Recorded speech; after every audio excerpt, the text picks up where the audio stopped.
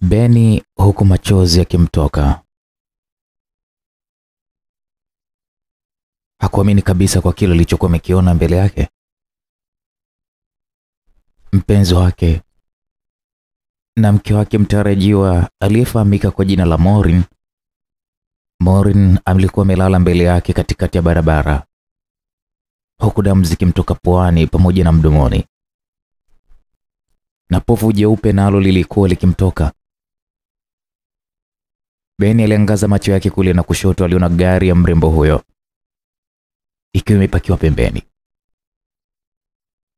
Beni alitimua mbio kumsogelea Morin mithiri mwenda wazimu. Akawa amemfikia, alimbeba juu juu ili amkimbize hospitalini.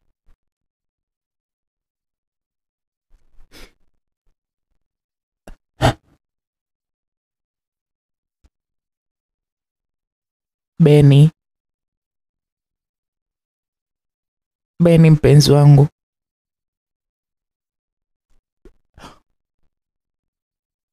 naomba kwa muda huu japo kino, japo kidogo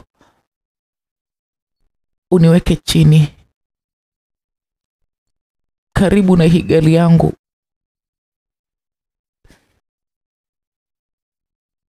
Nina machache sana ya kukuambia kabla sijamfuata baba. Aliongea Morim. Aliongea kwa tabu sana, huku akigeuza geuza shingo yake kuashiria kwamba ni jinsi gani alivyokuwa akipatwa na maumivu makali mno.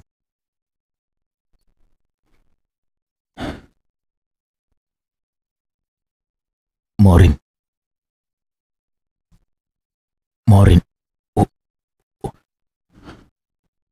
unasemaje Morin? Aliuliza Beni huku mapigo ya moyo wake yakienda mbio sana. Beni, naomba unipe mkono wako wa kulia, aliongea Maureen. Na Beni muda huo huo. Alimpatia mkono Morin na Morin aliupokea na kuweka kifuani kwake.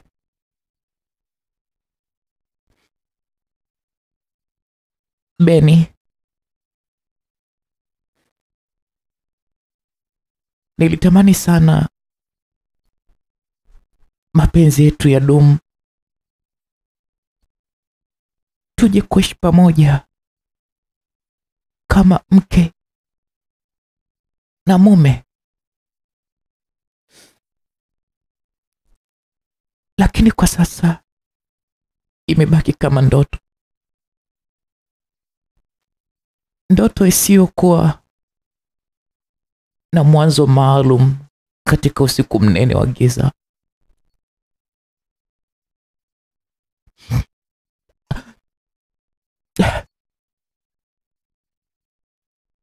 Alisema Morin kwa sauti ya chini sana, huku akijitahidi kuyafumbua macho yake yaliyokuwa yametapakaa machozi, machozi yenye mchanganyiko wa damu. Beni naye kwa muda huo machozi yalianza kumtoka bila kutarajia.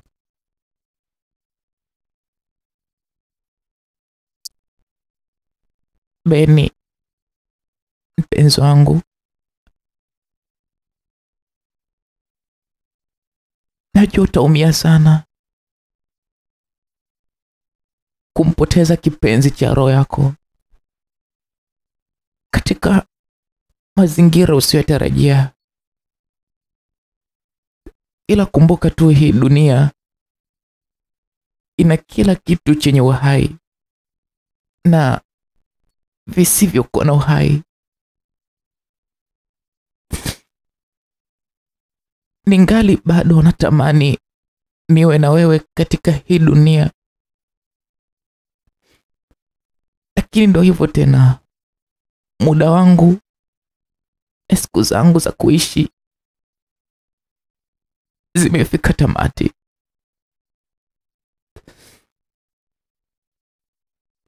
Tumetoka mbali sana katika safari ya mapenzi. Ndio sina jinsi kukuaga kwamba ipo siku tutaonana tena. Siku zote sikujua kama rafiki yako uliyetoka mbali angeweza kunifanyia unyama kama huu. Ba- nimemsamehe nimemsamehe nimemsamehe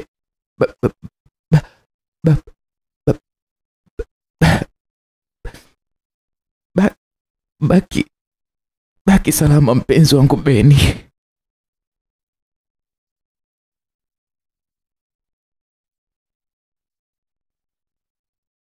Maureen hakuwa na kingine cha kuzungumza, kwani alibaki kimya, na hapo ndipo ile shingo yake ilipolala mazima.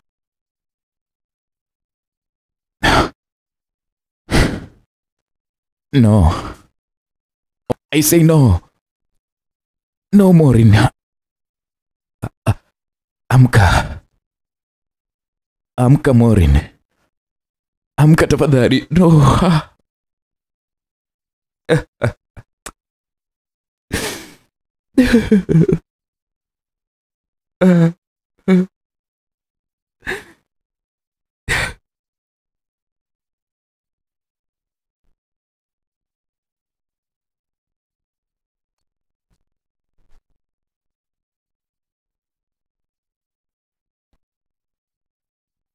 Msikilizaji, miaka kumi miaka kumi iliyopita kijana Beni, kutokana na ugumu wa maisha, mara baada ya kuhitimu elimu yake kidato cha nne na kushindwa kabisa kufanikiwa kuendelea na masomo, Beni aliamua kwenda katika jiji la Dar es Salaam kwa ajili ya kutafuta maisha. Huko alikwenda kutafuta kazi yoyote ile ambayo ingeweza kumpatia riziki kila siku, ikiwemo kupeleka mkono kinywani. Baada ya kijana huyo Beni kufanikiwa kufika Dar es Salaam, alianza kukotaibika sana, alitaibika sana kutafuta kazi, pamoja na kwamba kwa muda wote ule alikuwa akiishi na rafiki yake kipenzi ambaye naye alikuwa katika harakati za kutafuta maisha.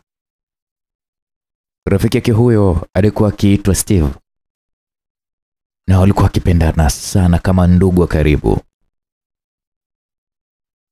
Basi siku zikawa zinasonga, hatimaye Beni na Steve walipata kazi pamoja, kazi moja hivi ya kusafiri na gari la taka kwa ajili ya kuweza kuzunguka mitaani na kukusanya zile takataka. Kazi hiyo Beni pamoja na Steve walifanya kwa muda wa miezi miwili, na baada ya hapo akaamua kuacha hiyo kazi ili waangalie kingine cha kufanya.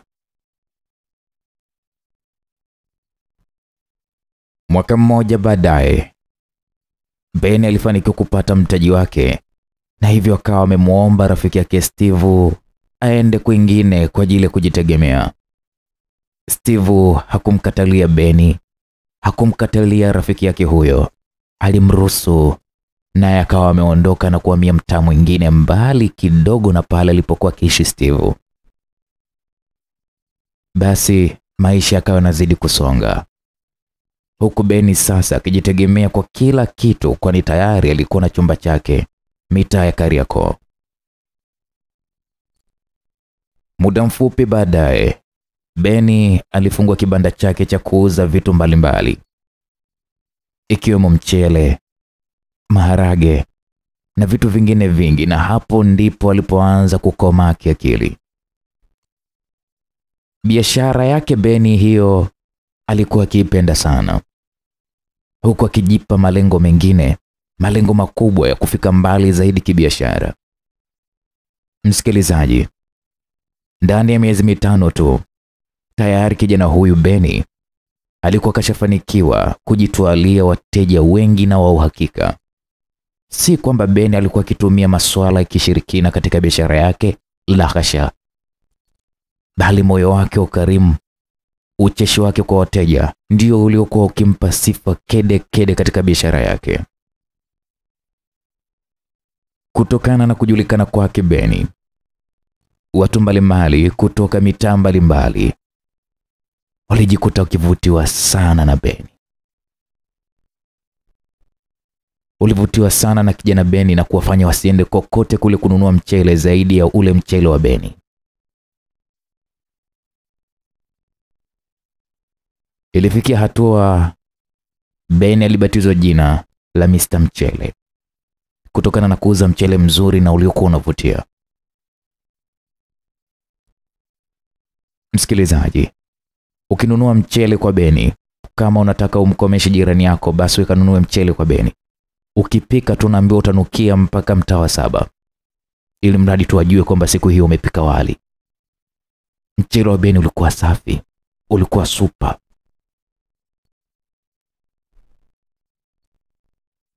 Siku moja ya Jumamosi, Ben akiwa amekaa kwenye kibanda chake alisikia gari gari ikilia na baadaye ikazimwa. Ben ilibidi asimame kujua ni akina nani wamekuja, maana kwa upande wake, baada ya kusikia ule mlio wa gari, alijua ni askari wamekuja kwa ajili ya vitu ambavyo si vizuri. Sasa aliposimama kidogo, mapigo yake ya moyo yalipungua baada ya kuiona gari aina ya Yutong ikiwa imepakiwa umbali wa mita ishirini kutoka kwenye kibanda chake. Ben alishangaa sana, akawa anajiuliza kimoyomoyo, nani yupo ndani ile gari? Ben aliendelea kulitazama lile gari bila kupepesa macho, na punde si punde alishuka mrembo mmoja ndani ya gari lile. Mapigo ya moyo ya Beni yakaripuka pa, akawa anamshangaa sana ule binti. Mrembo yule aliyekuwa amevaa miwani ya aina yake alikuwa mithiri ya misi wa dunia. Alikuwa amejaliwa bwana, kwa urembo tu unaweza ukasema mrembo wa kimataifa, mrembo asikuwa na mfano. Kwa kumwangalia tu yule binti alionekana kama mzungu, mwarabu so mwarabu, msauzi so msauzi, mchina so mchina, mtanzania so mtanzania, mkenya so mkenya. Alikuwa ni binti fulani hivi, mnyarwanda so mnyarwanda. Kabinti fulani hivi. Kalimchanganya sana Beni, lakini Beni alijipiga moyo konde, alijipiga moyo kiume, alijikaza kiume tunasema, maana hata wazo la kumtongoza hakuwa nalo kabisa kwa mwonekano wake tu wa yule binti.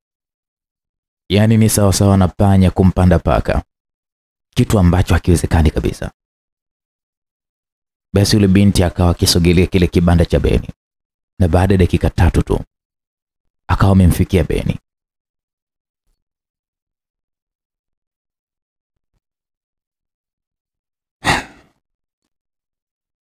Uh,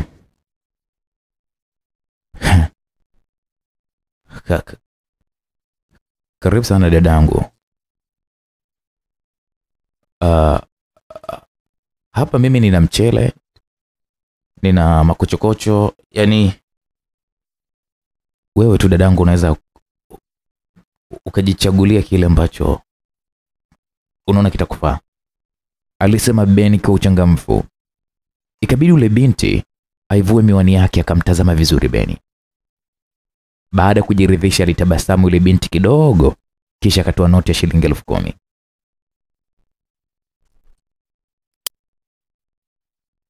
Nipimie kilo tano za mchele, aliongea binti yule huku akimtazama Beni. Beni aliyekuwa akichengesha chengesha macho yake tu.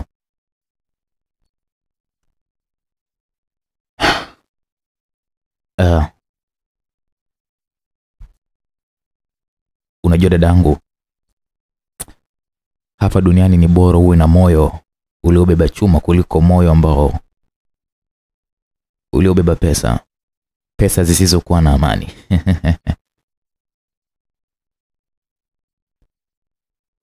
Alafu dada yangu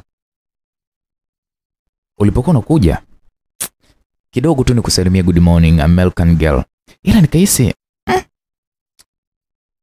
sije nikapigwa risasi. Haya, dada, kelo zako hizi hapa, alisema Beni huku akimkabidhi ule mchele ule binti.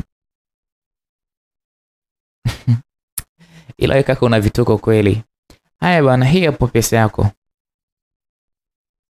Um, asante sana dadangu na ubarikiwe sana na Mungu. Uh, uh, uh, uh, ni dada, nimesahau kukuongezea kidogo.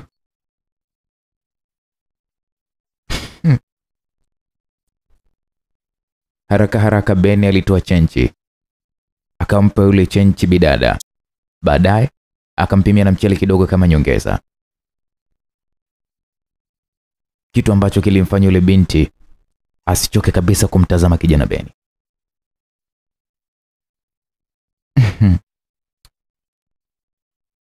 Ah. Asante kakaangu kwa ukarimu wako. Hivi unaitwa nani? Uh, mi naitwa be, be, be, Beni. Uh, uh, Beni kwa kifupi, lakini mi naitwa Benjamin, kwa hiyo unafupisha tu hapo Beni. Okay. It's fine. Na mi pia unataka kunijua? Ya, itakuwa vizuri nikikufahamu. Um, jaribu kuotea mimi naitwa nani? Mtihani wa dadangu. Okay, it's fine. Mimi naitwa Morin na naishi umumu humu mtaa Kariakoo. Kutoka tu hapo sio mbali sana. Uh, sawa dadangu, sijali. Tuko pamoja. Karibu tena. Okay, asante. Asante sana kakangu.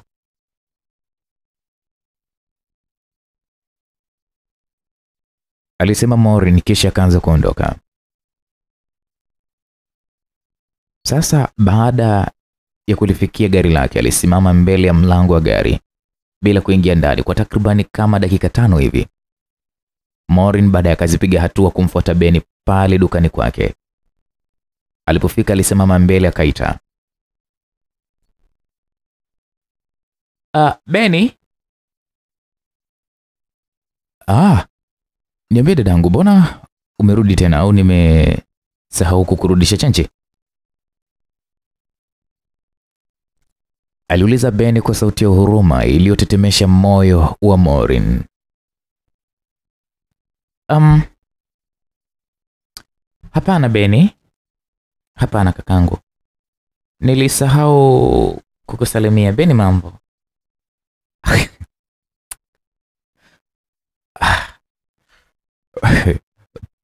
Poa tu dadangu.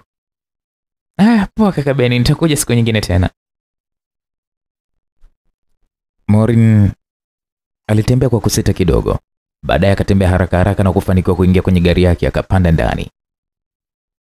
Humo binti huyo alijishika tama huku akiikumbuka sauti ya Beni.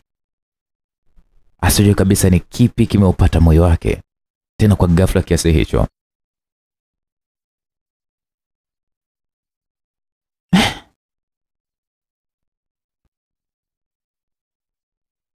Huyu kaka mbona ni mpole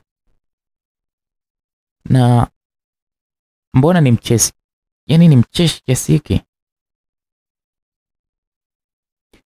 Sijawahi kuona kijana wa namna hii hapa Dar es Salaam. Hmm. Lakini kuna stori nazisikiaga, kuna mkaka mwingine pia naye pia ni mpole mkarimu, anaitwaga Uncle J. I think so, niliwahi kumsikiaga. Okay, anyway, ngoja niachane hayo, lakini sielewi. Maureen hakuweza kabisa kupata majibu kwa maswali yake yale yaliyokuwa akijiuliza. Alibaki kimya kwa muda wa dakika saba, kisha akaulalia usukani wa gari yake, mawazo mchungu mzima yakawa yanazidi kumwandama na asijue hata cha kufanya. Binti wa watu. Maureen aliinuka kidogo baada ya kulalia usukani wa gari yake, kisha akaiwasha na kuondoka lile eneo akiwa na dukuduku kubwa sana moyoni mwake.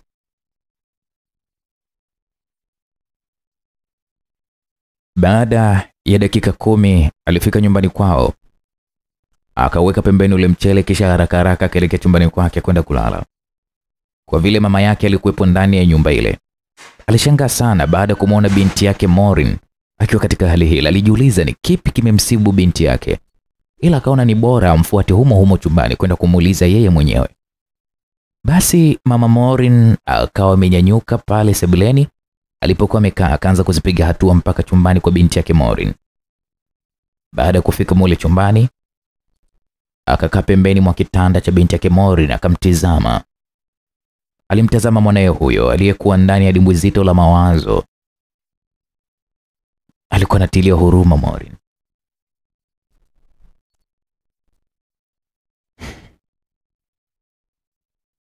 Maureen? Maureen? Aliita lakini Maureen hakusikia. Pamoja na kwamba alikuwa yuko macho, alikuwa amelala chali kwa kuiweka miguu yake kwa mfumo wa namba nne. We Maureen, sinakuita wewe? Abe, mama. alita tena kwa mara ya tatu mfululizo, na ndipo Morin alipoitika kwa kukurupuka mithiri ya mtu aliyeshtushwa usingizini. Akawa anayaangaza macho yake kwa kufumba na kufumbua.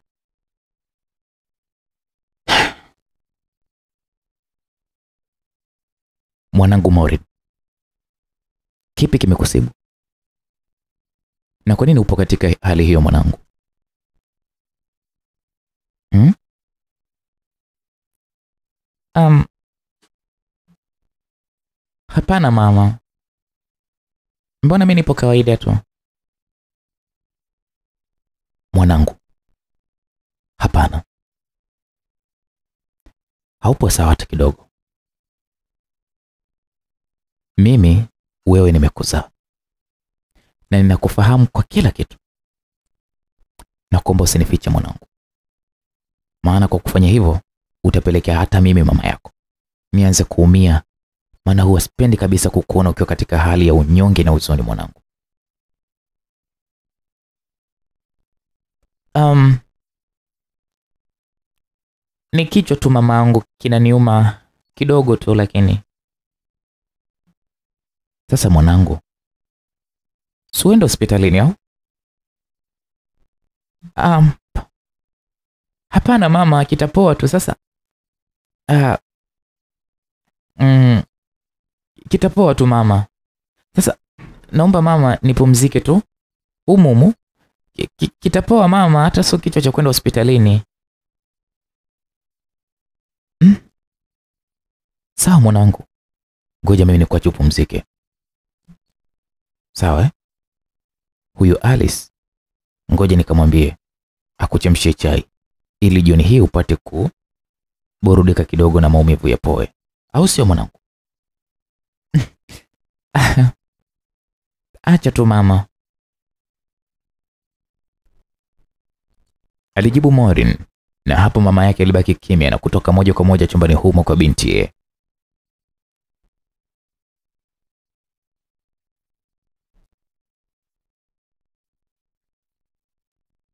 Upande mwingine alionekana kijana Steve akimalizia kuzipiga hatua kwenda getoni kwa rafiki yake Beni. Ilikuwa ni mida ya jioni.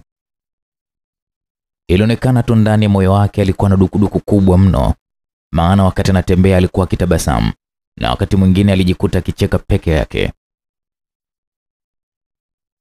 Steve baada ya kufanikiwa kuufikia mlango wa chumba cha rafiki yake Beni alianza kubisha hodi, na hazikupita dakika tano akawa amefunguliwa mlango na Beni yeye mwenyewe, naye akawa ameingia moja kwa moja ndani humo.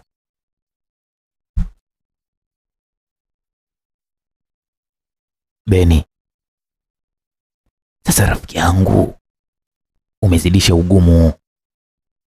Yaani baridi lote ili hata demu una du, utakuja kufa rafiki yangu, acha zako,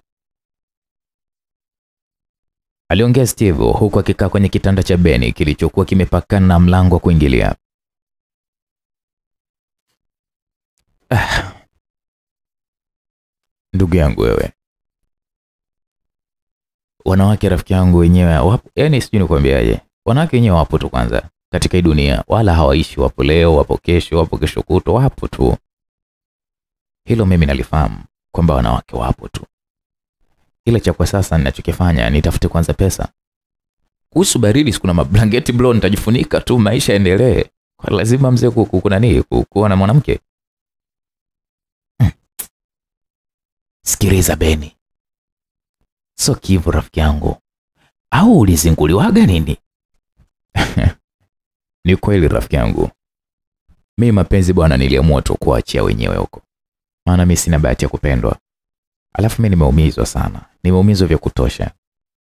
Ndio maana mimi nimeona tu bora niwe single tu, niwe single, nitafute zangu pesa. Mapenzi acha wafanye wenye bahati nayo bwana, sisi wengine hatuna bahati hiyo. Kwa hiyo mi naenjoy maisha yangu mimi mwenyewe kuwa single. Hmm?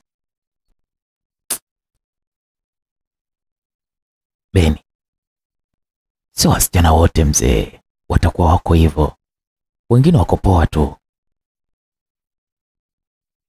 Ah, Steve, mi siamini rafiki yangu, ila mimi ninachokiamini kama bahati yangu ipo, basi kuna siku itaonekana dhahiri machoni pangu, lakini kwa sasa hivi naona tu kawaida.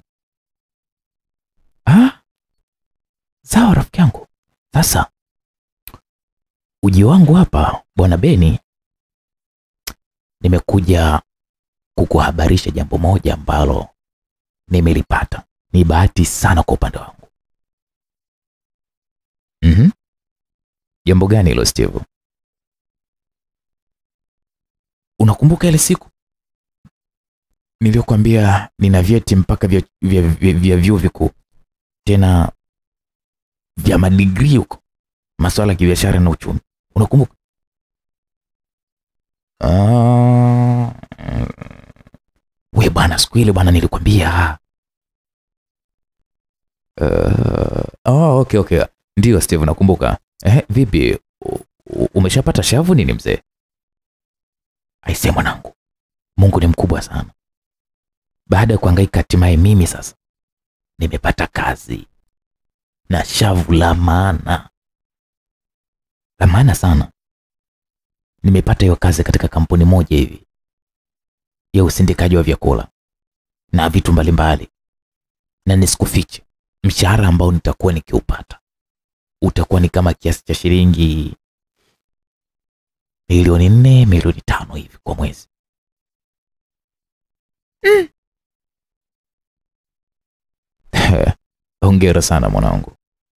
Naona sasa kwa upande wako maisha yameshakuwa mazuri, ushatoboa mwanangu. Naomba nikumbuke na mimi pale tu ambapo patakapowezekana, japo mimi elimu sina kwa sababu ya umaskini wangu. Kwa hiyo elimu kidogo imenipita kushoto mzee, kwa naomba tu wananikumbuka. Aliongea Beni kwa sauti ya upole na iliyojaa masikitiko. Ah, usijali, wewe ni rafiki yangu mimi. Mimi nawe urafiki wetu ni wa muda mrefu sana Beni, maana tumekuwa marafiki tangu tukiwa sekondari. Hivyo mimi siwezi kukuacha hivi hivi jamaa wangu, aliongea Steve na kumhakikishia rafiki yake kwamba hatomwacha kwa vyovyote vile. Sasa be ngoja mimi niende, tutawasiliana mzee. Baada ya kuyaongea hayo, Steve alinuka pale, kisha akatoka nje akiwa ameambatana na Beni. Wakawa wanatembea taratibu, huku akipiga stori za hapa na pale. Beni alipohakikisha amemtoa mbali kidogo Steve, Beni alirudi tena getoni kwake. Basi masaa ya jioni nayo yakawa nayoyoma sana. Hatimaye giza likaingia na usiku sasa ukawadia kulipopambazuka kesho yake. Ilikuwa ni siku ya Jumapili, siku ambayo Beni huwa haendi kazini kwake, yaani kibandani kwake, maana siku hiyo kwa asilimia kubwa zaidi huwa anaitumia kwa ajili ya kumwabudu Mungu, na alikuwa akiithamini sana siku ya Jumapili. Kutokana na hivyo, siku hiyo Beni nayo ilipita hiyo Jumapili. Jumatatu ikafika. Jumatatu ambayo ilionekana kuwa kama ni tulivu sana, hasa kwa upande wa Beni. Asubuhi na mapema katika siku hiyo aliwahi kibandani kwake kwa ajili ya kwenda kuendelea na biashara yake. Baada ya kufika huko, alipanga vizuri vitu vyake vyote vya dukani na kila kitu kilipokaa vizuri, Ben alikaa akiwa na wasubiria wateja wake. Sasa akiwa hajui hili wala lile, kwa mbali walionekana askari watano wakiwa wanakuja mbele ya kibanda cha kijana Beni, na wote kwa pamoja walikuwa wameshikilia bunduki. Walipofika pale, walizingira kile kibanda na kisha wakamkurupusha Beni bila yeye kutarajia. Kijana, ulivyosimama hivyo hivyo, simama, aliongea askari mmoja, huku akionekana kutokuwa na utani hata kidogo. Beni alisimama huku akitetema asijue nini cha kufanya.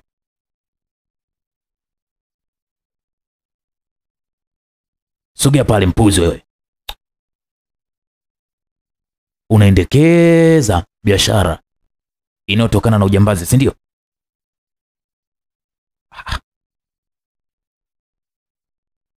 Jamani, kwani kosa langu lipi hadi mnanikamata namna hii? Hebu tangulia, utajua huko huko, usijifanye kujitoa ufahamu kidogo. Afande mmoja alimjibu Beni huku akimshikilia kwa nguvu nyuma ya suari yake ambayo tayari ilikuwa imeshaanza kuteremka chini. Beni kwa huruma aliutazama ule mchele wake, akatamani amwambie amwache walau hata akusanye vizuri na kufunika kwa gunia gunia kuukuu lililokuwepo maeneo yale, lakini Beni alishindwa kufanya hivyo. Alibaki akiwa kimya tu. Wale maaskari baada ya kumkamata vilivyo, walienda naye mpaka ndani ya gari, wakapanda kisha wakaondoka. Hayo yalikuwa yakiendelea. Steve rafiki yake na Beni alikuwa ndani ya ofisi yake mpya kama meneja masoko. Sasa pamoja na kwamba taarifa za kukamatwa kwa Beni alizipata, lakini Steve wala hakuwa na muda kabisa wa kujua hata cha kumsaidia, yaani ilionekana kama amemsahau vile.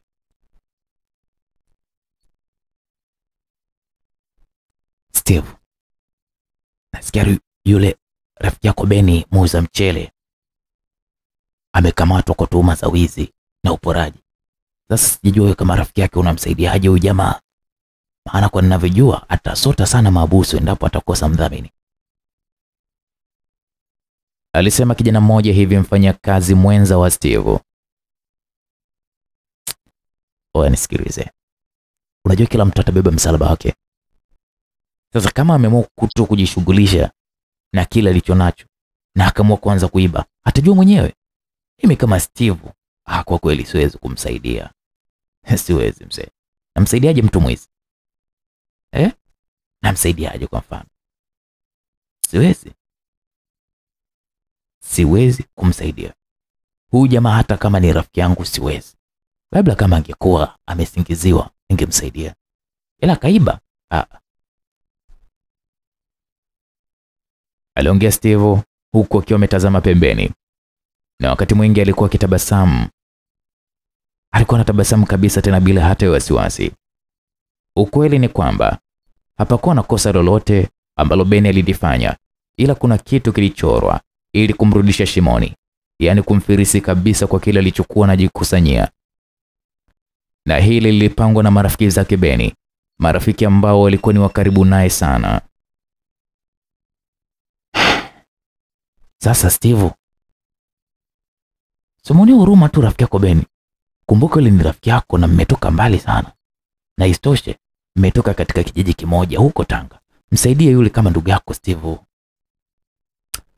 Wewe nisikilize wewe, wewe kama unamwonea huruma basi msaidie wewe, si una pesa sasa, msaidie tu, wala usitake kurumbana sana hapa sasa hivi. Kwa upande wangu nimesema sipo tayari kumsaidia, alafu wewe unaboaboja bobacha ndo asubuhi asubuhi yote unataka kunitia kisalani, si ndio? Wewe msaidie bwana, kama unaona ana, ana, anafaa kusaidiwa msaidie. Kutoa msaada sio lazima mtu awe ndugu yako. Sijui umeelewa? Acha upumbavu bwana.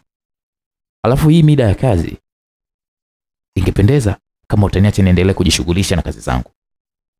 Mao no, unaacha kufanya vitu vya maana, unaletea mambo ya kipumbavu hapa, unanipigapigia tu kelele, unanipotezea muda ujue.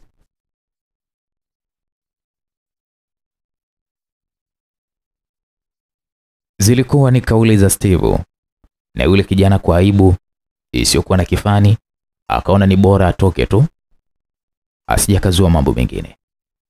Baada ya kijana huyo kutoka, Steve alitabasamu kisha akacheka kicheko. Baadaye akachukua simu yake ya mkononi, alibofya mara mbili, kisha kaiweka sikioni. Eh, oya, fasta fasta, sitaki mpoteze muda, hilo dau nitalivunja mkileta mambo ya kinunda. Steve alizungumza maneno hayo haraka haraka, kisha kakata simu. Haijulikani alikuwa anaongea na nani. Tuachane na Steve, msikilizaji, turudi kwa bidada Maureen. Kwa upande wa Maureen, mchana ule bado chungu nzima mawazo yalikuwa yakimwandama kwenye kichwa chake. Maureen alionekana kama amevamiwa na ugonjwa usiojulikana, tena ugonjwa hatari zaidi ya ukimwi. Kusema ukweli, hisia kali za mapenzi tayari zilikuwa zimeshauteka moyo wake Maureen, tena kwa zaidi ya robo tatu ya huo moyo wake. Morin alitokea kumpenda sana kijana Beni, na hilo pekee lilitambuliwa kwenye himaya ya moyo wake na kumfanya asile asinywe kwa sababu ya kijana Beni.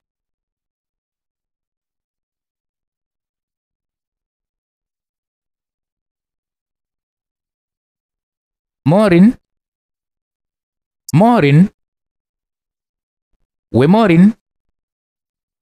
Mama yake aliita kwa mara tatu mfululizo baada ya kumkuta binti huyo akiwa amekaa ndani ya gadeni yao ya maua huku akiwa amejishika shavu.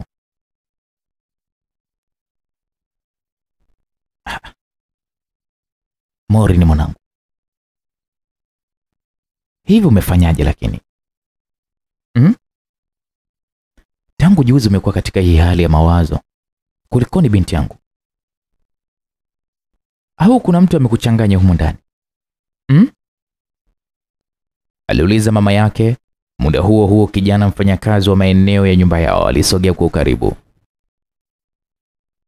Aisee mama, labda umuulize wewe, maana mimi nimejaribu sana kumuuliza, nikawa kama nimechokonoa mzinga wa nyuki, na ndio maana mm, nikaona nisogee mbali, nikaendelea tu kujishughulisha ila hili picha la kindi linavyokwenda mama ni hatari ujue. Bora umuulize binti yako ana tatizo gani. Aliongea yule kijana machachali. Kwa ongeji wake alikuwa akijulikana kwa jina la Jeff. Wewe we kijana, haya kuhusu Unaponiona nipo na mwanangu, hutaki kuoji mambo yako ya kipuuzi kama hayo, sawa? Yaani bado umesimama tu, hebu toka. Kuwa mlinzi wa getini kule. Nenda kapige stori huko. Usingilie mambo yasiyo kuhusu.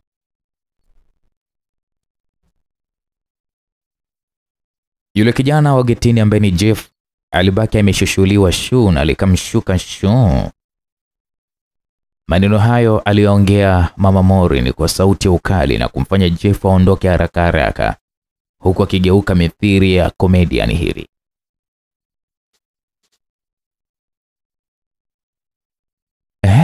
Mwanangu una tatizo gani? Mama,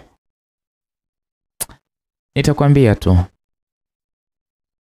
ila kwa muda huu niache kwanza niyamalize mimi mwenyewe, aliongea Maureen, na hapo ndipo mama yake alipowaka kwa hasira kali mno. Pumbavu, mshenzi mkubwa wewe! Yaani unanificha mimi mamako eh? Unanificha mimi? Sasa. Sikia Morin, mimi nimetangulia kuliona jua kitambo sana, na hicho unachonificha nitakijua tu, ila kaa ukijua.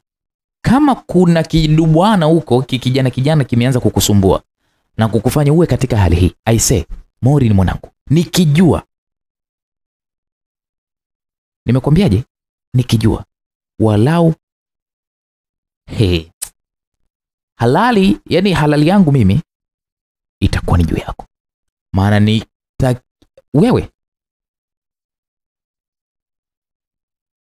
alafu huyo kijana yani kama kuna kijana anakusumbua nitamkata masikio na miguu. He, sipepesi macho katika hili,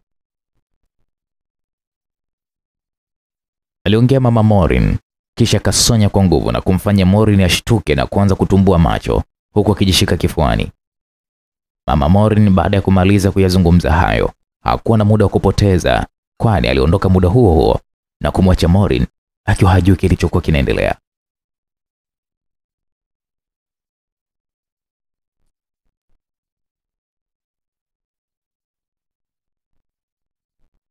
Msikilizaji, Steve baada ya kutoka kazini kwake tayari jioni ilikuwa imeshawasili. Jioni hiyo alielekea moja kwa moja hadi nyumbani kwake, na baada ya kufika huko alimtuma mfanyakazi wake wa ndani aliyekuwa akiishi naye amletee kiti, naye akafanya hivyo, na Steve akawa amepumzika kabisa katika nyumba yake. Dakika kama ishirini baadaye hivi. Hatimaye kwenye muda wa majira ya saa kumi na nusu hivi zilikuja gari mbili aina ya taksi, tena kwa kasi mno, zikasimama karibu na usawa wa pale alipokuwa amekaa Steve. Haraka haraka walishuka jamaa kumi kwenye hizo taksi mbili, watano taksi moja na wengine watano ile taksi nyingine, wakawa wanatembea kibabe kumsogelea Steve. Jamaa hao wote kwa pamoja walikuwa wamevaa makoti meusi marefu pamoja na miwani mieusi, miwani ya jua. Jamaa wawili kati ya hao walikuwa wameshikilia briefcase mbili mikononi mwao. Sasa walipomfikia Steve, walisimama kwa kumzunguka, huku lijamali moja likiwa limesimama nyuma yake na kukaa kibabe likiwa limeshikilia bastora mkononi. Steve akiwa amekaa huku amekunja nambari nne, alitoa ishara ya kichwa na hapo zile briefcase zikafunguliwa. Briefcase moja ilikuwa na noti nyingi za elfu kumi kumi na nyingine zilikuwa na madawa ya kulevya yaliyokuwa kwenye vijimfuko vidogo vidogo. Baadaye briefcase hizo zikafungwa.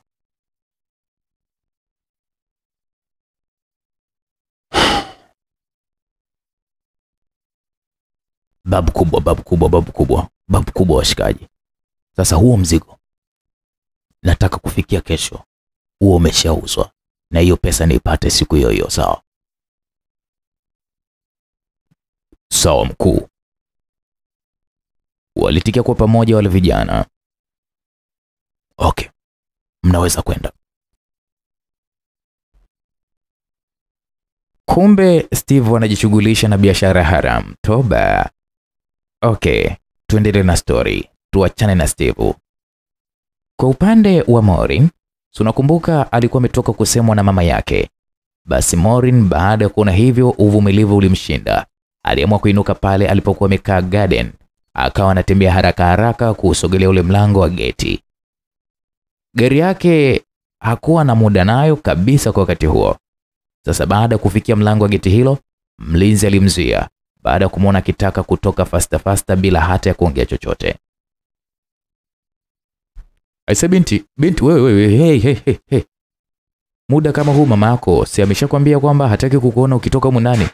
Sasa niambia unataka kwenda wapi au unataka mimi kibarua changu nikose kazi, si ndio? Aliuliza yule mlinzi huku akimkazia macho Morin. Ilimbidi Morin atunge maneno ya uongo na kweli, akamwambia sikiliza, samahani, naomba niruhusu nitoke, maana nataka niwahi haraka mno dukani kununua dawa, kichwa kinaniuma mno. Aisesu, nitume mimi nikakuletea hizo dawa kulikoni kwenda wewe, ili hali unaumwa unataka kwenda dukani? Jeff, tafadhali naomba nielewe sawa eh? Naomba unielewe, niruhusu niende mimi mwenyewe, sitakawia kurudi. Aise Maureen, kumbuka hiki ni kibarua changu aise, nimepewa na mama yako, tena kwa masharti magumu, na wewe hilo unalifahamu kabisa, alafu mama yako hilo unamjua dakika mbili mbele. unaweza kunisababishia matatizo makubwa sana mdogo wangu ujue, na ukizingatia pia nimeshaanza kuingia ta hatarini tayari.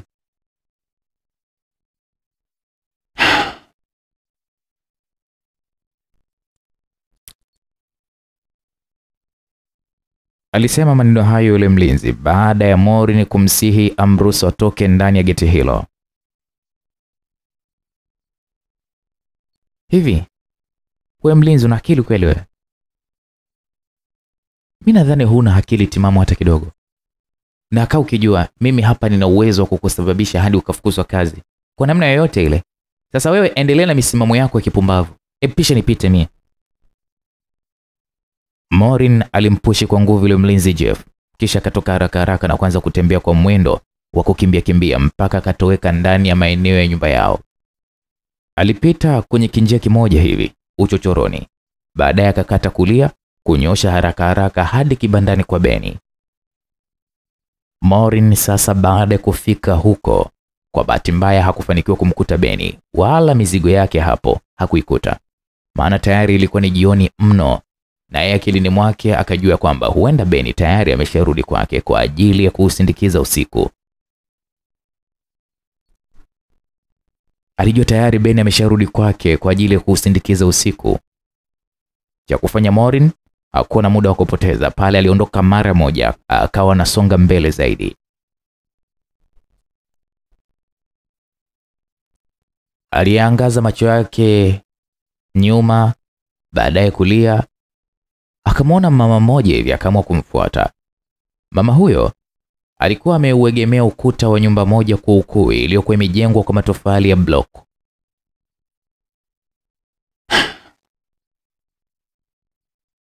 Mama, shikemo, alisalimia Morin huku akigeuka geuka. Utadhani alikuwa akihisi kwamba kuna mtu anamfuatilia. Marhaba mwanangu, mzima wewe? Mi mzima tu mama. Mama, hapa nilipo nina shida, naomba unisaidie kama utojali. Sema tu mwanangu, wala hata usijali. Um, mama, unamfahamu yule kijana Beni muuza mchele kwenye kile kibanda? ndio namfahamu Beni, hakuna simjua Beni hapa. Si kale kacheshi kacheshi kale ka kijana kapole kembamba hivi? Ndiyo mama, huyo huyo. Sasa naomba unielekeze anapoishi, maana nina shida naye, tena ya muhimu sana. Aliongea Maureen haraka haraka, huku akiendelea kugeuka geuka kwa uoga. Ah, unaiona ile nyumba yenye rangi nyeupe ile? Ndiyo mama. Sasa isogelee ile nyumba, alafu utakapofika pale, wewe kata kushoto, utakutana na geti jekundu na ukiingia humo Beni, bila shaka kama yupo utamkuta, maana ndo makazi yake yalimo. Asante sana mamangu, barikiwe. Morin alichomwa noti ya shilingi elfu kumi kwenye ile suruali ya jinsi aliyokuwa amevaa, kisha akampa mama, na baada ya hapo akamwaga na kuanza kuondoka.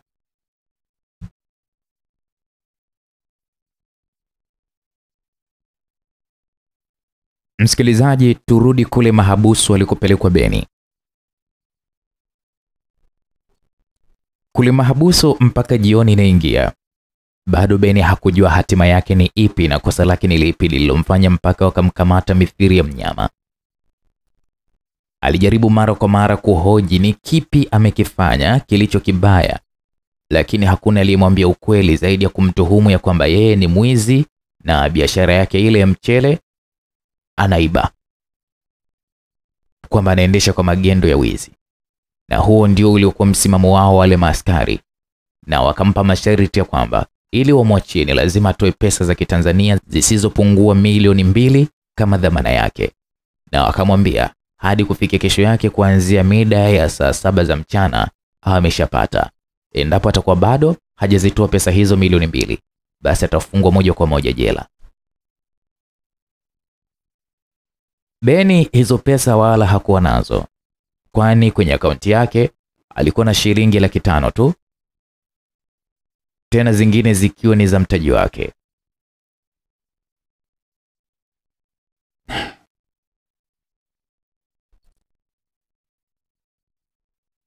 Ukweli ndio huo, walimwengu wenzangu. Pesa mimi nilionayo ni laki tano tu, ila kama mtakubali kuipokea, nipo tayari kuwapa ila mkikataa, basi mimi nipo tayari mnifunge, maana ndivyo mnavyotaka. Maneno hayo aliyeongea Beni baada ya maafande kumsihi atoe milioni mbili kama dhamana yake ya kuwa huru. Kijana, sisi msimamo wetu ni ule ule kwamba iwapo utashindwa kuzitoa hizo pesa mpaka kufikia kesho majira ya saa saba za mchana, basi usitulaumu. Leta milioni mbili tukuachie. Askari mmoja aliyeongea hayo na baadaye Beni wakamtoa hadi ndani ya chumba kimoja cha giza, wakamwacha humo.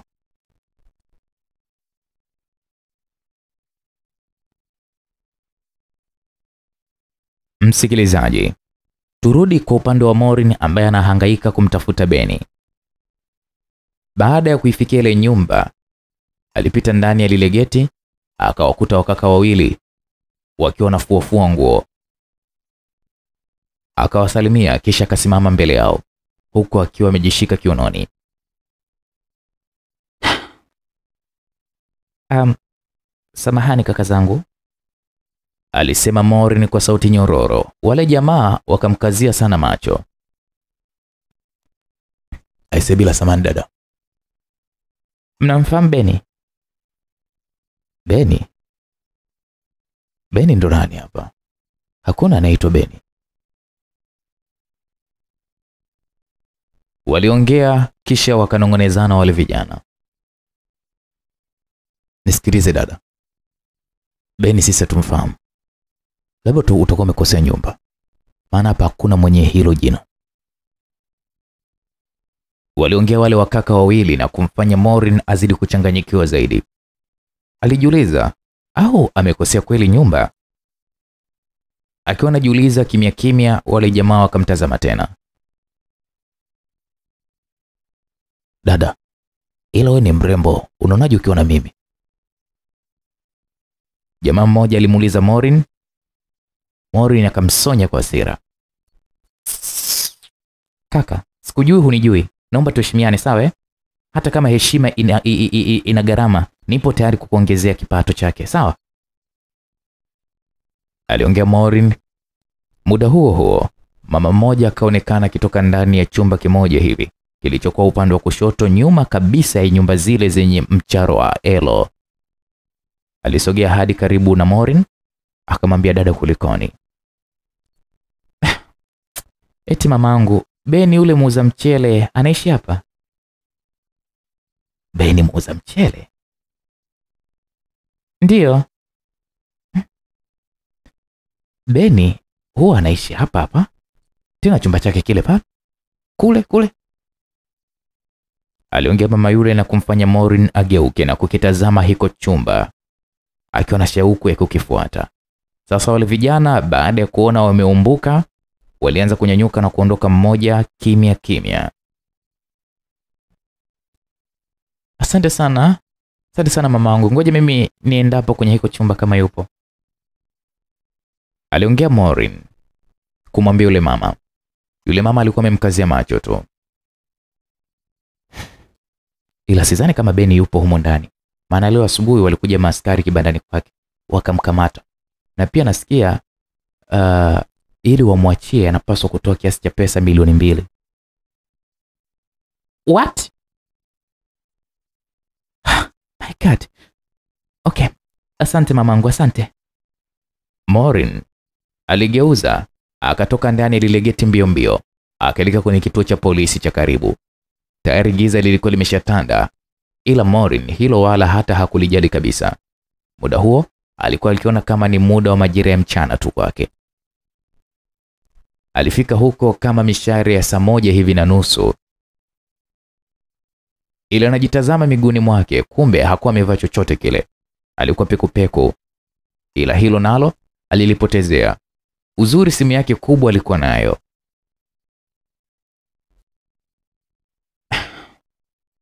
Afande, shikamoo. Nina shida na wewe, aliongea Morin baada ya kumfikia afande mmoja hivi aliyekuwa akizunguka zunguka pale nje.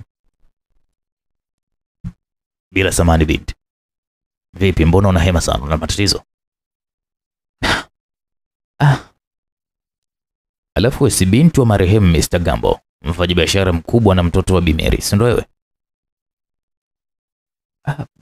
ah, ndiyo ni mimi, ila hilo hala lisikutishe afande. Hapa nimekuja kwa jambo moja tu. Mhm. Jambo gani hilo binti? Au wamekuibia? Sema kama kuna vijana wamekuibia. Alisema afande huyo huku akimmezia mezia mate kimya kimya Morin, maana kiukweli binti huyu kama kuumbika tu alikuwa ameumbika, sio siri. Ukikutana naye kama ni wewe mwanaume rijali, lazima utammezia mate tu na kumtamani awe mke wako, japo walau kwa dakika mbili tu. Ah, hapana, hawajaniibia wala nini. Hapa nimekuja kumuulizia kijana mmoja anaitwa Beni, naomba aliyemkamata na kumweka kumweka mahabusu tini nizungumze naye. Beni? We Beni ni nani yako? Ni rafiki yangu wa muhimu sana, kwani tumemaliza naye chuo na tulisoma wote. Mm, sawa sawa. Ila sio mpenzi wako, si ndio? Sio mpenzi wako, hujihusishi naye kimapenzi. Afande, wewe fanya kile nilichokuagiza. Maswala ya kuanza kuniuliza swali kama hilo utaenda kinyume sasa na mada iliyonileta. Aliongea Morin, na hapo yule afande akaenda hadi ndani ya chumba kimoja, na punde si punde akatoka na afande mmoja hivi mwenye kitambi. Wewe si Morin wewe. Ndiyo, ni mimi afande. Sasa afande, nimekuja unisiji jambo moja, naomba umtoe Beni niondoke naye. Gharama zote nitatoa mimi, tena ninaweza toa hapa hapa, kama kwa njia ya simu mtaniruhusu ni nitoe hiyo pesa. Aliongea Morin, afande yule mwenye kitambi. Mimacho ilimtoka mithiri ya yule chura aliyekanyagwa na taili la gari. Uh, uh, sasa sasa, sasa uh, uh, Morin uh, pesa pe- pe, pesa kitu gani wewe? Ila huyo Beni kwani ni nani yako? Beni ni rafiki yangu, tumemaliza naye chuo na tumekuwa tukisaidiana na kushirikiana katika mambo mengi sana, na ndio maana baada ya mimi kusikia amepatwa na hii dhoruba, nikaona ni bora niji nimsaidie. Mhm. Sawa, tutamtoa, ila siku nyingine mwambie acha kabisa tabia za wizi wizi, ajitume katika kufanya kazi kwa bidii. Aliongea yule afande mwenye kitambi, na muda huo huo akamwagiza yule afande mwingine aende akamlete Beni ndani ya kile chumba kilichokuwa kimegubikwa na giza. Baada ya yule afande kuelekea humo, zilipita kama dakika tano hivi, akawa amekuja mbele ya yule mkuu wake akiwa amemshikilia Beni. Ndipo Morin alipoyangaza tu macho yake akamwona Beni. Mapigo ya moyo wake yalianza kuongezeka maradufu, ikabaki kidogo tu ashindwe kujizuia, ila Morin alijikaza asije kuumbuka mbele ya wale maafande na kuifichua siri, siri aliyokuwa ameificha moyoni mwake. Ah, naomba nipatie namba ya akaunti yako ili niweze kukuingizia pesa muda huu huu, alisema Morin na kumfanya afande yule mwenye kitambi aanze kutumbua macho kana kwamba haelewi chochote kutoka kwa binti huyo mrembo. Uh, unase, Unasema? Aliuliza kwa sauti yenye kugugumezi. akaambiwa leta namba ni kuingizie pesa mnayomdai huyu kijana.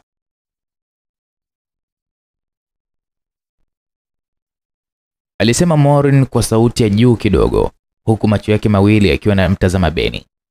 Kwa muda huo tayari mishale ya saa mbili ilikuwa imeshaingia, ila hilo Morin akilini mwake wala hata halikumpa shida, maana moyo wake ulikuwa umeshafarijika vya kutosha baada ya kumwona kijana Beni.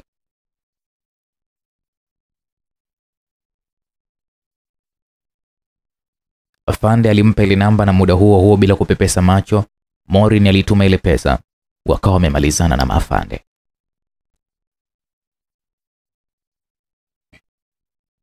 uh, Morin, ila huyo sio mpenzi wako kweli wewe? Aliuliza afande mwenye kitambi huku akimkazia macho kijana Beni. Afande, si nimeshakwambia kwamba huyu ni rafiki yangu, ina maana unielewi? Ah, sawa, nimekuelewa. Baada ya afande kujibu tu, hapo ndipo Morin alimshika mkono Beni, wakawa wanaondoka pale kituoni. Walipoziacha hatua chache tu mbele, mara afande akamwita Morin.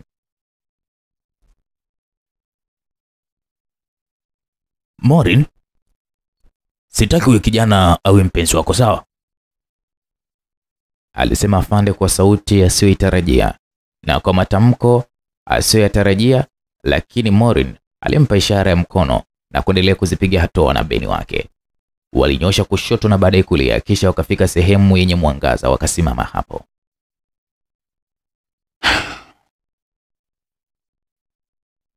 Beni,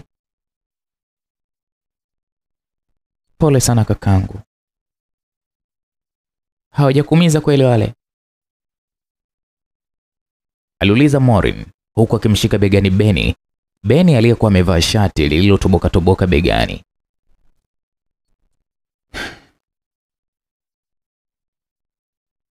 Hapana, hawajanifanya chochote. Sema tu mpaka hapa nilipo bado sijajua kosa langu lilikuwa ni lipi mpaka wakanikamata, ila yote kwa yote, dada Morin, ubarikiwe kwa wema wako dadangu, maana umeonyesha moyo wa kipekee sana na sijawahi kuona tangu nizaliwe. Aliongea Beni kwa sauti ya huruma sana, sauti ambayo iliweza kumsisimua Morin na kumsababisha chozi lianze kumtoka machoni pake.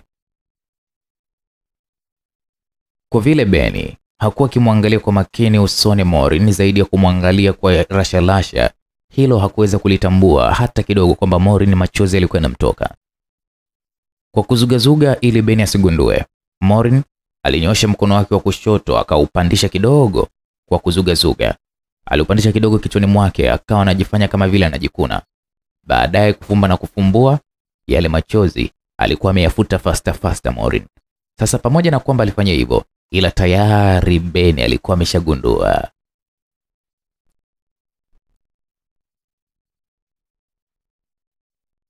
Morin, mbona nakuona kama unalia? Au macho yako yanauma? Um, aka mimi sili Beni, niko sawa. Um, Beni, tu, tu, tu, tuendelee kutembea sasa, alisema Morin. Wakaondoka pale, wakawa wanatembea haraka haraka.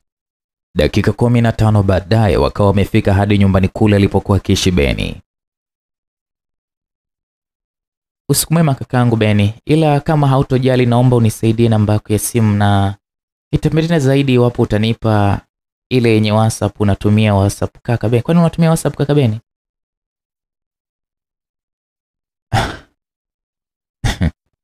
Ndiyo, WhatsApp unatumia dadangu. Namba yangu ni hapa. Hiyo ni namba yangu.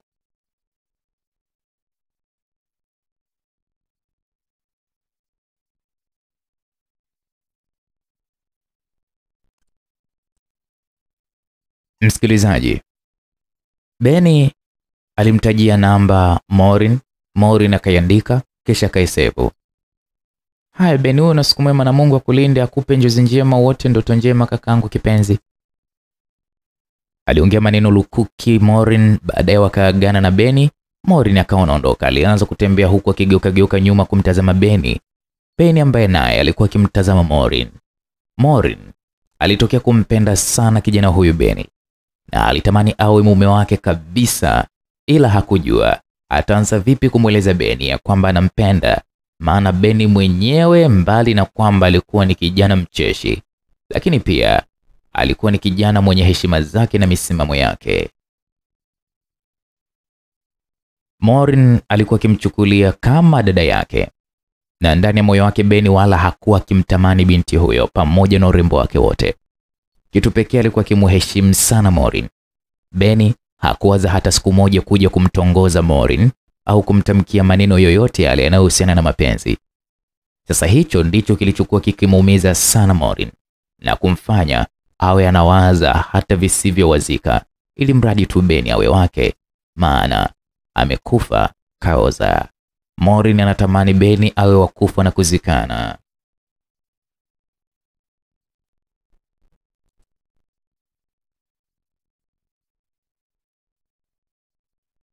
Msikilizaji, hmm. Kasheshe nyumbani kwa kina Morin sasa. Alionekana mamake Morin akiwa amemkaba shingoni ule mlinzi wake Jeff Ogetini huku akimfokea sana na wakati mwingine kumzabua zabua vibao vya usoni. Alikuwa kihema kwa hasira mithiri ya mtu anayetaka kupasuka. Wembwa, wembwa koko wewe eh?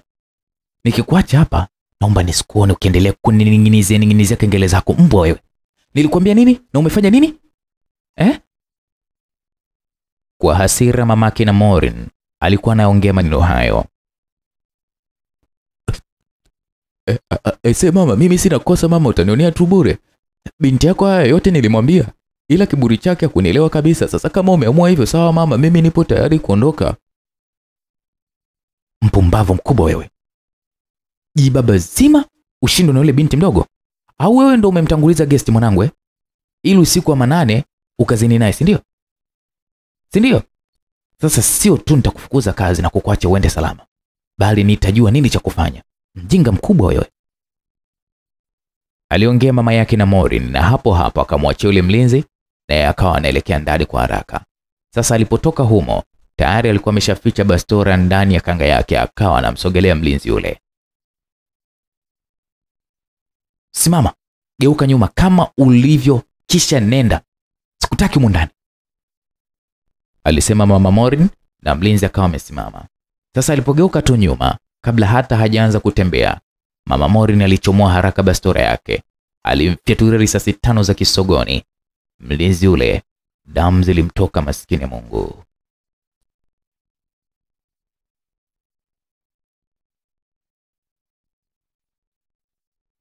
Damu zilimchuruzika.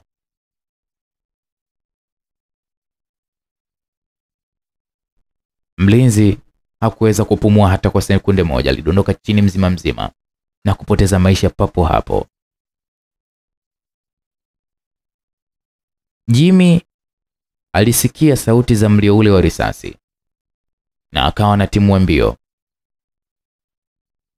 Alikuwa anakuja pale getini akitokea ndani ya jumba lile. Mama, mama, nini hiki? Ina maana umeua, si ndio? Aliuliza Jimmy, mfanyakazi huyo wa ndani, huku akiwa amepaniki kweli kweli. Ndiyo, nimeua, na kwa hili naomba unyamaze kimya, usimwambie mtu yoyote ule. Endapo utashindwa kufanya hivyo, kaa ukijua hata wewe kaburi lako litakuita. Haya, toka hapa. Jimmy alifukuzwa kama mbwa, naye kwa kuhofia maisha yake aliondoka pale, huku akiwa amejawa na uoga wa hali ya juu. Baada ya Jimmy kuondoka, mama yule mwenye roho ya kigaidi aliusogelea mwili wa marehemu mlinzi Jeff, akawa anauvuta pembeni. Baada ya kuhakikisha ameusogeza pazuri, alilifuata gari yake ya wazi aina ya Toyota, akapanda ndani ya gari hiyo, akaiwasha na kuisogeza ubavuni mwa ule mwili. Haraka haraka alishuka humo ndani ya ile gari, akaubeba ule mwili, akaupakiza ndani ya gari, kisha akapanda kwenye gari na kuondoka fasta kwenda kuutupilia mbali huko.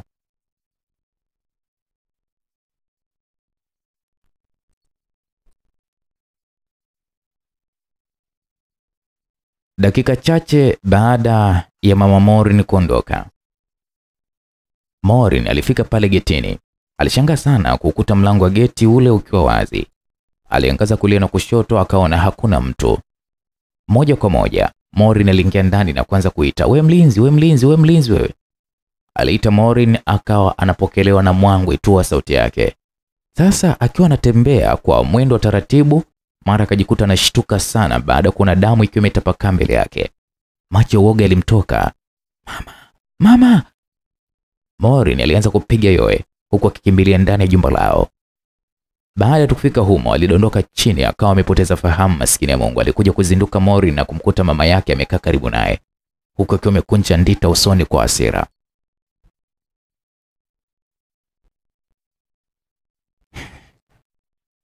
Morin, naomba unijibu maswali mawili tu. Moja, ulikuwa wapi?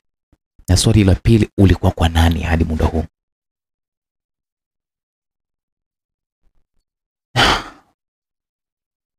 Nilikuwa kwa rafiki yangu mama. Ulikuwa kwa rafiki yako. We binti, sasa naona umeshaanza kuwa jeuri eh? Kwa akili yako finyu, unadhani huo ni uongo wa kunidanganya mimi, Bibi Mary? Wewe umeshaanza kuwa changu doa, si ndio? Sasa nitakunyosha na utanyoka. Unadhani ni nani aliyesababisha hadi babako afe? Nadhani jibu utalipata baadaye. Aliongea mama Maureen kisha akasimama juu. Macho yalimtoka Maureen akawa anatetemeka na kutokwa na jasho mwili mzima. Maureen hakuamini kabisa baada ya kusikia maneno kama yale, tena yanatoka kinywani mwa mama yake mzazi. Hakutarajia kama mama yake angepata ujasiri wa kuongea vile, tena mbele yake bila auoga wa aina yoyote ule. Tangu marehemu baba yake fariki dunia, yapata miaka kumi sasa, Morim hakujua baba yake alifariki kwa ugonjwa gani. Kila akijaribu kukumbuka kifo cha baba yake tena mbele ya macho yake, hapo alianza kuelewa picha halisi. Hii ilitokana na kwamba baba yake hakufa kifo cha kawaida.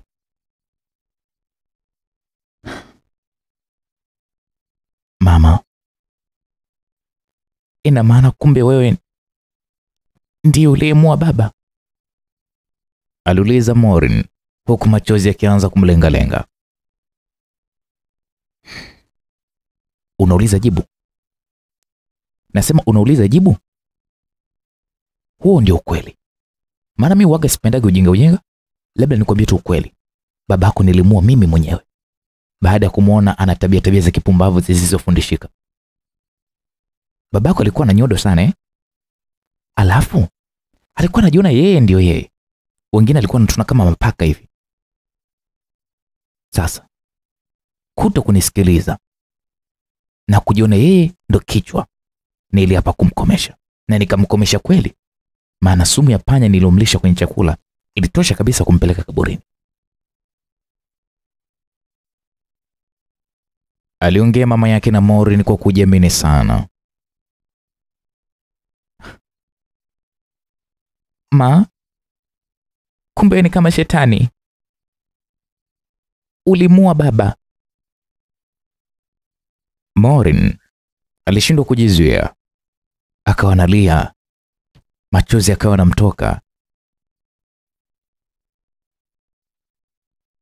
Tena haya niliyokuambia uyache hapa hapa, siku kijichanganya ukamwambia mtu yoyote ule, haki ya nani, ntakuwa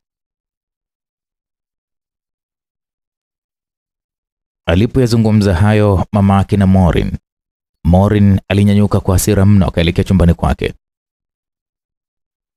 Alienda kulala maana kichwa chake kilikuwa kimeshavurugwa kwa wakati huo. Usiku huo hata hamu ya kula ilikatika kabisa, akawa anawaza namna ya kufanya ili mama yake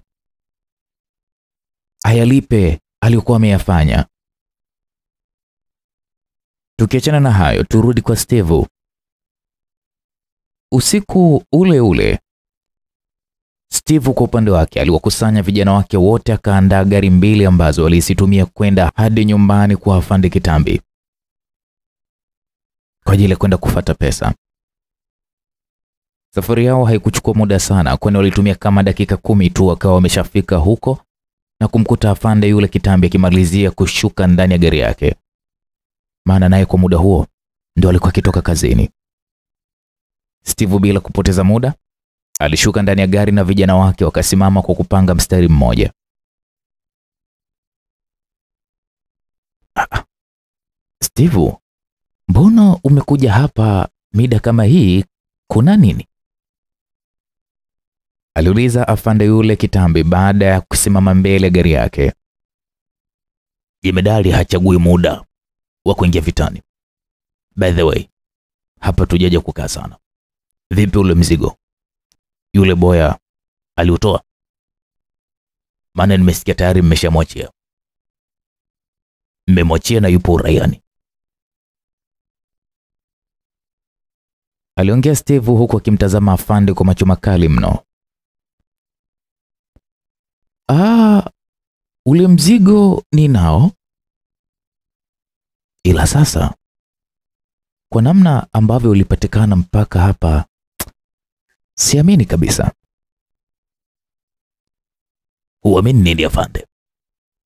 Maana Beni hizo pesa alizozipata alizipata kwa njia gani? Ya kimeujiza au mpaka usiamini? Hapana, si kwamba alizipata kwa njia ya kimeujiza, bali yule aliyezitoa sikutarajia kabisa kama angeweza kufanya hivyo. Ni nani huyu ambaye alizitoa hizo pesa mpaka Beni akafunguliwa? Ah, Steve ni binti mmoja kati, kutoka katika familia marehemu ya mfanyabiashara Mr. Gambo, anaitwa morin Pale alikuja ikionekana kama amechanganyikiwa sana. Alizitoa pesa hizo muda huo huo. What? Oh, Afande, Morin? Morin huyu ninayemfahamu au ni Morin mwingine? Ah, ni huyo huyo. Okay afande, niachie mimi hilo jambo, maana mimi siwezi kuona au kushuhudia kwa macho yangu Morin akienda kwa Beni. Morin lazima awe wa kwangu kivyovyote vile. Ah, Mr. Steve, usifanye hivyo. Yule binti pamoja na kufanya yote hayo, alisema Beni sio mpenzi wake, bali ni rafiki yake tu wa kawaida, na walisoma wote na kumaliza wote chuo. Chuo? Beni, ni lini yule alimaliza chuo? Wakati form 4 tu alipataga sifuri. Afande, huo ni uongo. Beni namfahamu vilivyo. Huo ni uongo. Hawa wanayo ya kwao. Sasa tusipoteze muda afande, hizo pesa naziomba zote, isibakie hata senti moja. Hilo la Beni niachie mimi, soon nitalimaliza.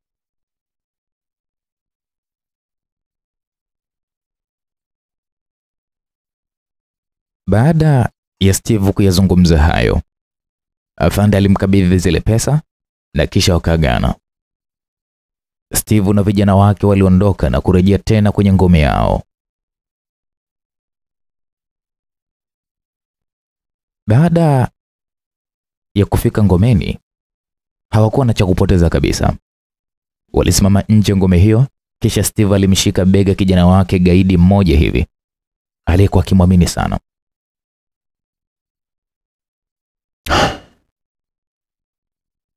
Mr. Mluto, nadhani hapa picha ndo linaanza sasa, na mshindi lazima apatikane. Sasa hapa cha kufanya ni hiki, hizi pesa tulizozipata tulizozifata kwa afande Kitambi tunazichenji angani kwa namna hii, tutazipeleka kwa Mr. Ben. Tukishampelekea Beni na tutampa hizi pesa kama mtego, mtego usioteguka. Mr. Mluto, hii kazi nakupa wewe. Kesho mapema sana utazipeleka hizo pesa kwa Ben. Aliongea Steve kisha wakatoka pale na kurejea tena ndani ya ngome yao kwa ajili ya kuusindikiza usiku huo. Masaa ya usiku yalianza kuyoyoma mithiri ya maji yaliyo ndani ya mkondo wake, hatimaye kukapambazuka. Asubuhi na mapema baada ya kupambazuka, Mr. Mluto akiwa rafu na appearance ya kijambazi, alivaa koti refu jeusi na viatu vikubwa. Akachukua zile pesa alizopewa na Steve kwa ajili ya kuzipeleka kwa Beni. Aliondoka ngomeni pale na kwenda moja kwa moja hadi kibandani kwa Beni.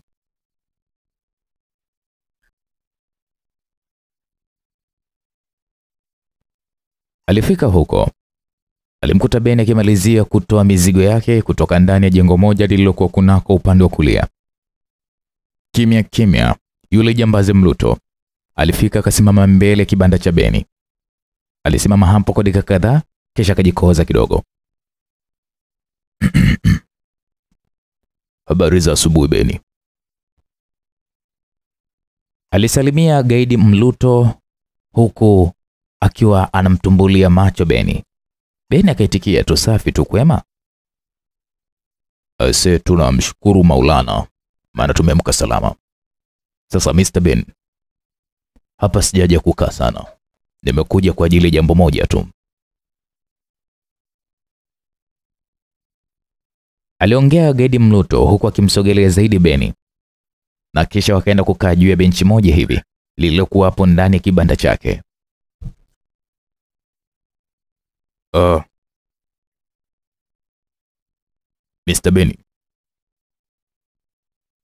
mimi kwa jina naitwa Mr. Mluto. Ni jamaa karibu sana na rafiki yako Mr. Steve. Sasa Steve amenituma nikuletee huu mzigo. Alisema yule gaidi Mluto huku akichomoa rambo moja iliyokuwa imetuna vya kutosha. Uh, Mr. Ben, labda tu nikwambie kitu kimoja. Steve ametambua umuhimu umuhimu wako katika maisha yake. Steve rafiki yako ameamua kukupa kiasi hiki cha pesa ili angalau kiweze kukusaidia katika masuala yako ya kibiashara. Tafadhali naomba zipokee Beni, zipokee hizi pesa kutoka kwa rafiki yako Steve. Aliongea gaidi Mluto huku akiwa anamkabidhi Beni ule mzigo. Kwa muda huo huo, Beni meno yake yote 32 yalikuwa nje bila kujua kwamba ni kipi kitakuja kumtokea hapo mbeleni. Beni alijua ni upendo tu kutoka kwa rafiki yake Steven. Kumbe sio, bali ulikuwa ni mtego.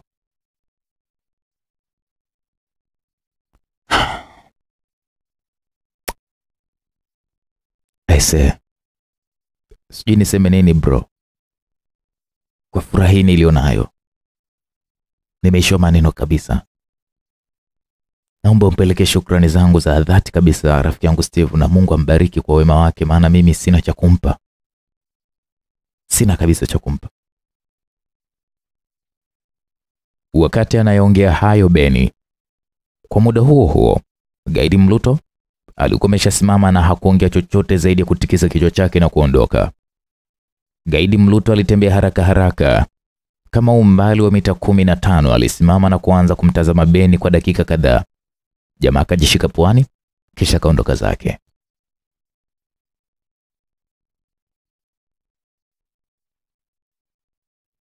Muda mchache tu baada ya kuondoka gaidi Mluto, kwa mbali alionekana Morin akija huku akiving'atang'ata vidole vyake.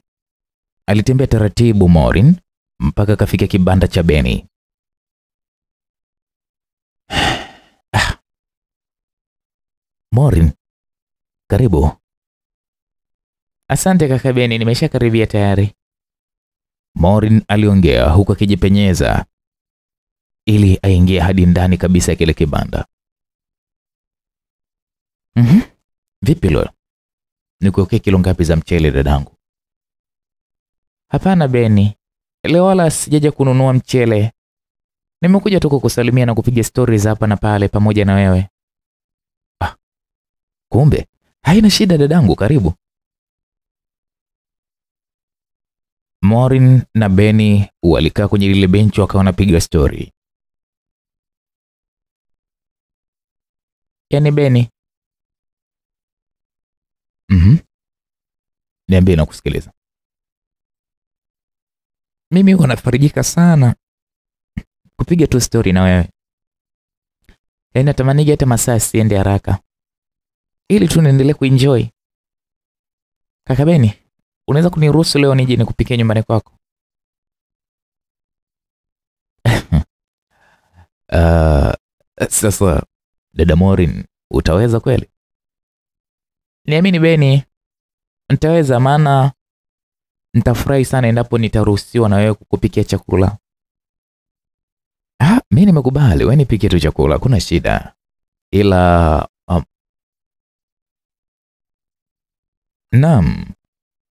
Beni kabla hajamalizia sentensi yake, mara nyuma ya kibanda kukasikika sauti ya kikohozi. Kikohozi hicho wala hakikuweza kuwashtua Beni na Morin kutokana na stori kufikia patamu, bali kilisha kujipenyeza tu kidogo kwenye masikio yao. Upande wa nyuma kwenye kile kibanda, kumbe Mr. Steve alikuwa akiwachungulia kimya kimya, na ndiye aliyokohoa kama ishara ya kuwajulisha ya kwamba kuna mtu nyuma ya kibanda hicho, japokuwa wao walipotezea. Sasa wakawa wanaendelea na stori bila kujua chochote kile kilichokuwa kikiendelea. Baada ya Steve kufanya mizengwe kadha wa kadha kule nyuma ya kibanda, uvumilivu ulimshinda bwana Steve. Aliamua kujitokeza tu mzima mzima.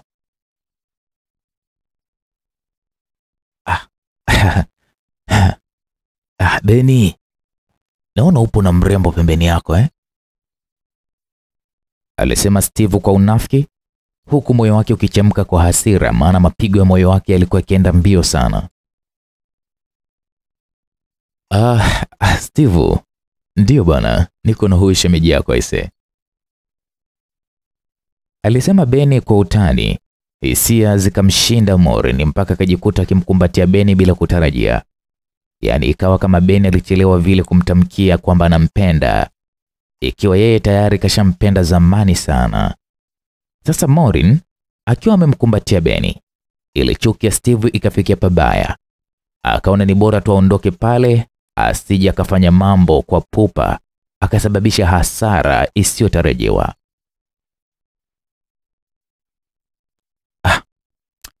Basi poa, Beni Beni, Morin fresh bwana, ngoja mimi niwaache kwanza. Steve alimwaga Beni pamoja na Morin akaondoka kichwa chini hadi nyumbani kwake. Beni, kumbe Steve ni rafiki yako eh? Uh, ndiyo, Steve ni rafiki yangu na urafiki wetu umetoka mbali sana, maana kwa sasa tunaishi kama ndugu kabisa. Tunaheshimiana na tunasaidiana kwa jambo lolote lile. Wao vizuri, aliongea Morin huku akimkazia macho Beni. Macho yalikuwa yamebeba hisia kali mno. Binti huyu aliona afanye hivyo ili kumfikishia ujumbe Beni ya kwamba anampenda na anatamani awe wake maishani. Beni, naam, nikuulize kitu.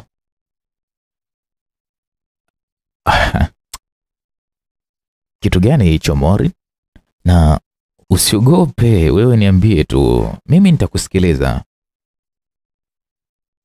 Ah, kweli utanisikiliza? Ndio. Beni, hivi una una girlfriend? Girlfriend? No. Sina girlfriend. Na why you ask me a question like that? Um uh, nimeuliza tu jamani. Kwani kuna ubaya gani? Beni, da, ukimpata binti mrembo atakayekupenda kwa dhati utajisikiaje kwani? Oh, wow. Uh, nitajisikia vizuri sana kwani na, natamani iwe hivyo. Uh, cha msingi tu asiniumize. Sawa Beni. Kwani vipi, umenipenda? Ah. Ah. Naam. Morin alisimama kisha akamnyanyua Beni na wote wakawa wamesimama kwa pamoja. Morin akiwa amemshika mkono Beni, walitoka nje kibanda. Binti huyo akawa anampigapiga picha Beni kwa siri, kisha akawa anazitunza bila yeye mwenyewe Beni kujua. Ah, Morin, naona muda unaenda, nataka niwahi kwenda kupika haraka haraka. Beni, si tulikubaliana kwamba mimi nitakupikia kwa chakula? Beni, acha mimi nikupikie chakula, wewe baki tu hapa hapa, maana mimi nikikiivisha tu nitakuletea ule. Sawa Beni? Basi sawa sawa, Morin, mimi nimekuelewa. Baada ya maongezi hayo kumalizika, Morin aliondoka pale akiwa na furaha ya ajabu sana. Alienda moja kwa moja hadi nyumbani kwao. Alifika huko, alimkuta house girl wao akijiandaa kuanza kufanya maakuli ya mchana. Um, Agnes, naomba uniachie jiko kama masaa mawili hivi niendee chakula mimi mwenyewe. Ah, dada Morin, unamaanisha leo hii chakula cha mchana utakipika wewe mwenyewe, si ndio? Yeah, Agnes, leo nimejisikia tu kupika wala hata usijali.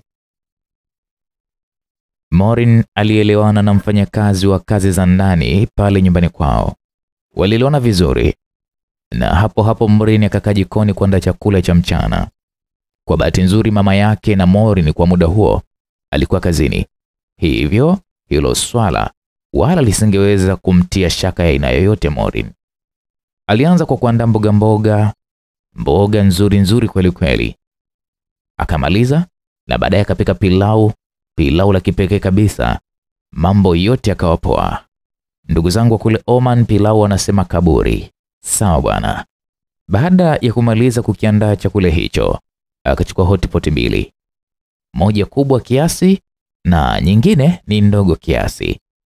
Akaziweka chakula haraka haraka, kisha akamaliza kimya kimya alitoa kikapu cha maana akatoka nacho mpaka chumbani kwake. Baadaye akakiweka humo kwa muda, akatoka tena na kwenda kumjulisha Agnes kwamba chakula tayari, anaweza kwenda kumwambia Jimmy wale, kwani yeye atakuja baadaye. Basi Agnes alimsikiliza vizuri mno mtoto wa bosi wake, yani Morin. Morin Alipomaliza kumpa taarifa hiyo Agnes, alirudi chumbani kwake Morin. Akachukua kile kikapu ambacho amepakia misosi yake humo. Kile kikapu akatoka nacho nje haraka haraka mpaka kwenye gari yake. Morin alipanda kwenye gari yake akiwasha hiyo gari kisha akaondoka na kwenda kibandani kwa Beni. Akiwa anaelekea huko, mara simu yake ikapokea ujumbe. Alipofungua, Morin alikutana na maneno haya: Morin, kumbe mimi ulikuwa ukinichora tu eh? Ni mara ngapi nimekuambia kwamba nakupenda na hutaki kunielewa? Yaani, pamoja na kuona pesa na uhensamu wangu umeniona miboya eh? Hadi ukaamua kumtunuku Beni penzi lako, kijana muuza mchele, ila poa tu. Msikilizaji, bila shaka huyu ni Steve tu. Morin alisoma vizuri ujumbe huo, ila akashindwa kuelewa ni nani huyo alituma ujumbe huo. Ana namba ilikuwa ni ngeni kwake. Morin ilibidi apige ile namba ili kumjua huyo aliyotuma ujumbe ni nani. Halo, nimeona ujumbe wako. Ni nani wewe? Ah, mrembo, yaani kwa mara hii tu tayari umeshafuta hadi namba yangu? Hayo mimi hayanihusu. Cha msingi nataka uniambie wewe ni nani? Mimi ni Steve. Steve?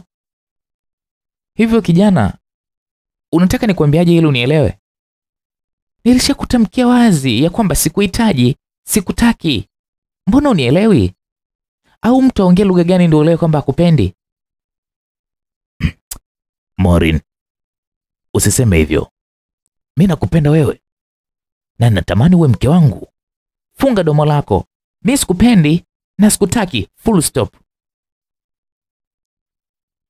Morin alikata simu papo hapo, kisha akaendelea kukanyaga mafuta ya gari yake kuwahi kibandani kwa Beni. Steve alichanganyikiwa sana baada ya Morin kumkatia simu kiasi kwamba hasira ilimwaka mpaka akaitupa juu ya jiwe ile iPhone yake na kuifanya ipasuke. Morin? Morin, hivi unataka nikufanyie nini ili ujue kwamba mimi nakupenda? Ah, ina maana Beni ndiye anayekutia kiburi, si ndio? Ngoja nitajua nini cha kufanya. Katika maisha yangu sijawahi kukubali kushindwa kizembe namna hii. Alijiongelesha Steve huku akizunguka zunguka. Haraka aliingia ndani na kwenda chumbani kwake kwenda kulala ili angalau apunguze mawazo, aweze kujipanga vizuri ili ajue nini atamfanya Beni pamoja na Maureen.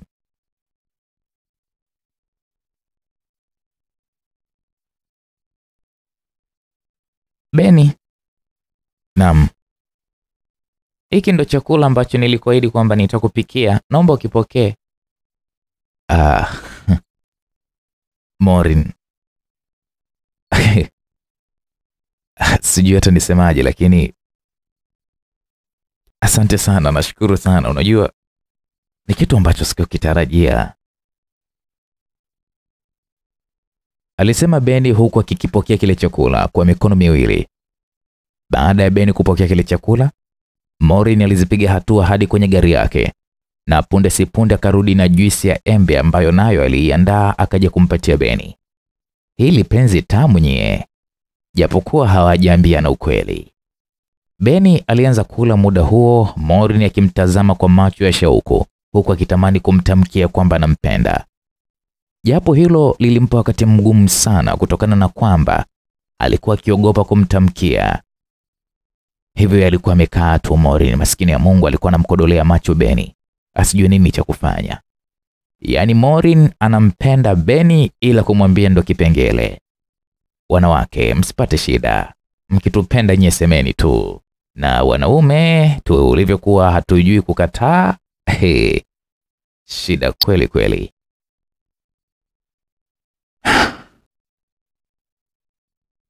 Maureen, Na abe,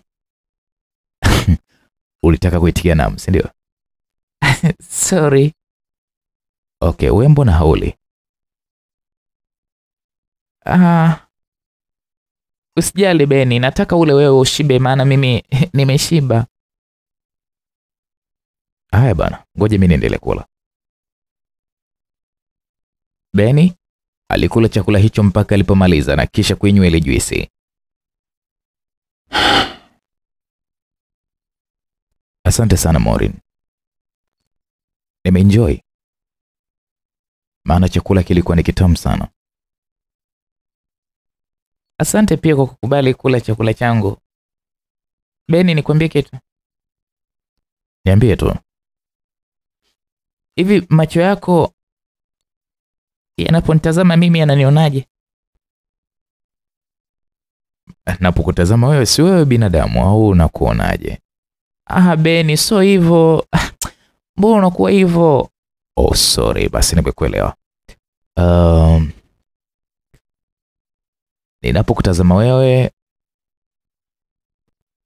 macho yangu yanapokutazama wewe na, na, na, na kuona wewe ni binti mpole sana, umejaliwa kuwa na uzuri usiokuwa na mfano, na kwako wewe naweza nikasema Mungu alikuwa amekuumba kweli kweli. Beni, um, asante. Ila Morin, mbona naona kama kuna kitu unatamani uniambie? Ah, mm, ah, ya niko poa tu Beni. Sijauliza kama uko poa ama hauko poa. Nimekuuliza kwamba kama kuna kitu unataka uniambie, kwa nini usiniambie tu au unaniogopa? Ah, Beni, ila kama hautojali na tamani leo ah, tuchati usiku. Ah, haina shida Maureen. Mimi nimekuelewa vizuri. Cha msingi nataka nijue ni muda gani utakaotaka tuutumie kwa ajili ya kuweza kuchati mimi na wewe. Um, tuanze kwenye mida ya saa tano za usiku, maana muda huo kila kitu kitakuwa kimetulia sana na tutakuwa free sana. Ah, shida. Kwa muda huo tutaanza kuchati. nam Maongezi kati ya Beni pamoja na morin yalimalizika kwa mtindo huo, na baadaye Morin alisimama akiwa na vile vyombo baada ya Beni kumaliza kula. akawa anazipiga hatua kuiendea gari yake. Tayari kwa muda huo ilikuwa imeshatimia mishale ya saa saba na nusu majira ya mchana. Morin baada ya kupanda ndani ya gari yake aliondoka na kurejea tena nyumbani kwao, huku Beni naye akiendelea na shughuli zake za pale kibandani. Sasa baada ya binti huyo akizaramo Kizaramo kuondoka, muda mfupi baadaye, kama dakika tano hivi, Steve alifika kibandani kwa Beni akiwa na vijana wake wawili aliokuwa akiwaita mabodyguard wake. Beni kwa vile alimfahamu Steve ya kwamba ni rafiki yake wa dhati, wala hakuwa na wasiwasi naye kabisa. Aliwakaribisha kwa busara sana, nao waliketi kwenye lile benchi alilokuwa amewaandalia. Pia akaketi pembeni yao. Wabeni, vipi harakati zinaendaje? Sema na siku hizi kijana, da, umekuwa kimya sana mzee. Au hali mpya, kasi mpya, hmm? Ndio vinakufanya unapata motivation, si ndio? aliuliza Steve huku akimkonyeza jicho la siri kijana wake mmoja aliyekuwa amekaa kunako upande wa kulia. Um, ndo hivyo rafiki yangu Steve, kama unavyojua uh, lazima uwe na chachu ya maendeleo katika swala zima la maisha. Lazima upambane ili uweze kutokomeza umaskini. Sasa Beni, kwa hapo sasa nimekupata vizuri, ila jaribu nawe angalau siku moja moja huo unanitembelea na mimi, maana kitambo sana mwanangu hujaja kunitembelea kwangu, tangia uanze maisha yako mapya uliokuwa nayo sasa, hujaja nyumbani kabisa kunitembelea. Uh, upo sawa kabisa rafiki yangu Steve, ila sema tu majukumu ndo yanayonifanya niwe hivi, ila nitapanga siku nije na kukutembelea hususan kwenye Christmas, maana nitakuwa free sana. Alafu Steve, unasikia sasa hivi umesha kuwa bosi. Vipi, ni kweli ndugu yangu? Beni, hilo sio swala la kuuliza. Sasa hivi mimi ni bosi, na ndio maana nikaanza kukusi utenge muda uje nyumbani uone mazuri niliyokuwa nimekuandalia. Waswahili wanasema siku zote Beni, kula na u, ukipatacho kula na mwenzio, usisubiri kibaya ndo umshirikishe. Alafu sikia Beni, mi naona kwenye Christmas huko unakosema wewe ni mbali sana. Tufanye Jumamosi ya wiki hii, uje kwangu tupige stori, na isitoshe kuna zawadi, maana nimekuandalia zawadi. Zawadi ile ambayo nilikuwa nimekupatia leo, si Alhamis? Njoo Jumamosi ndugu yangu, itakuwa poa sana.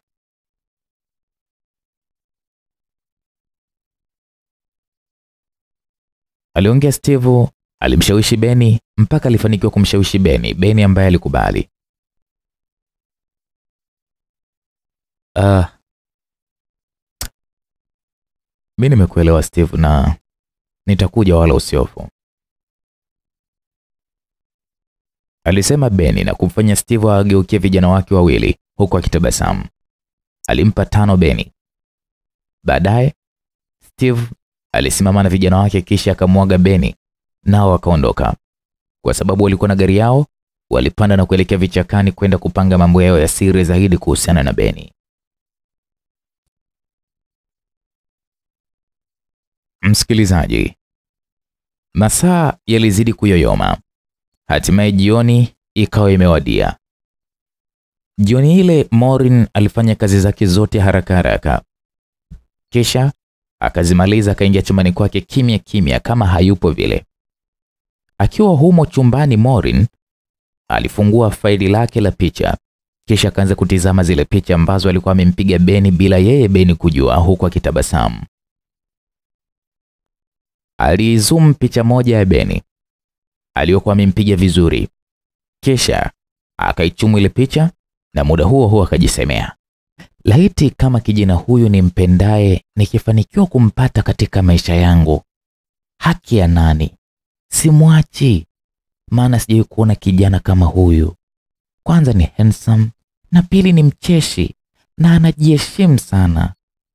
Tupilia mbali utajiri, maana hata kama asingekuwa na senti hata moja, bado angekuwa wangu, na katika yeye nitamwita baba watoto wangu, naye ataniita mama watoto wake. Beni ni kijana nikupendaye, na siwezi kukubali kukupoteza, hata kama watu watanishangaa eti kwa nini niwe na wewe wakati mimi ni binti wa kitajiri, wewe ni muuza mchele. Kama siwezi kukupoteza Beni wangu, maana wewe ndiye mwanaume halisi wa maisha yangu, na moyo wangu umekuchagua wewe Beni. I love you. Alijisemesha maneno hayo Morin mpaka machozi yakawa yanamlengalenga. Sasa ile picha alianza kuiediti vizuri, kisha akaipamba na emoji za upendo na kuizungushia maua maua. Baadaye akaiweka kwenye screen saver yake ya simu, akaandika maneno I love you Beni. Huyo ndo Mori ni bwana, akikupenda mpaka kwenye simu yake atakuweka. Sio wadada wa siku hizi. Kwanza akiona picha yako tu shukuru Mungu. Kwa upande wa Beni, baada ya kufika getoni kwake ile jioni, alienda kujitupia tu kitandani moja kwa moja, kisha akalala chali, huku miguu yake akiwa ameiweka ukutani. Ilionekana na yeye mawazo yalikuwa yameshaanza kumwandama kichwani.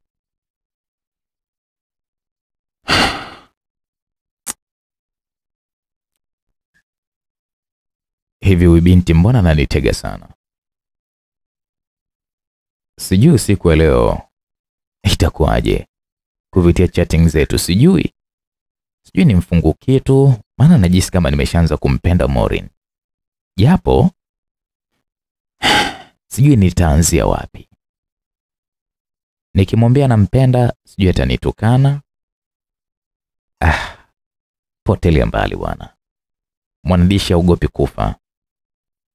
Acha tu leo nimwambie ukweli kwamba nampenda akinikataa poa tu, potelea pote. Alijisemea Beni. Sasa wakati akijiuliza amwanze vipi Morin kumwambia kwamba anampenda, upande wa Morin naye mambo yalikuwa hayo hayo. Ah.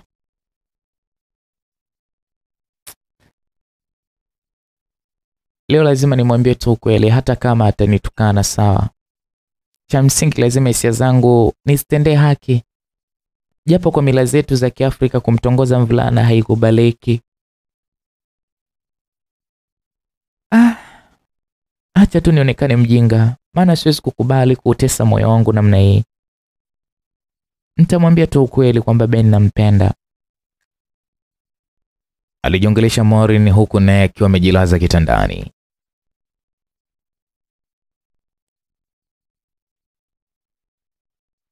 Saa nne za usiku ilipofika, Steve aliwachagua vijana wake wawili tena wakakamavu sana, kisha akawatuma hadi kibandani kwa Beni usiku huo huo, wakakibomoe bomoe kile kibanda chake bwana, baadaye warudi tena pale ngomeni. Vijana wale baada ya kupewa maelezo hayo na bosi wao Steve, waliondoka usiku huo huo wakaenda hadi kibandani kwa Beni wakakivuruga vuruga kibanda chote, kisha wakarudi na kumkuta bosi wao akiwa na wale vijana wengine. Bosi, tayari kazi tumeshaimaliza. Vipi, kuna kazi nyingine imebakia tukaifanye fasta Aliuliza kijana mmoja aliyejulikana kwa jina la DBK. Um, kwa sasa hakuna jingine, maana muda bado.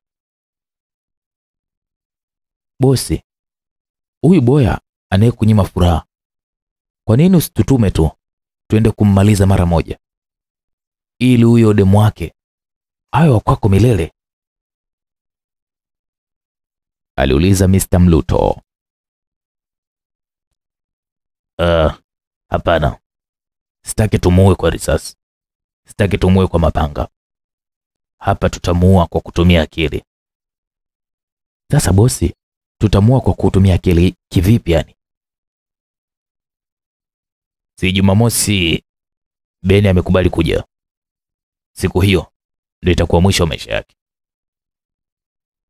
Sikilizeni, siku hiyo andaeni sumu kali sana, hakikisheni kwa namna yoyote ile anainywa hiyo sumu, iwe kwenye kinywaji, maji, juisi au hata chakula mnachotakiwa kumpatia, wekeni sumu. Pia muwe mna lugha ya ushawishi ili aweze kutumia iko kinywaji au chakula. Sawa bosi, ila endapo njia hiyo itashindikana, basi tutakuwa na njia moja tu ya kumpasua ubongo, maana kivyovyote vile siku ya Jumamosi lazima Beni afe. Aliongea maneno hayo kijana mwingine aliyekuwa ameshikilia bastora mkononi mwake. Yep, yep. Hapo umeongea kitu kijana wangu. Kwa kweli Beni si wa kumwacha aendelee kuishi, maana dalili zote za yeye kuwa na yule binti zimeonekana dhahiri shairi. Inawezekanaje Beni kijana mshamba kama yule awe na demo mkali kama yule? Hii haiwezekani. Aliongea Steve kwa sauti yenye ukakasi hivi. Basi mipango ilipomalizika, kila mmoja aliondoka eneo lile na kwenda kunako sehemu yake ya malazi, maana hata usiku ulikuwa umeenda sana, japokuwa ilikuwa ni mishale saa4 na dakika 45. Wale waliokuwa wakihusika na masuala ya malindo kwa usiku huo nao walielekea sehemu zao za kazi. Steve baada ya kufika chumbani kwake alikaa kwenye sofa moja kubwa lililokuwamo humo, akawa anajishikashika kichwani na wakati mwingine kujikunakuna kana kwamba kuna kitu kilikuwa kikimwasha Juu ya hilo sofa hakukaa sana, alikaa kidogo tu kama dakika saba hivi. Baadaye Steve akasimama na kuanza kuelekea kitandani. Alizipiga hatua za polepole kukifuata kitanda chake kile, lakini baada ya kubakiza hatua moja afikie kitanda hicho, alisimama na kuendelea kujikuna mpaka kaka chini kabisa.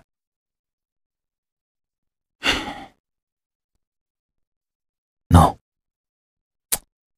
No. Haiwezekani binti mrembo kama Morin ni mkose wakati naona kabisa ndo chaguo langu. Ese. Hapa nitafanya kila linalowezekana ili nimpate Morin.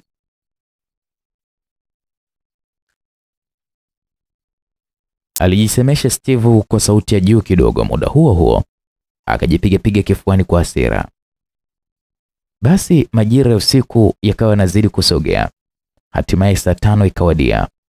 Huo ndo ulikuwa muda maalum kwa kijana Beni na Morin kuchati kama walivyokuwa wameahidiana mchana. Kwa upande wa Beni, baada ya muda huo kufika, aliwasha chati kwa njia ya WhatsApp. Morin naye akiwa ndani ya chumba aliwasha data akabaki ananyingatang'ata tu meno asijue hata kuenzia. Alionekana akifanya hivyo Morin kwa dakika takribani mbili. Baadaye akajitutumua na kuamua kuanzisha chatting. Morin akamtumia ujumbe Beni. Mambo mai, aliandika ujumbe huo Morin huku akijishika kifuani. Aliutazama ujumbe huo mara mbili mbili. Baadaye binti akafumba macho kwa hisia na kuutuma ujumbe huo huku mapigo yake ya moyo yakienda mbio kweli kweli. Ujumbe huo si ukamfikia Beni bwana. Beni akautazama huku akitetema mithiri ya mtu aliyemwagiwa maji baridi. Kitu pekee ambacho kilimfanya utazame ujumbe huo mara tano tano ni lile neno mai tu, yani lile mai. Basi Ben alikuwa anajisikia raha, moyo wake ukamtuma kwamba huyo binti tayari kashaanza kujileta yeye mwenyewe kama samaki kwenye ndoano, na yeye ndo chambo.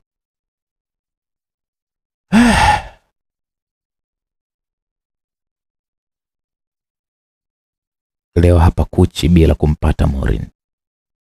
Leo ndo leo, siogopi chochote. Alijiongelesha Beni, kisha akaandika ujumbe kumjibu Morin. Beni aliandika ujumbe uliosomeka ya kwamba poa to my love, mzima wewe?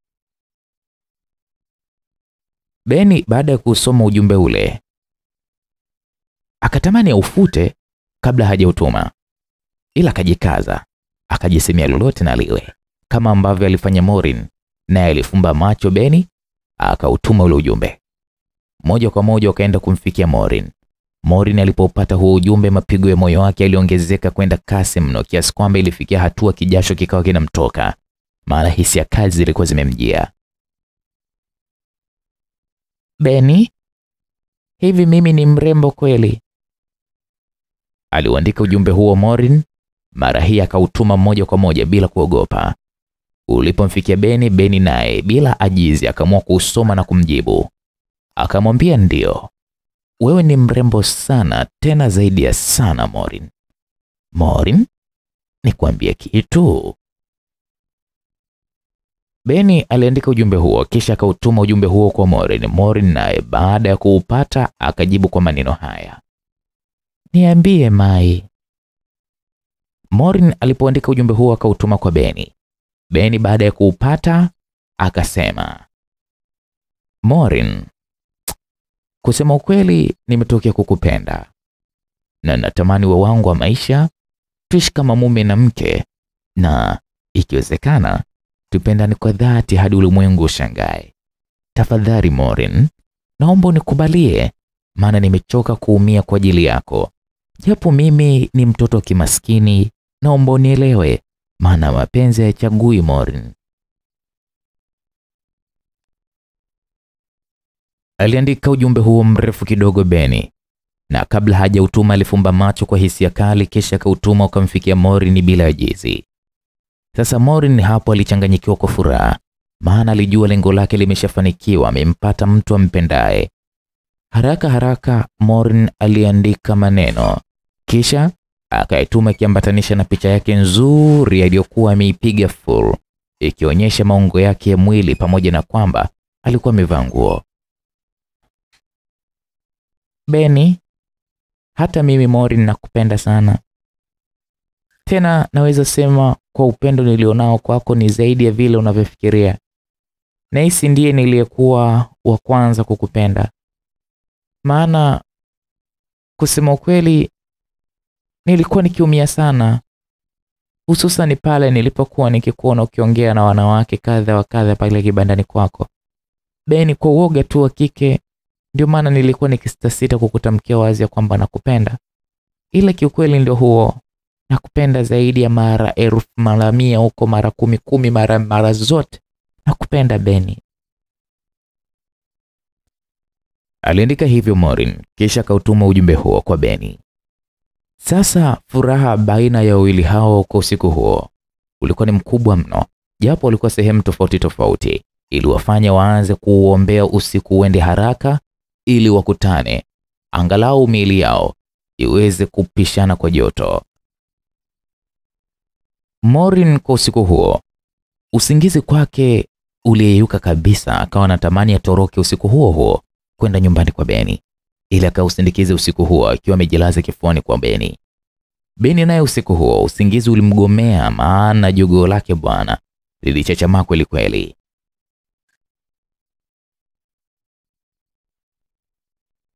Morin alikuwa ni mzuri na hata kijana Beni pia alikuwa ni kijana mcheshi handsome pia.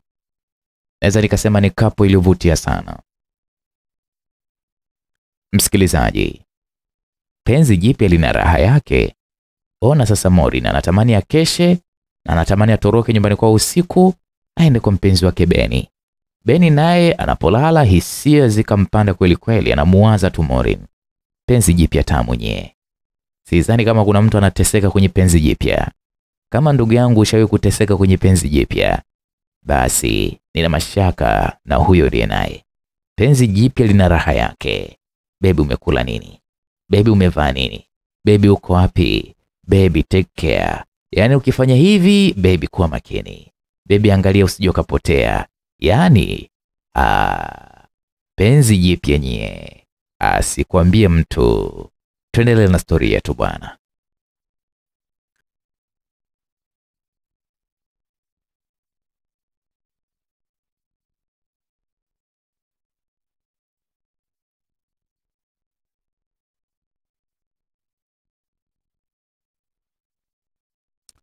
Basi kwa siku hiyo ilipita vizuri kabisa.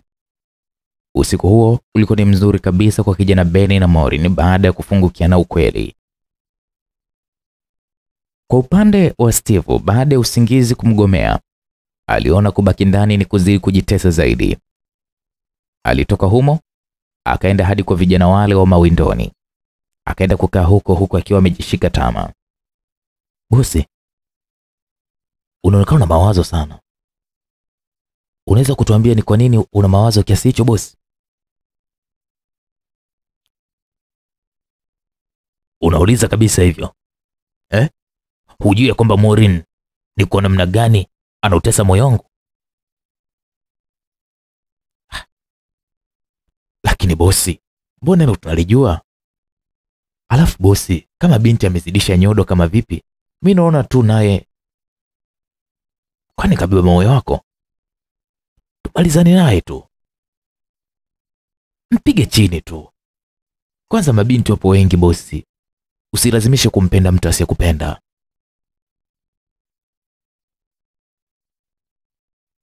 Alisema kijana yule na kumfanya Steve apandwe na hasira juu yake.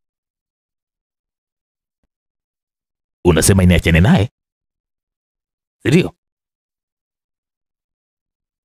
Ndiyo bosi, achana naye tu. Utampendaje binti asiyekupenda? Temana naye tu, usije ukaugua ugonjwa wa moyo bure kwa sababu ya mapenzi.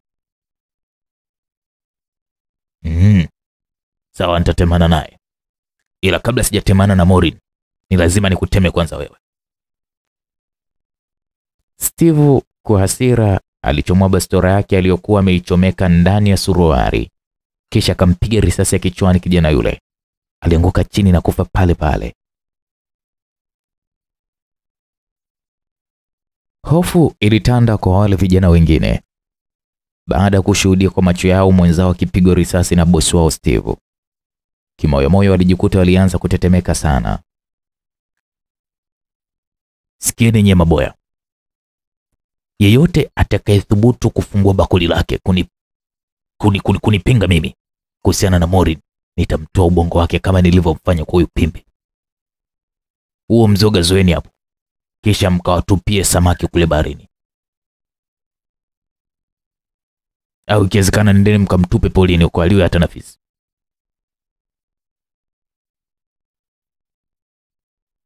alisema Steve huku akianza kuondoka lile eneo. Vijana wale walimsubiria bosi wao mpaka alipoondoka, ndipo wakaubeba ule mwili wa mwenzao wakaenda nao hadi kwenye lile pori, wakaenda kuchimba kaburi usiku huo huo, wakauzika kimya kimya ule mwili bila Steve kujua chochote kile.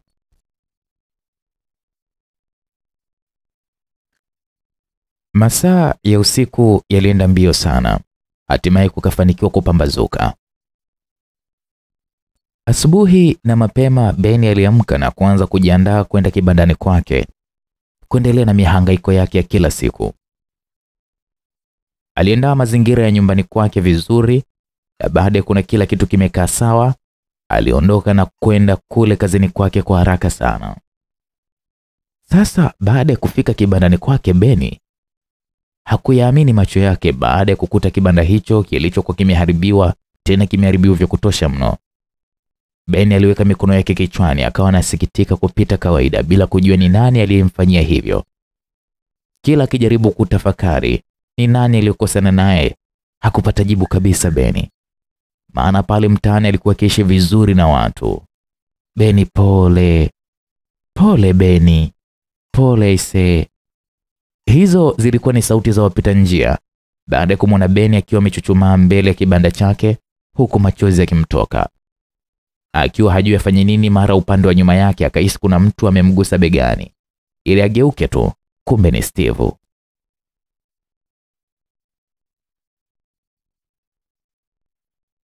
Beni, watu ni wabaya sana ndugu yangu. Wamekufanyia nini sasa hiki? Du, pole sana, acha kulia. Beni, nadhani huu muda nitakusaidia kusimamisha tena kibanda chako, ila niahidi jambo moja, sitaishia hapo tu. Endapo kikubali kwa hilo nitakalokwambia, nitakufanya uwe tajiri wa kuogopwa hapa mjini. Sijui umeelewa? Na sitaishia hapo tu Beni, bali pia nitafanya kila linalowezekana ili uwe mkubwa hapa mjini. Nitakufanya uwe na pesa na ikiwezekana uwe bilionea kama nilivyo mimi, kwani hakuna linaloshindikana chini ya jua.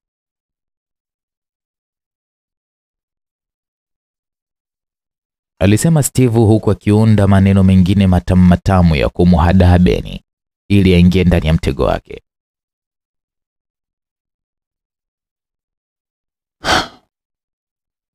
Steve, wewe si tu rafiki yangu, bali kwa sasa umekuwa kama ndugu yangu, tena wa damu. Sioni jambo lolote ambalo litakuwa likikwazo kwangu kuweza kukusaidia pale panapowezekana, hata kama sio kwa njia ya pesa. Unaweza tu kuniambia ni kitu gani hicho ambacho unataka mimi nikusaidie au unachotaka mimi nikifanye? Aliuliza Beni huku akimtazama Steve, Steve aliyekuwa ameushikilia mti mmoja kwa mkono wake wa kulia. Steve alikaa kimya, kisha akawa nawaza huku akijishikashika kwenye pua yake na wakati mwingine kujikunakuna kichwani. Alipotulia, alimkazia macho Beni, kisha akamwambia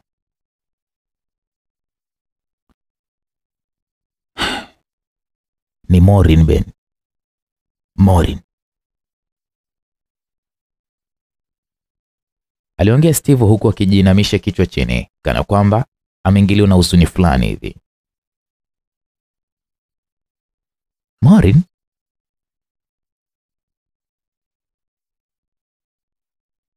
Morin amefanyaje tena? aliuliza Beni huku umepigwa moyo wake akianza kwenda mbio kidogo, maana alijua labda kuna kitu kibaya kimempata Maureen.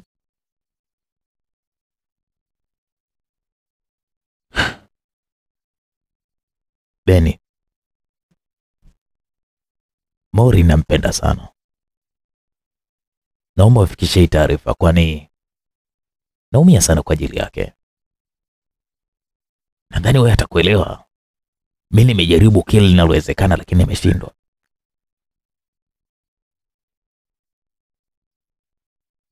Aliongea Steve huku akisimama wima.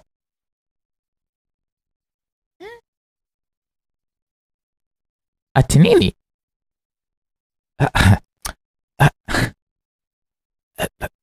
Lakini Steve, kwa upande wangu hilo halitowezekana. Tayari Maureen nimeshaanza naye mahusiano na ananipenda na mimi nampenda. Kwa hilo sizani kama litawezekana kwa kweli. Mimi nakushauri tu utafute binti mwingine rafiki yangu, maana mabinti katika hii dunia wapo wengi sana. Jikaze rafiki yangu, japo inauma sana, ila halitowezekana.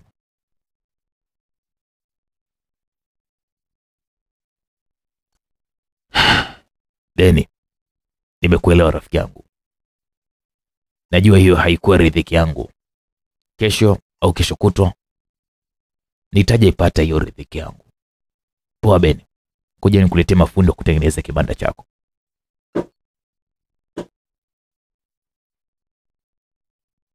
aliongea Steve, kisha akaondoka ndani ya lile eneo. Steve aliondoka lakini akiwa amejawa na masikitiko makubwa yasiyokuwa na mfano. Baada ya kufika kwake, aliwapigia simu baadhi ya vijana wenye uweredi wa kutengeneza kibanda, akawatuma waende hadi kwa Beni wakamtengeneza kibanda chake. Vijana hao walimwelewa bosi wao, na wakaenda kuifanya ile kazi kwa umaridadi sana, na kibanda cha Beni kikawa kimekamilika siku hiyo hiyo.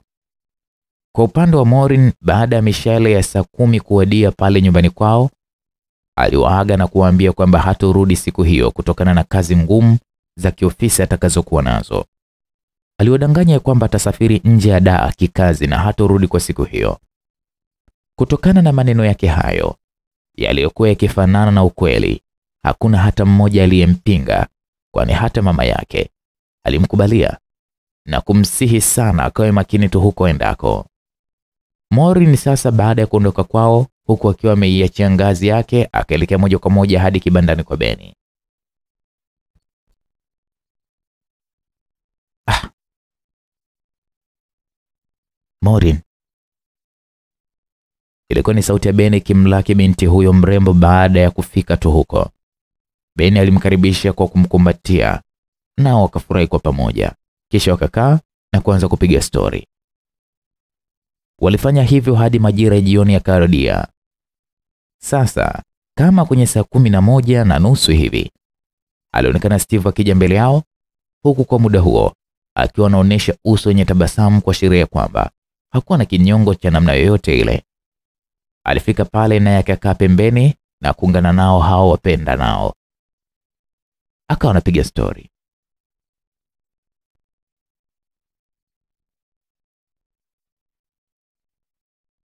Steve, umefata nini hapa? aliuliza Maureen baada ya kumwona Steve akikaa pale.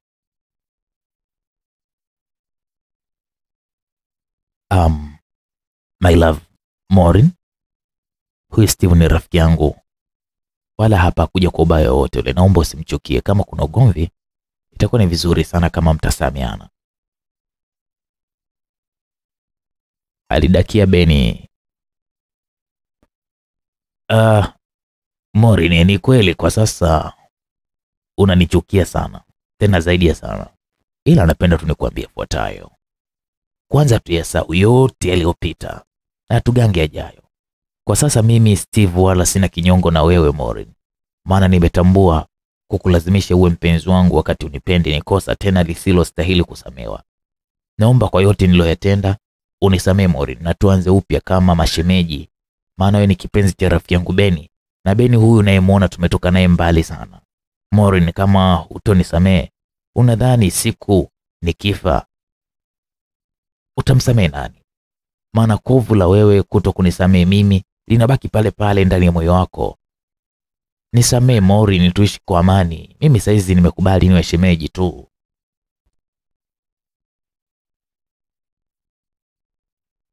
aliongea Steve na kumfanya Mori aanze kudondokwa na machozi. Alimtazama Steve huku akigugumia kwa kwikwi, baadaye akasimama na kisha kumnyanyua Steve, nao wakakumbatiana. Kitendo hicho kilimfanya Beni aanze kutabasamu kwa kudhani sasa kila kitu kitakwenda vizuri na wataishi kwa amani.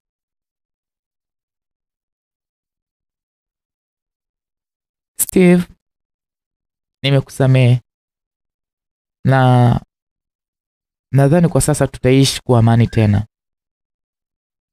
aliongea Maureen. Kisha watatu hao wakasimama na kukumbatiana kwa pamoja. Baada ya kukaa, waliendelea na stori kama kawaida. Maureen, yani kwa hapo umempata mume halisi kabisa wa maisha yako, maana Beni ni kijana makini sana. Ah, shem bwana, acha basi bwana, jamani. Unadhani na kudanganya? Beni ni mwanaume wa kipekee sana, na ipo siku utaamini maneno yangu. Hapo umepata mume. aliongezea Steve, kisha akasimama na kuanza kuondoka pale.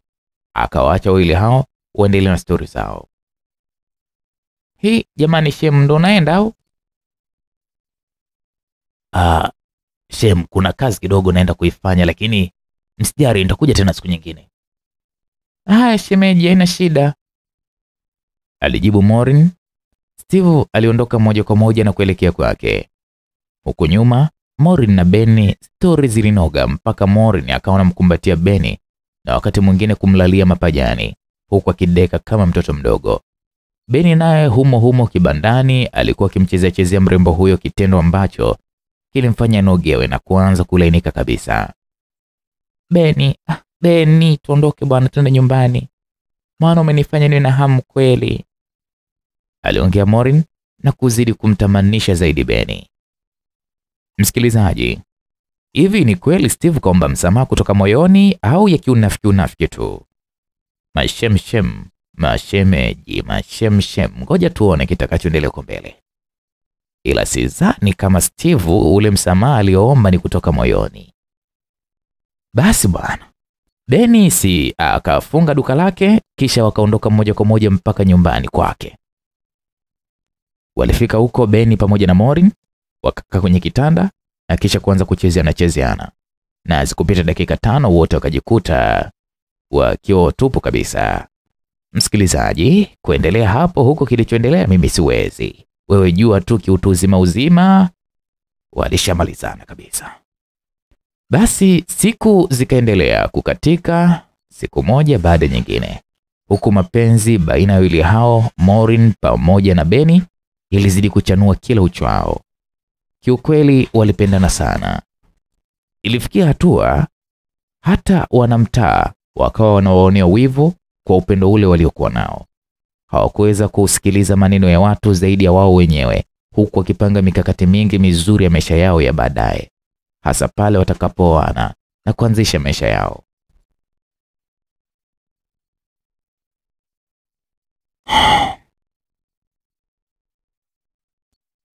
Unajua mpenzi wangu Maureen, tangu nikupeleke nyumbani kwetu kukutambulisha kwa wazazi wangu hadi leo hii nimekuwa na furaha sana moyoni mwangu, furaha ambayo hata haielezeki. Naam, maneno hayo aliyaongea Beni wakati wawili hao wakiwa pembezoni mwa ufukwe mmoja hivi wakipunga upepo wa bahari, maana kwa muda huo hapakuwa na kitu chochote kile cha kuwabuguzi.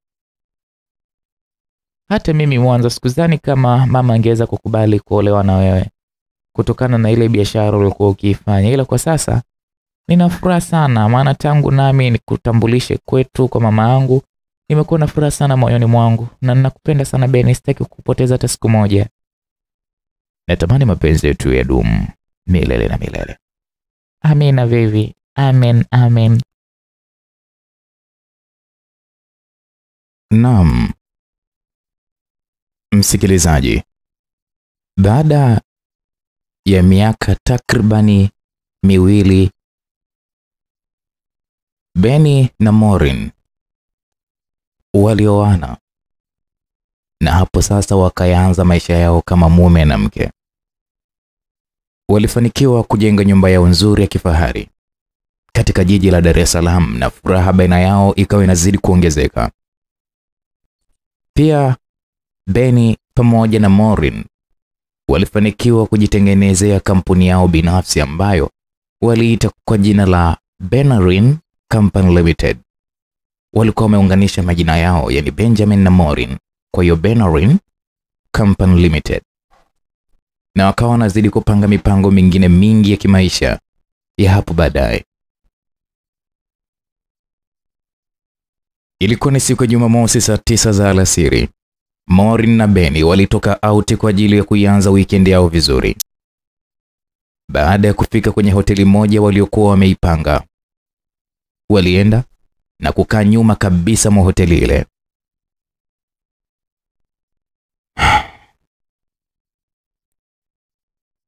Mume wangu,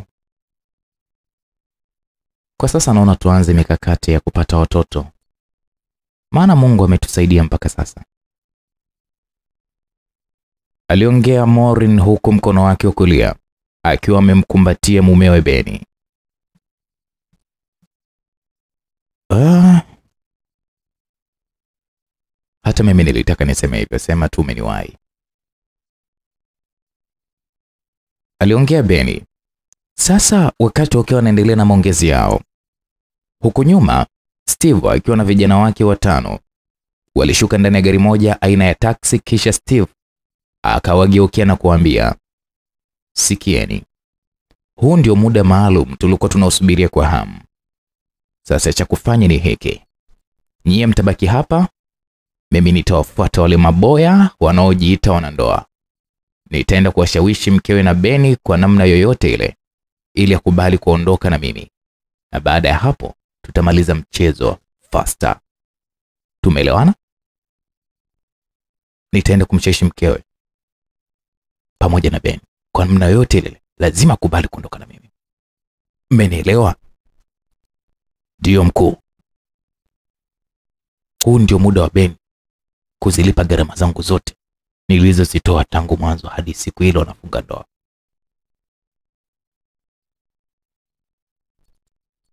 Aliongea Steve. Aliongea Steve maneno hayo, na baada ya hapo akajitengeneza vizuri na kisha akaanza kuzipiga hatua Steve kwa kuwafata kina Beni walipokuwa wamekaa. Oh, Shem, na kuona bwana upo na mumeo kipenzi. aliongea Steve huku akisogeza kiti ili akae. Shem, karibu. Aliongea Morin. Asante sana Shem, ila sija kukaa sana hapa, nimekuja kwa ma, mambo madogo tu. Steve, jambo gani hilo? Ah, mke wangu najua nimemwacha nyumbani, ana matatizo makubwa sana. Amesema kama Shemu ana kazi muda huu, niondoke naye akamsaidie mambo fulani vya siri. siri. Kwanza Shem, pole Steve sana. Sasa ngoja basi nimwage mume wangu Beni ili tuondoke haraka. Aliongea Maureen na kumfanya Steve aanze kuchekelea kimoyomoyo. Alichekelea kimoyomoyo Steven, maana alishajua tayari lengo lake litatimia. Litatimia lengo lake kisasi juu ya Maureen. Ah, lakini kwa nini tusiende wote tu, maana hakuna litakaloharibika?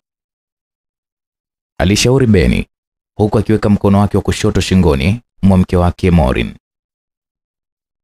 Uh, Beni, ubaya haupo, ila kwa sasa itakuwa ni vigumu kidogo. Niache niondoke na shemeji yangu Morin. Uh, kwani hatokawia kurudi ndani ya dakika thelathini tu atakuwa amesharudi. Cha msingi uendelea kupata juisi tu hapa. Aliongea Steve maneno hayo huku akichuma noti ya shilingi elfu kumi na kumpa Beni. Hii kidogo naomba ukipokee ili uendelee kupata juisi kwa uzuri zaidi. Aliongezea Steve huku akiacha tabasamu la uongo, tabasamu ambalo Beni hakuligundua.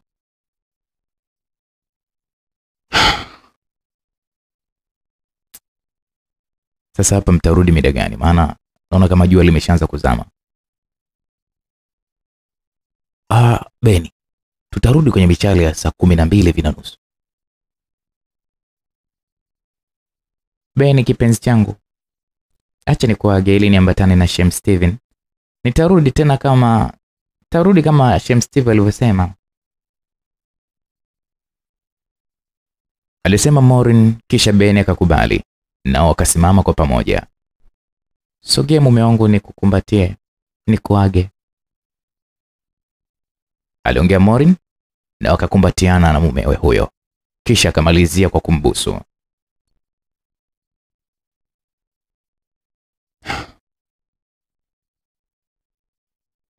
Nendeni salama na mpike salama huko. Mwenyezi Mungu awatangulie. Beni aliwaaga hivyo, nao wakawa wanaondoka mbele yake huku akiwatumbulia macho. Walizipiga hatua kuelekea nje. Walipofika huko, walisimama kidogo. Shem, hujaje na gari yako? Tutumie basi gari yangu ili tuwe kufika. Ah, hapana Shem Morin. Nilikuja kwa miguu maana niliona hakuna haja ya kuja na gari yangu.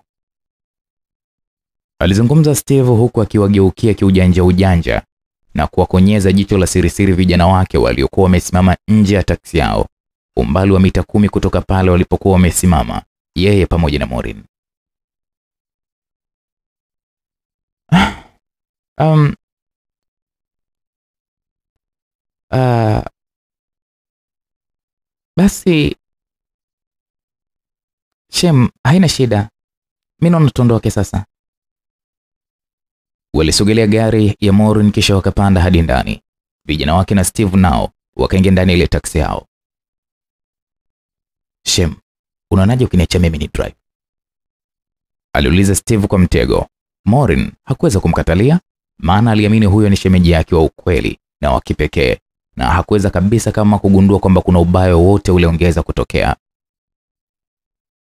Basi Morin alikaa pembeni na Steve akashika usukani, wakaanza kuondoka pale, huku ile taksi ya wale vijana ikiwafuata kwa nyuma.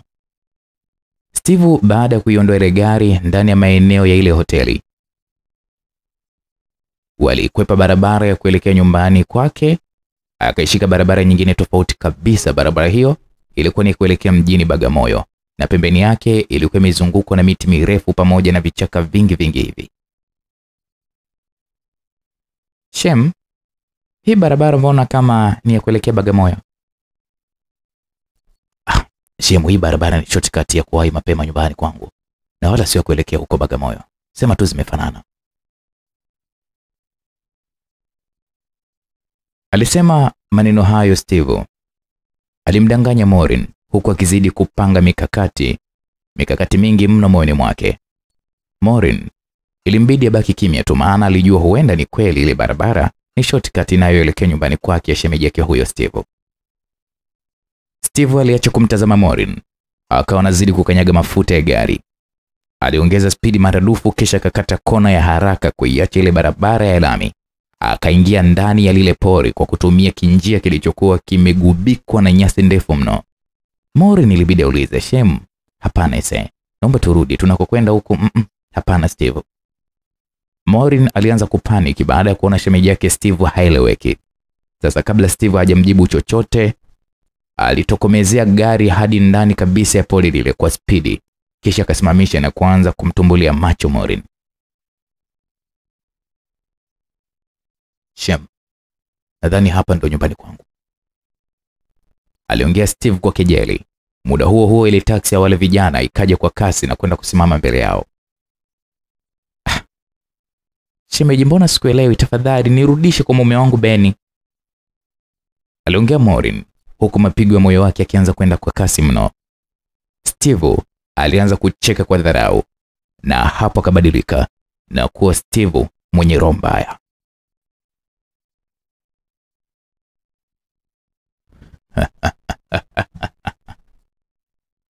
Siku zote mbio za sakafuni huwa zinaishia ukingoni. Morin, kiko wapi sasa zile nyudo zako ulizokuwa unanifanyia? Niliamua kutumia akili ili nikukate ngebe. Madhara nimekuleta hapa, basi jua kabisa huwezi kutoka salama, maana tunda lako kwa namna yoyote ile ni lazima nilile tu.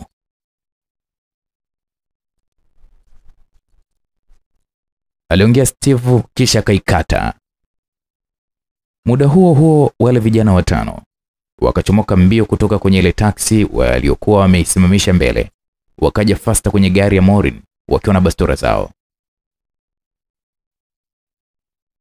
Steve, kumbe ni shetani kiasi hiki umenileta hapa ili uniue? Haswa lazima nikuwe. Mimi ni shetani wa ukweli, nimekosa mapembe tu. Alisema Steve huku akiupiga teke mlango wa kushoto wa gari nao ukafunguka. Baada ya kushuka chini tu, aliwaamuru vijana wake wamtoe nje haraka Morin, kisha yaanze kufanya yake. Morin alilalamika sana, niachieni, niachieni. Alianza kupiga kelele, lakini hizo kelele wala hazikuweza kufika mahali popote pale, maana ule msitu ulikuwa umezimeza kelele zake hizo alizokuwa anazipiga.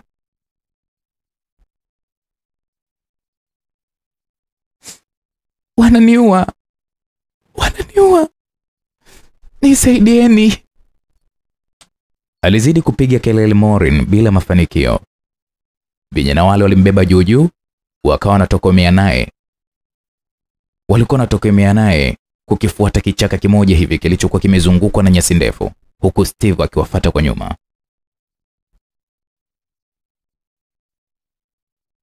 Walipofika kwenye kichaka kile, walimweka chini Morin kisha wakamlaza chali. Vijana wanne walimshikilia vizuri, na kijana mmoja akatoa kamba na vitambaa viwili vyeusi, akaanza kuifunga haraka miguu ya Morin kwa kutumia zile kamba. Akamalizia na kuifunga mikono yake pia Morin. Usoni walimfunga kitambaa Morin, kitambaa kimoja hivi cheusi, na mdomoni pia kwa kutumia kitambaa kingine wakamziba mdomo na hapo ndipo alipomweza Morin, maana hakuweza kuwa na ujanja tena wa kuendelea kupiga kelele zaidi ya kubaki tu anajitingisha tingisha mithiri ya bata aliyekatwa shingo kwa kuchinjwa. Vijana walisimama pembeni, wakawa wanamcheka Morin kwa dharau. Muda huo huo, Steve alivua suruali yake. Baada ya kumaliza kuvua, alimsogelea Morin aliyekuwa akijitingisha tingisha, akamchomolea sketi yake nyeusi pamoja na nguo ya ndani, naye akaanza kumbaka kwa nguvu. Aliporidhika alimwachia Morin. Steven akasimama pembeni na kutoa ofa kwa vijana wake. Oya, kama kuna mwingine anataka kujisevia, ruksa, maana mbuzi kafia kwa moza supu. Aliongea maneno hayo Steve bila hata ya huruma, na wala wale vijana nao wala hawakuwa na huruma, wakawa na mbaka maskini ya Mungu Morin mithiri ya mnyama, tena kwa zamu, mpaka waliporidhika. Walipomaliza kumfanyia unyama huo, walimvisha ile sketi yake, kisha wakamfungulia zile kamba na vitambaa walivyokuwa wamemfunga kwa muda huo.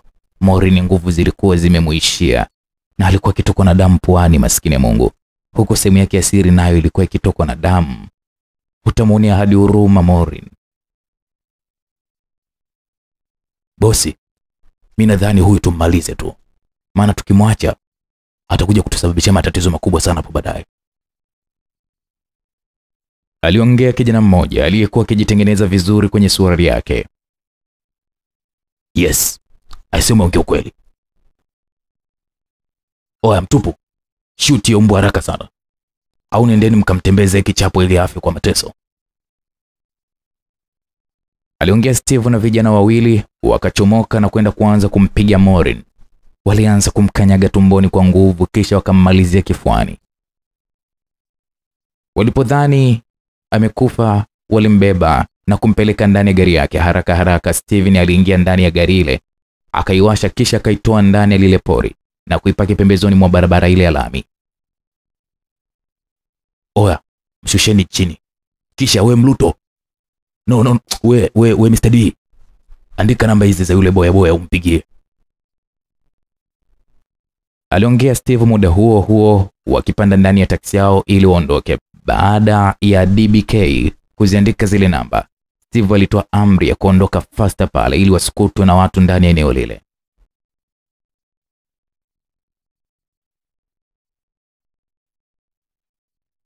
Beni, kijana wa watu maskini ya Mungu, akiwa hajui hili wala lile, huku akiendelea kupata juisi yake, mara simu yake mkononi ilianza kuita. Alitazama kidogo, akasita kuipokea. Simu iliita mpaka ikakata. Dakika mbili tena ikaanza kuita, akaona ni bora tu aipokee tu, maana ilikuwa ni namba ngeni kwake. Sasa baada ya kuipokea, alikutana na maneno haya: Beni, wahi haraka sana kwenye barabara iendayo Bagamoyo, mkeo yupo katika wakati mgumu sana. Kabla hajazungumza chochote, simu ilikatwa, na alipojaribu kupiga ile namba haikupatikana tena. Ubaya sauti ile Beni hakuitambua, hakujua ni nani huyo ambaye alimpigia. Ben alichanganyikiwa, akatoka mbio mbio ndani ya ile hoteli, akawa anakimbia njia nzima bila hata kupumzika mpaka alifanikiwa kufika ndani ya lile eneo.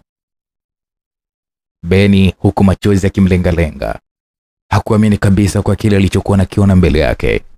Mpenzi wake na mke wake Morin alikuwa amelala mbele yake katikati ya barabara, huku damu zikimtoka puani pamoja na mdomoni, na povu fulani hivi jeupe ndo lilikuwa likimtoka. Beni aliangaza macho yake kulia na kushoto, akiona gari ya mrembo huyo ikiwa imepakiwa pembeni. Alitimua mbio kumsogelea Morin mithiri ya mwenda wazimu, akawa amemfikia na kumbeba juu juu ili amkimbize hospitalini.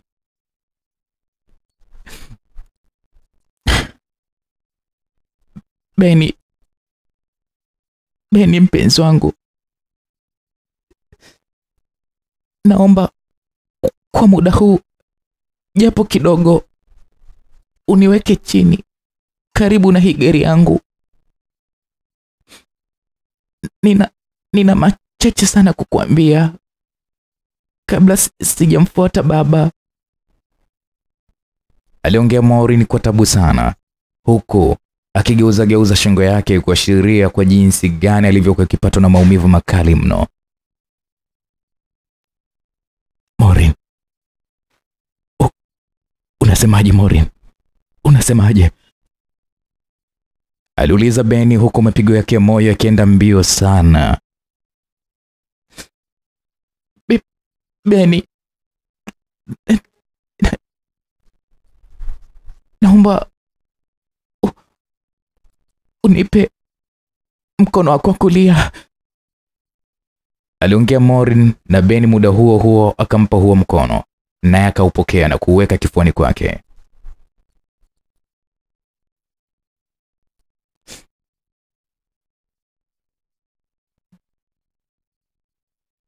Beni,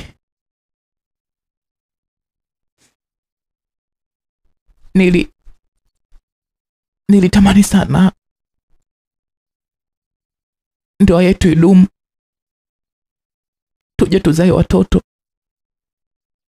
Watakaotusaidia baadaye, lakini kwa sasa imebaki kama ndoto tu. Isiyokuwa na mwanzo maalum. Katikati ya usiku mnene wa giza. Alisema Maureen kwa sauti ya chini kwa tabu mno, huku akijitahidi kuyafumbua macho yake yaliyokuwa yametapakaa machozi yenye mchanganyiko wa damu. Beni naye kwa muda huo machozi yalianza kumtoka bila kutarajia. Beni, mpenzi wangu, na, na mume wangu, Na- najua na, utaumia sana kumpoteza kipenzi cha moyo wako katika mazingira usiyoyatarajia, ila ku- kumbuka tu hii dunia ina kila kitu chenye uhai na kisichokuwa na uhai.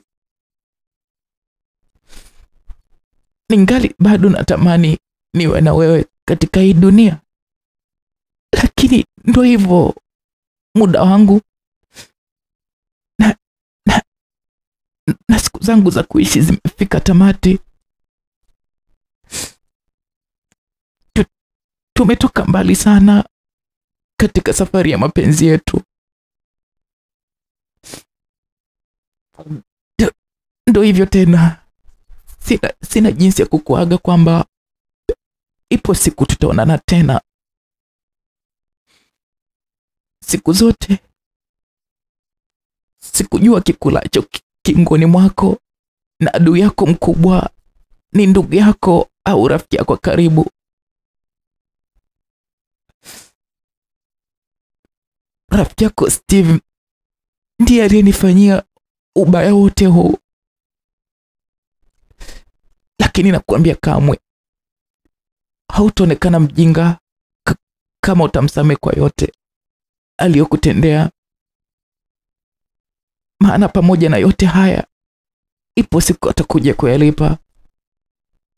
Mimi pia nimemsamehe kwa huu unyama alionifanyia, ila ipo siku atakuja kuulipa. Ba- ba- ba- ba- ba- ba- ba- ba- Baki salama mume wangu be, be, be, be, be, ni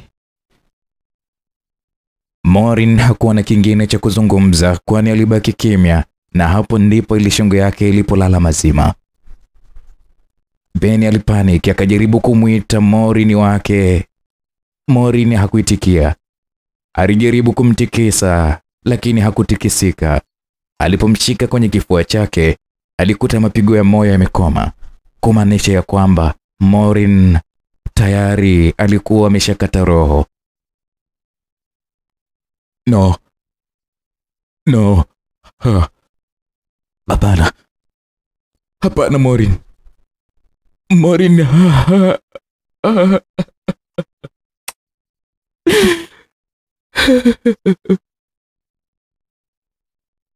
Beni alilia sana. Alishindwa hata cha kufanya, maana kipenzi cha moyo wake Mori ndo hivyo tena. Alikuwa ameshatangulia mbele za haki.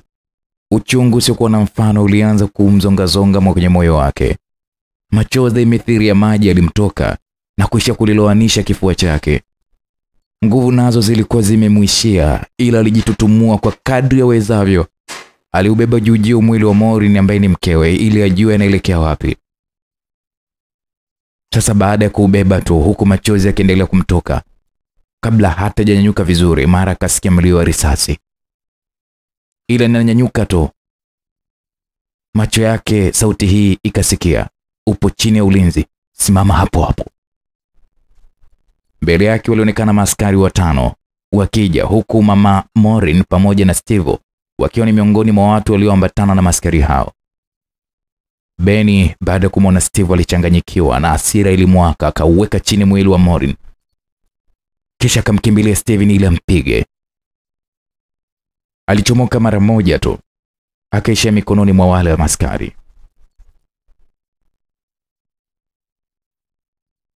Ben akawa anasema niacheni, niacheni huyu shetani, tena shetani wa kuzimu, niacheni.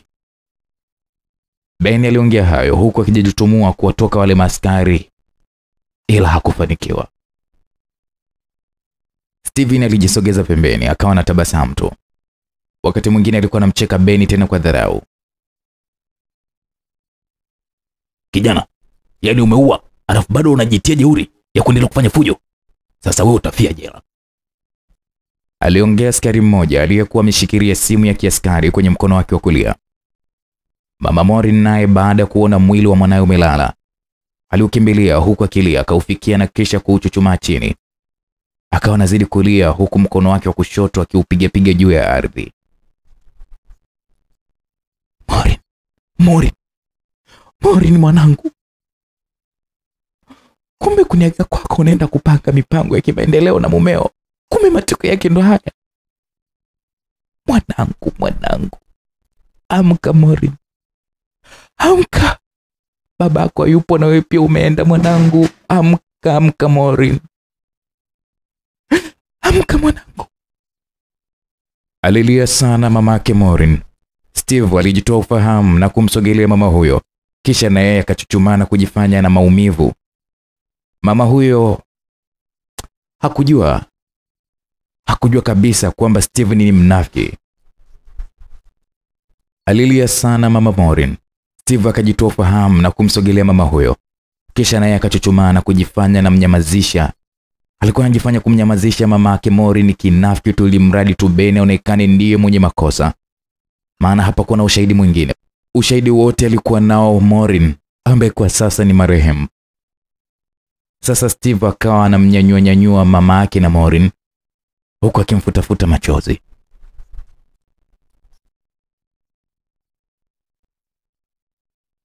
Pole sana mamangu. Nadhani sasa ndo umeelewa kumbe hukupata mkuu wa ukweli, bali ulipata mku mwenye tabia za nyoka, tena aliye na sumu ya kutisha. Pole sana mama. Aliongea Steven. Akawa anazidi kumbembeleza mamake na Morin mpaka akatulia na kuyaamini maneno yote ya uongo ya Steve ya kwamba Beni ndiye aliyemuua Morin.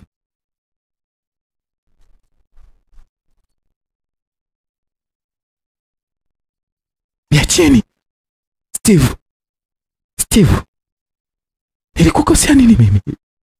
Nilikukosea nini mimi? Kwa nini unanifanya unyama kama huu? Kwa nini? Kwa nini Steve? Aliongea Beni, lakini hakuna hata mmoja ambaye alimwelewa na kumwamini. Steve ndiye aliyemuua Mori. Steve ndiye aliyemuua. Aliongea Beni huku akilia kwa uchungu. Una uhakika gani mpumbavu wewe? Simama hapo. Askari mmoja alimpiga Beni na kiwiko cha bunduki mkononi mwake huku akiyasema maneno hayo. Vijana sijui bangi zinawachanganya siku hizi. Umekamatwa ukiwa eneo la tukio na ushahidi wote huu hapa, alafu bado unajitoa ufahamu eti Steven ndiye aliyehusika. Mkuu, nadhani tusipoteze muda hapa. Huyu kijana tuondoke naye tukamweke mahabusu mara moja, na kesho yake ahukumiwe, maana sidhani kama kuna ushahidi mwingine zaidi ya huu. Aliongea askari mwingine, kisha Beni akapigwa mtama na kudondoka chini. Alipojitutumua Beni ili asimame, huku kizunguzungu kikimwandama, alipigwa tena akadondoka chini, na aliposimama tayari damu zilikuwa zimeshaanza kumtoka puani na mdomoni. Beni hakuwa na ujanja tena, alinyamaza kimya. Yote hayo alimwachia Mungu tu. Aliamini kama riziki yake ipo basi ipo tu, na aliamini hata kama atahukumiwa kifungo cha maisha, ipo siku Mungu atashuka mwenye kuja kumtetea.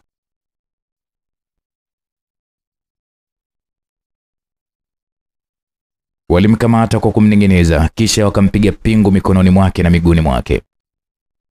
Baadaye wakambeba juu juu na kumrusha ndani ya defender yao mithiri ya gunia la mzigo. Baada ya hapo walimrudisha hadi kwenye ule mwili wa Morin, wakaupandisha ndani ya ile gari ya marehemu ambaye ni Morin mwenyewe. Wakampandisha na mama yake aliyekuwa ameishiwa nguvu. Steven naye akapanda ndani ya ile gari kisha akajiandaa kuondoka. Maaskari wanne walibaki ndani ya ile Defender na askari mmoja akaambatana na akina mama Morin, kisha safari ya kuondoka pale ilianza. Mwili wa marehemu Morin ulisafirishwa moja kwa moja hadi hospitali ya taifa ya Muhimbili, ukaenda kuhifadhiwa huko kwa ajili ya mazishi.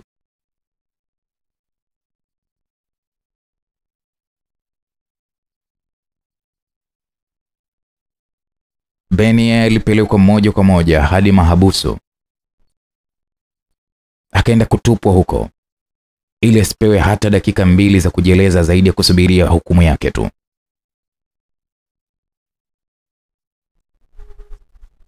Masaa yalisogea, hatimaye usiku kawadia, huku Beni akiwa ndani ya mahabusu.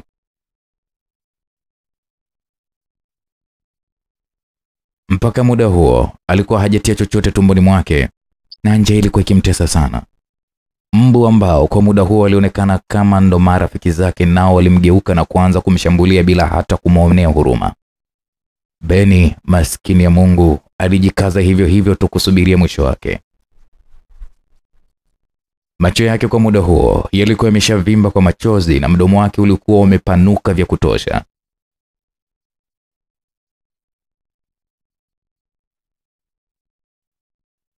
Baba, mama angu, mpo wapi wazazi wangu? Kabla mjafa mliachia usia, mliniachia wasia ya kwamba mimi ndiye mzaliwa wa kwanza, mliniza kwa tabu na uchungu mzito, mkaniambia kwamba wadogo zangu pindi nyinyi mtakapotoweka duniani watanifanya mimi kuwa ndiye baba na mama kwao. Mkaniambia nisikate tamaa katika kujituma kufanya kazi japo sikuwa na elimu.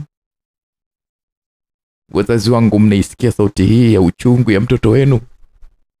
Tambueni kwa sasa ulimwengu umeamua kunirejeshia shimoni. Wazazi wangu, mapenzi amenifanya leo hii nionekane mimi ni mkosaji kwenye kosa lisilo langu.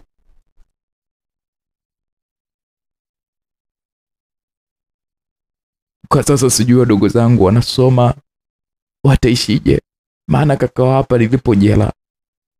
Jela inaningoja na kifungo cha maisha kinanisubiri kwa kosa lisilokuwa langu.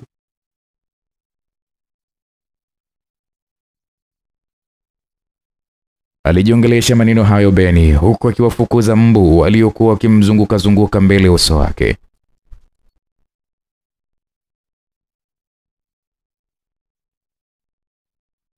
Mungu, sijui hatima yangu leo. Kama wewe kweli upo na unajua utakuja kunitetea hata kama nikihukumiwa kifungo cha maisha. Aliongea Beni kisha akayafumba macho yake kwa ajili ya kuweza kuusaka usingizi.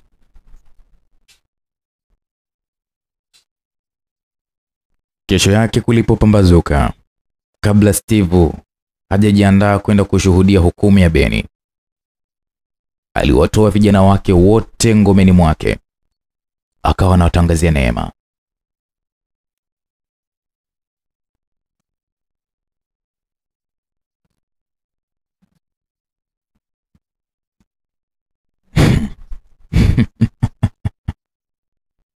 Ukiamua kupambana na mwenye pesa lazima umie tu. Mimi ndiye Steve bilionea, mtoto wa hili jiji. Beni kuisha habari yake, maana alikuwa anajiona ni kidume sana kwa kuona yule mrembo aliyekuwa akiutesa moyo wangu. Sasa nadhani muda huu ni wasisi wa kula bata tu, maana kazi tumeimaliza. Vijana wangu, leo nitaandaa sherehe kubwa sana kujipongeza, maana tumefanya kazi kubwa. Unajua, tusingemuua yule binti leo hii tungekuwa tunazungumza mengine, maana jela tungeenda sisi badala ya yule mbuzi anayejiita Beni. Aliongea Steve kwa lugha ya kejeli na dharau za hali ya juu, huku akitembea tembea kwa maringo kuwazunguka vijana wake waliokuwa wamepanga mstari mmoja mrefu. Boss, mimi kwa upande wangu nina dukuduku moja tu. Dukuduku gani hilo? Ah, inatosha sasa. Sioni haja kuendelea kumtesa Beni, ili hali kama Morin tayari ameshakufa. Mimi naona busara kabisa kwa hapa, hahitaji elimu ya chuo kikuu kumwachia huru Beni. Pumbavu wewe. Nilidhani una dukuduku la maana, kumbe unaongea ujinga tu. Wewe kwa akili yako ulidhani ni nani angestahili kuubeba ule mzigo wa lawama za mauaji? Unajua hapa nilipo mimi nina degree ya kitaa pia, nina degree ya darasani, najua kila kitu pamoja na ujanja wote. Isitoshe nimefunzwa na wazazi pamoja na wazwaji. Sasa wewe mpumbavu wewe, nadhani umechoka kuishi. Ngoja tukushikishe adabu. Steve baada ya kuongea hayo aligeuka nyuma kidogo tu, akachoma bastora yake na kumshuti yule kijana. Muda huo huo akadondoka chini na kupoteza maisha papo hapo.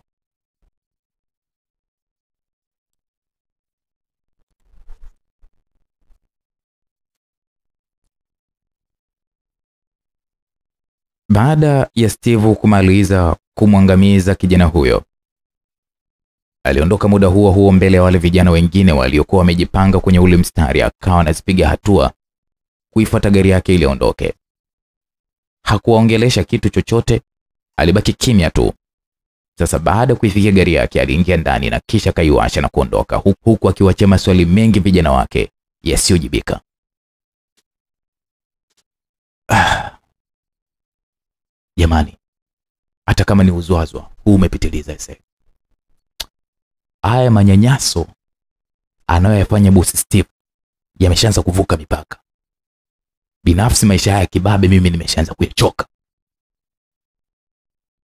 Ilisikika sauti ya kijana mmoja aliyekuwa amevaa koti jeusi refu akiongea maneno hayo. Sasa wewe na akili zako hizo za bata unatakaje? Kwa mfano hapo hujalazimishwa, ukichoka unajisepea tu, maana hakuna anayekulazimisha. Njaa zako ndizo zilizokufanya uje hapa. Aliongea Mr. Mluto, na hapo ndipo kulipozuka malumbano baina yao. Wakawa na bishana sasa, na mwishowe yakajitenga makundi mawili ambayo yalianza kugombana sana. Kundi moja lilikuwa ni la wale waliokuwa wakimuunga mkono Steve na jingine lilikuwa ni kundi ambalo lilikuwa likiyapinga yale yaliyokuwa yanafanywa na Steve. Ila pamoja na yote hayo, kundi ambalo lilishinda ni lile lililokuwa ambalo likimuunga mkono Steve. Kwa upande wa Steve, baada ya kuondoka ndani ya ngome yake, Steve alielekea moja kwa moja hadi mahakamani, maana ule muda wa Beni kuhukumiwa tayari ulikuwa umeshaanza kusogea. Alifika huko kama dakika ishirini tu na akakuta tayari watu kadha wa kadha wameshajiandaa kwa ajili ya kusikiliza hukumu ile. Steve alikaa nyuma kabisa, akawa anajishika puani huku akimwangalia Beni. Beni alikuwa amesimamishwa mbele akisubiri hukumu. Muda wa hukumu ulipowadia, hakimu alisimama akatoa nafasi mbili tatu za mashahidi wa ile kesi upande wa washtaki. Steve alinyosha mkono na akapewa nafasi ya kuzungumza. Alisimama kwa maringo sana, kisha akajitengeneza vizuri kwenye suti yake. Baada ya hapo, akapita mbele Steve na kwenda kutoa heshima kwa hakimu. Akakohoa kidogo, kisha akaanza kuzungumza mbele ya maiki.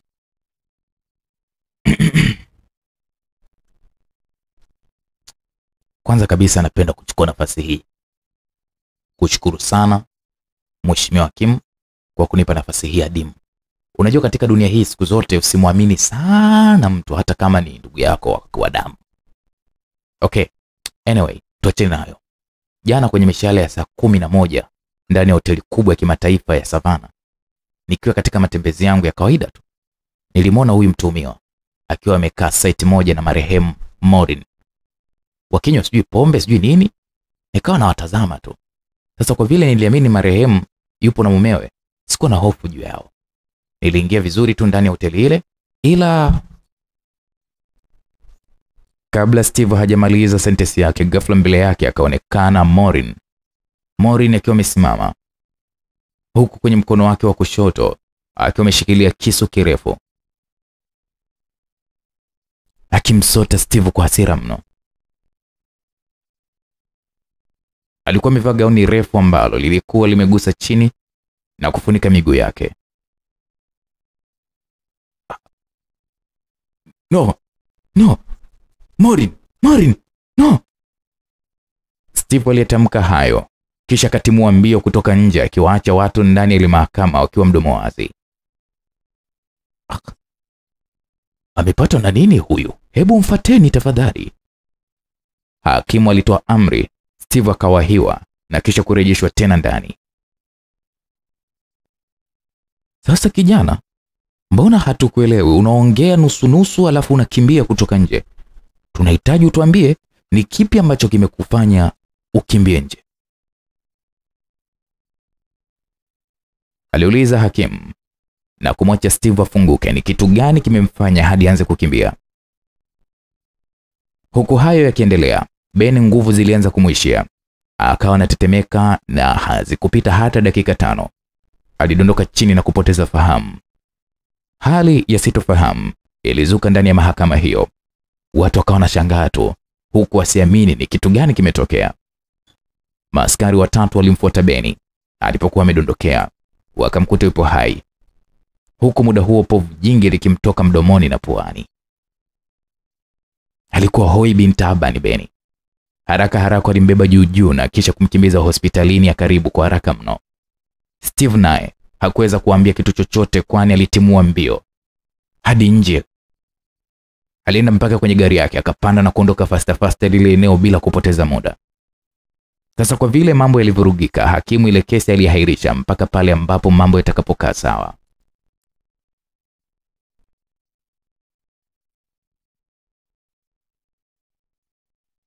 Naam. Beni akawa amepelekwa hospitalini. Alipofikishwa huko, alikuwa na hali mbaya sana, maana hata kuhema tu alikuwa akihema kwa tabu mno. Madaktari walipokuja kumpima waligundua presha yake ilikuwa imepanda maradufu huku mapigo ya moyo wake yakiwa yameshashuka sana. Hawakuona cha kupoteza, walianza kuhaha kuhakikisha ya kwamba wanayaokoa maisha yake kwa haraka sana, maana hawakuwa na kitu kingine cha ziada. Kwa upande wa Steve, baada ya kufika kwake, aliamuru kijana mmoja amtolee kiti akae pamoja na maji ya kunywa apate kunywa, maana kiu ilikuwa imembana vya kutosha. Alipoletewa hayo maji, ile anayepeleka tu mdomoni, kufumba na kufumbua, yaligeuka yakawa damu. Steve alichanganyikiwa, aliyamwaga chini, kisha alisimama na kujaribu kutimua mbio. Alipiga hatua chache, vijana wake wakamwahi na kumkamata. Bosi, vipi, mbona hatukuelewi? aliuliza DBK huku akiangazaangaza macho yake. Aise, vijana wangu, hali imeshaanza kuwa tete hapa, mambo yameshaanza kuharibika.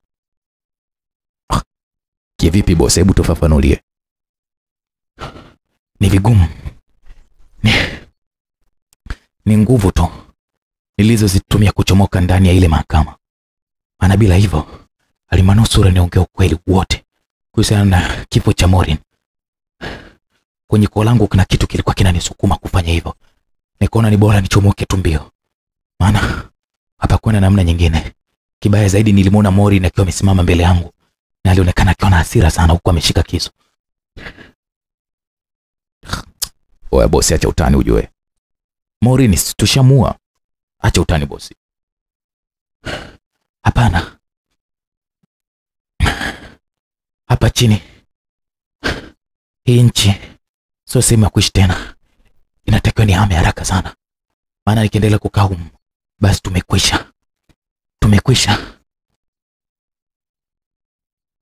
aliongea Steve na vijana wake wakawa wamemwelewa, na hapo ndipo mipango ya wao kuhama katika nchi hii ilianza mara moja.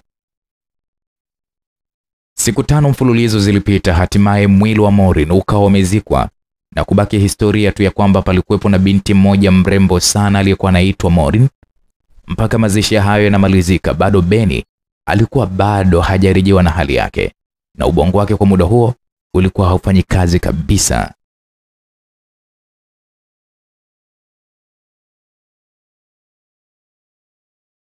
Mwezi mmoja baadaye,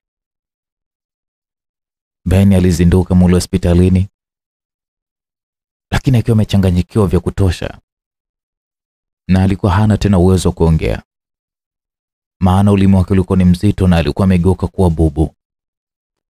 Madaktari walipojaribu kumweka katika hali ya utulivu zaidi, aliwashinda nguvu na akachomoka katikati yao na kuanza kutimua mbio kuelekea pande za kusini. Walijaribu kutuma watu wamkimbize, lakini haikuwezekana, kwani aliwashinda mbio na kukimbilia anapopajua yeye. Beni alifika mbali sana, kisha alielekea kwenye jalala moja hivi. Alienda kukaa humo na kuanza kuimba nyimbo zisizojulikana. Upande mwingine, ile mipango ya Steve na wenzake kuhama ilifikia patamu, na kesho yake ndio ilikuwa ni siku ya Jumanne. Ilikuwa ndo siku ambayo walitarajia kuihama nchi ili waende nchi za mbali huko.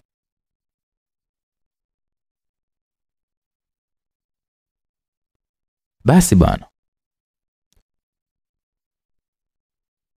usiku wa kuelekea siku hiyo, Steve alifanya kikao kikubwa sana na vijana wake hao, wakawa wanapanga ni nchi gani wataelekea kwa usalama wao. Basi kwa pamoja walikubaliana waelekee Madagaskar ili wakaishi huko bila kubuguziwa na kitu chochote kile. Walipomaliza kikao chao hicho, kila mmoja alipewa uhuru wa kufanya chochote ndani ya usiku huo kabla hapajapambazuka. Mishale ya saa mbili kamili, Adamu na mwenzake mmoja walielekea ndani ya baa moja kwenda kupata viburudisho vya hapa na pale. Walifika ndani ya baa moja, wakanywa sana mpaka wakaanza kulewa. Waliporidhika, walisimama kwa pamoja, wakawa wanakokotana kutoka nje, huku wakiweweseka mno. Kwa vile giza lilikuwa limetanda kila mahali, hawakujua waelekea wapi, ukizingatia akili zao zilikuwa zimefunikwa na pombe. Walitembea kwa mwendo huo mpaka wakafanikiwa kuipata barabara moja hivi, barabara ya changarawe iliyokuwa imezungukwa na nyasi fupi fupi pembeni yake. Sasa wakiwa wanatembea, ghafla mbele yao ikawa inakuja gari rangi nyekundu, ikafanikiwa kuwafikia, ikawa imesimama mbele yao.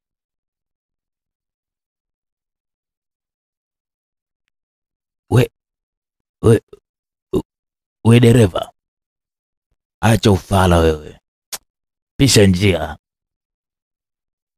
Aliongea Adamu huku akiweweseka. Kioo cha kushoto cha gari ile kilipofunguliwa dirishani, alichungulia msichana mmoja mrembo sana ambaye alikuwa amevaa miwani ya urembo machoni pake. Oh, samahani kaka zangu, nauliza njia kuelekea Bagamoyo, mnaweza kunielekeza? Aliuliza mrembo huyo huku akivua miwani yake. Ah, Uwe. kumbe wewe unauliza hivyo? Poa, barabara ile pale umeiacha ifuate hiyo. Aliongea Adamu kwa sauti ya kilevi. Asante sana kaka zangu na samahani kwa usumbufu. Mrembo yule aliyeongea yale, kisha akarudisha kioo cha gari yake na kuanza kuondoka. Sasa cha ajabu, ile gari haikujulikana ilielekea wapi au ilipita wapi, maana ndani ya dakika tatu tu Adamu na mwenzake hawakuiona tena, pamoja na kuyaangaza macho yao kuitafuta. Oya, ile gari imepita wapi ile? Mbona sioni? aliuliza Adamu kwa mshangao, huku pombe ikianza kumtoka. Aise, jamaa wangu, wewe ni mtu ajabu sana eh? Unaniuliza gari imeelekea wapi wakati hapa tulikuwa wote? aliuliza rafiki yake na Adamu. Ah, basi, tusibishane sana, tuendelee na safari yetu. aliongea Adamu, nao wakazidi kuchanja mbuga kuelekea mbele. Baada ya kuziacha hatua chache nyuma, ile gari ilionekana tena ikija mbele yao. Ilipofikia ilisimama na kwa mara hii yule mrembo alishuka ndani ya gari ile na kuanza kuwafuata. Alipofikia, aliinama kidogo kana kwamba kuna kitu alikuwa amekidondosha chini ile kiokote. Baada ya kusimama wima, aliwapungia mkono Adamu na mwenzake kama ishara ya kusimamisha. Baadaye nao wakasimama kuanza kumsubiria mrembo huyo. Walianza kuulizana kimya kimya kwa ishara, kisha Adamu akajikohoza na kumwambia mwenzake amsubiri hapo ile amsogelee yule mrembo. Alizipiga hatua za haraka haraka Adamu huku akiweseka kwa pombe alizokuwa amelewa. Akamkaribia yule bidada. Cha kushangaza, Adamu kadiri alivyokuwa anamkaribia mrembo huyo, ndivyo ile pombe ilivyokuwa inazidi kumtoka zaidi. Adamu alifanikiwa kumfikia, wakawa sasa wamesimama kwa kuangaliana. Um, samahani kakangu, unaitwa nani? aliuliza yule mrembo. Adamu huku akianza kujichekesha chekesha, alimjibu ya kwamba uh, uh, mrembo, mi naitwa handsome boy, au unaweza kuniita Adamu. Aha, sasa Adamu, naomba unisaidie, yaani hapa nilipo nimetoka sehemu za mbali, nuko usiku huu sijui hata pa kulala, napata tabu. Aliongea mrembo huyo. Kitu ambacho Adamu hakukijua ni kwamba yule mrembo alikuwa sio mrembo wa kawaida, bali ule ulikuwa ni mzimu wa Morin ambao uliamua kuja duniani kwa ajili ya kulipiza kisasi na ikiwezekana kumwokoa Beni ambaye alikuwa iko matatizoni.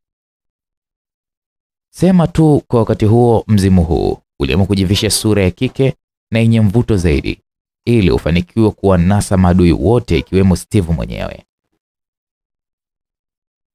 Ah, mrembo, hilo lina shida. Kwa hapa mimi nitakusaidia, wala hata usijali kabisa. Aliongea Adamu huku akimkodolea macho mrembo huyo. Utanisaidia kivipi Adamu? Labda nikuulize kitu tu dadangu, upo tayari kulala na mimi guest? aliuliza Adamu huku akilitumbulia macho wowowo kubwa la mrembo huyo.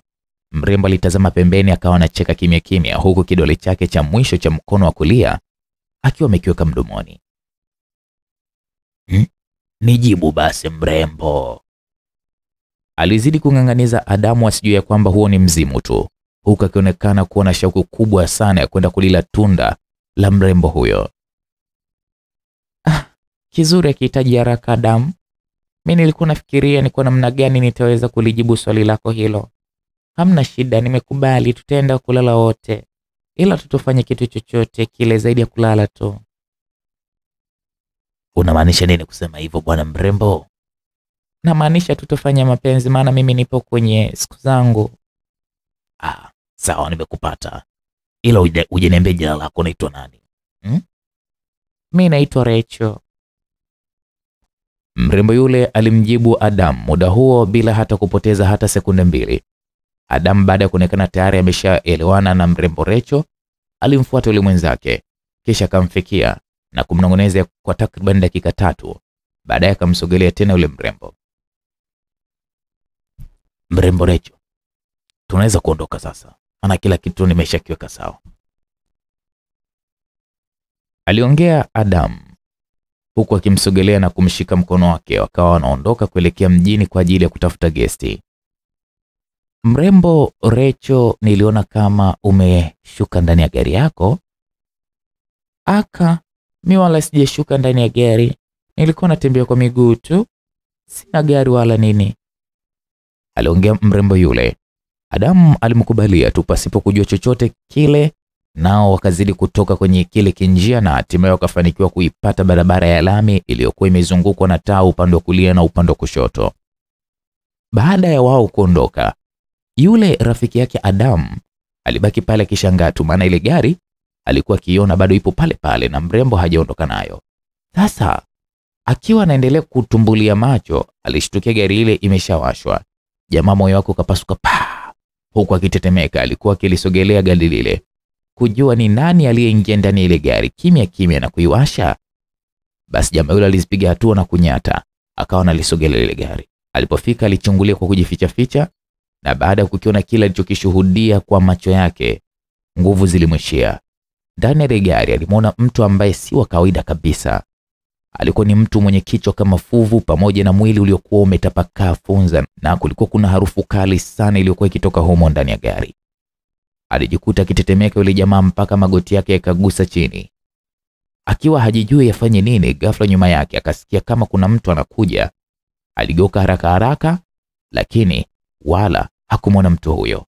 Wazimu ulimjia jamaa, akasimama na kisha kuanza kutimua mbio kuelekea kichakani. Aliendelea kuingia ndani ya kile kichaka, ila kabla hata hajatulia, alisikia kicheko kikali mithiri ya kicheko cha mtoto kinacheka kwelikweli, kicheko cha kutisha.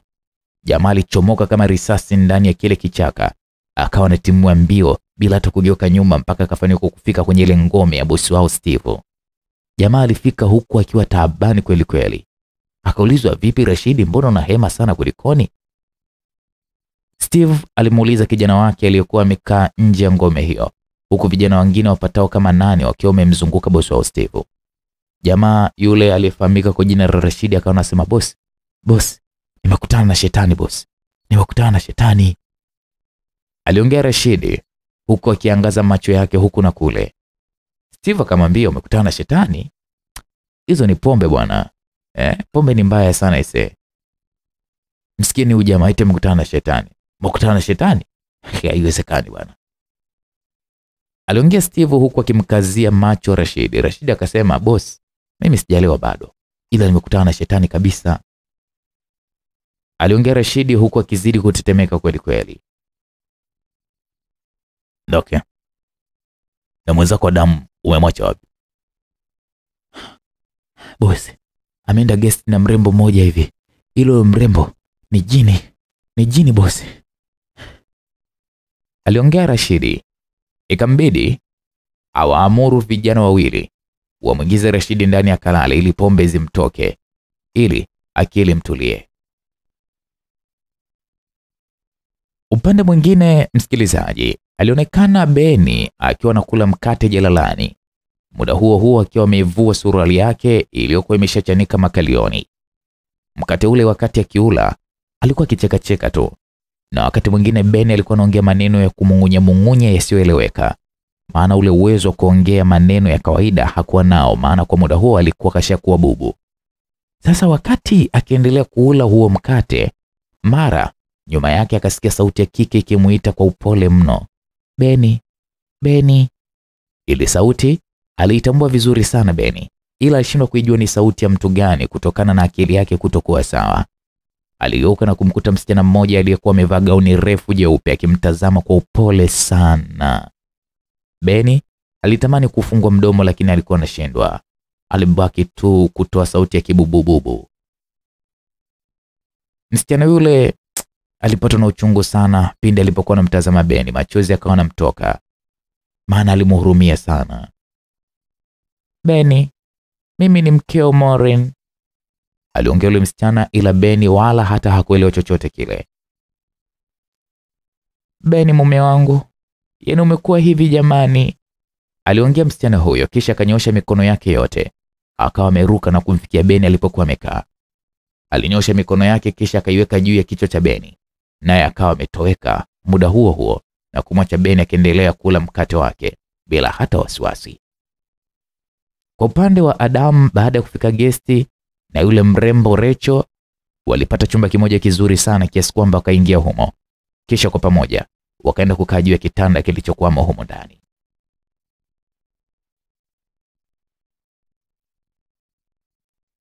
Adam, naomba nielekee bafuni nikaoge, maana nahisi na uchovu sana, aliongea yule mrembo, na Adamu bila kinyongo akamruhusu, naye akaelekea bafuni kwenda kuoga. Akiwa humo bafuni, baada ya kuzivua nguo zake, mwili wote ulikuwa ukijivuja damu, na kuna wakati ulikuwa unatoa vijidudu fulani hivi vya kutisha mno. Aliachama mdomo wake ukawa na meno marefu mithiri ya msumari. Baadaye akacheka sana, huku akinyosha mikono yake iliyokuwa ikichomoza kwa makucha marefu kama mishale. Wala hakuoga humo zaidi tu ya kufanya vituko vituko vya hapa na pale tu mrembo huyo. Baada ya dakika tano alitoka humo akaelekea tena chumbani mule alimokuwamo Adamu. Mrembo, una mashine mikononi mwako nini? Ah, kawaida tu. Rechu, mimi nina hamu mwenzio, naomba unihurumie basi nisije nikafanya kitu cha ajabu. Niache basi Adam, mbona wewe sio mwelewa? Hapana, nipe kidogo tu bwana. Ah, Si nilikwambia nipo kwenye siku zangu jamani, au unataka nikuambukize ugonjwa? aliuliza mrembo Recho. Adam kutokana na hamu kumzidi hakuweza kuelewa chochote kile wala kumsikiliza yule mrembo. Alimkamata kwa nguvu kisha akamlaza pale kitandani na kisha kujiandaa kumbaka. Akiwa anahangaika kumchomola ile kanga, ghafla uso yule mrembo kageuka na kuwa uso wa Morin mwenyewe kabisa. Adamu aliruka pale kitandani kama chura, akaenda kuangukia mlangoni puu. Yule binti alicheka sana, alicheka kwa sauti kali mno, kufumba na kufumbua. Ule mwili wa Morin nao ukajitokeza dhahiri sasa.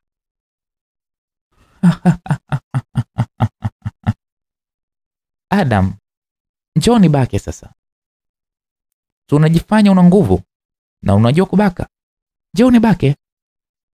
Morin alishuka pale kitandani akiwa na gauni refu jeupe, akawa anamsogelea Adam huku akimcheka sana. No, no.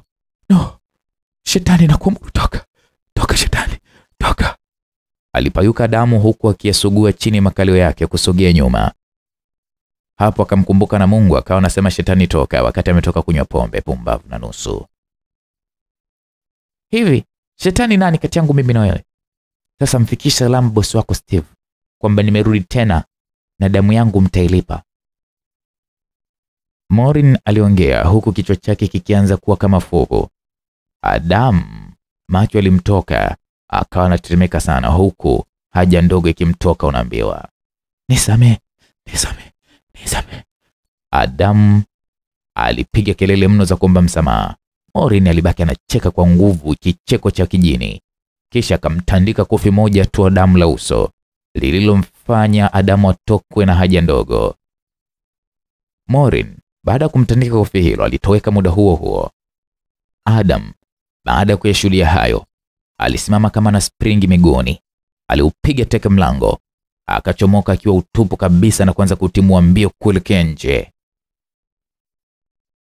Adam wakati akiendelea kutimua mbio kuelekea nje, kabla hata hajaufikia common room ya ile gesti, alishtukia akidondoka chini kama gunia la mzigo. Puu! Haraka haraka alisimama na kuendelea kutimua mbio. Hatimaye alifikia ile common room ya ile gesti, akawa na tapatapa kuutafuta mlango wa kutokea nje, huku macho yake akiwa ameyatumbua mithiri ya chura aliyekanyagwa na mguu wa tembo. Aliendelea kutapatapa Adamu. Hatimaye mhudumu wa ile gesti akaja pale kumshuhudia akitapatapa kama vile kipofu, maana hakuna alichokuwa nakifanya zaidi ya kuzunguka zunguka tu. Mhudumu yule kwa kuwa alikuwa ni wa kike, ilimbidi ajinamie aanze kucheka, maana kila alichokiona ilikuwa kama ni kituko cha mwaka. Alijishika kunako sehemu yake ya mbavu, kisha akasimama na kuanza kumtazama Adamu kwa kumshangaza. Akamuuliza, we kaka, kulikoni? Mbona unazunguka zunguka tu hapa kipofu au? Alafu upo mtupo, ni kipi kimekupata? Baada ya Adam kuyasikia maswali hayo kutoka kwa ule mhudumu, yalikuwa ni kama amemfumbua macho vile. Aliuona mlango wa kutokea, naye akachomoka mle kama risasi, akawa anatoka nduki za hatari mno.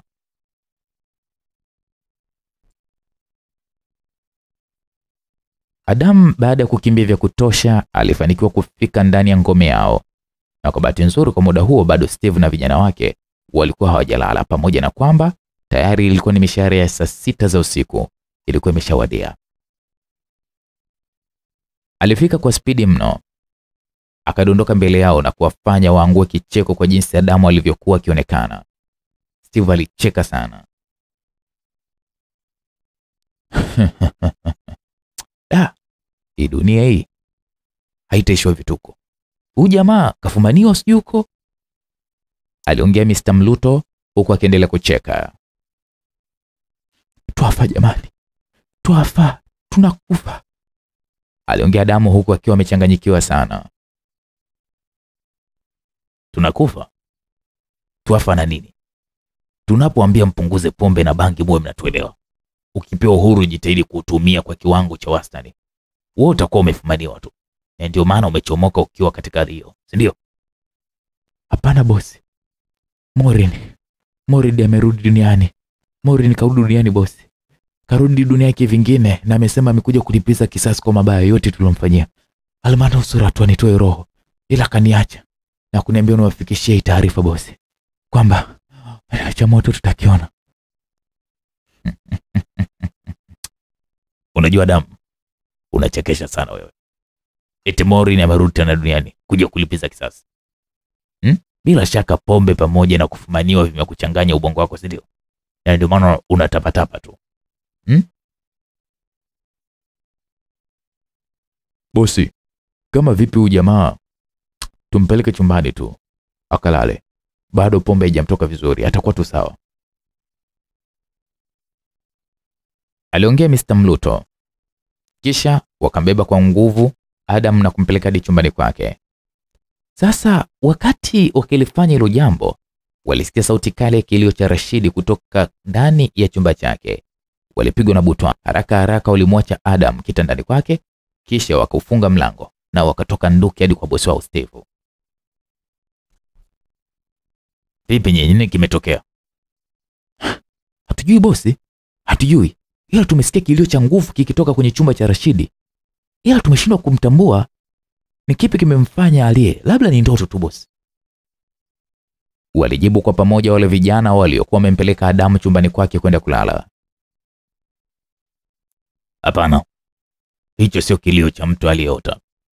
Kuna kitu kitakuwa kimempata au ameng'atwa na nyoka. Hebu nendeni mkamtazame fast. Alitoa amri hiyo Steve. Nao wale vijana walitoka mbio hadi chumbani kwa Rashidi. Walipoufikia mlango, waliusukuma, mlango ukafunguka. Muda huo huo ulifunguka kwa sababu haukuwa umefungwa kwa ndani. Wale vijana hawakuyaamini macho yao baada ya kukiona kile alichokuwa kikishuhudia. Damu mithiri ya mtaro wa maji ilikuwa ikimchuruzika Rashidi kutoka shingoni mwake, huku akionekana kutokuwa na dalili zozote za uhai. Walijikaza wale vijana, huku wakitetemeka kweli kweli. Walijikaza kweli kweli, kimya kimya, wakawa wanausogelea ule mwili kujua ni kitu gani kimetokea na kusababisha maafa kama hayo.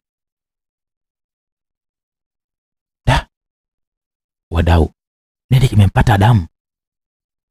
Aliuliza kijana mmoja aliyekuwa akijulikana kwa jina la Hansi. Hakuna hata mmoja ambaye alionekana kulijibu swali hilo, maana wote walikuwa wakitetemeka tu. Walipochunguza zaidi mwili wa Rashidi kwenye ile shingo, aliona kama amechinjwa kwa kutumia kisu kikali mno. Walizidi kuchanganyikiwa zaidi, wakiwa hawajui waanzie wapi. Mara walisikia sauti ya kicheko, kicheko cha kutisha kweli kweli, ikifuatiwa na kivuli cha mtu aliyekuwa akiishia ishia ukutani. Macho yaliwatoka, wakasukumizana wote nje na kuanza kutimua mbio wale vijana, huku akipiga makelele ya ajabu. Steve akawaita nyie, nye nye. Steve aliwaita baada ya kuwaona wakikimbia bila hata mpango wowote ule. Aliwaita nao wakamfuata, huku akiwa hawaamini kabisa kwa kile walichokuwa wamekiona. Nyie vipi? Mjue siwaelewi kabisa. Nimewatuma mkamchunguze mwenzenu ni kitu gani kimempata Rashidi, lakini cha ajabu mmetoka na nyie mkiwa mnatimwa mbio. Tatizo nini? Aliongea Hansi. Nini kimetokea? Eti Jamal, unaweza kutuambia ni kitu gani kimetokea huko ndani kwenye chumba cha Rashidi? Bosi, huwezi amini kabisa, tumemkuta Rashidi akiwa amekufa huku shingo yake ikiwa haitamaniki. Cha ajabu, baada ya kuonekana tu tukiwa hatujui tuanzie wapi, tulisikia sauti ya kicheko cha kike pamoja na kivuli cha mtu kilichokuwa kinailishia ukutani, na na ndio maana tulitoka mbio ndani ya chumba hicho bosi. Aliongea Jamal huku kijasho chembamba kikimtoka. Bosi, hali imeshaanza kuharibika.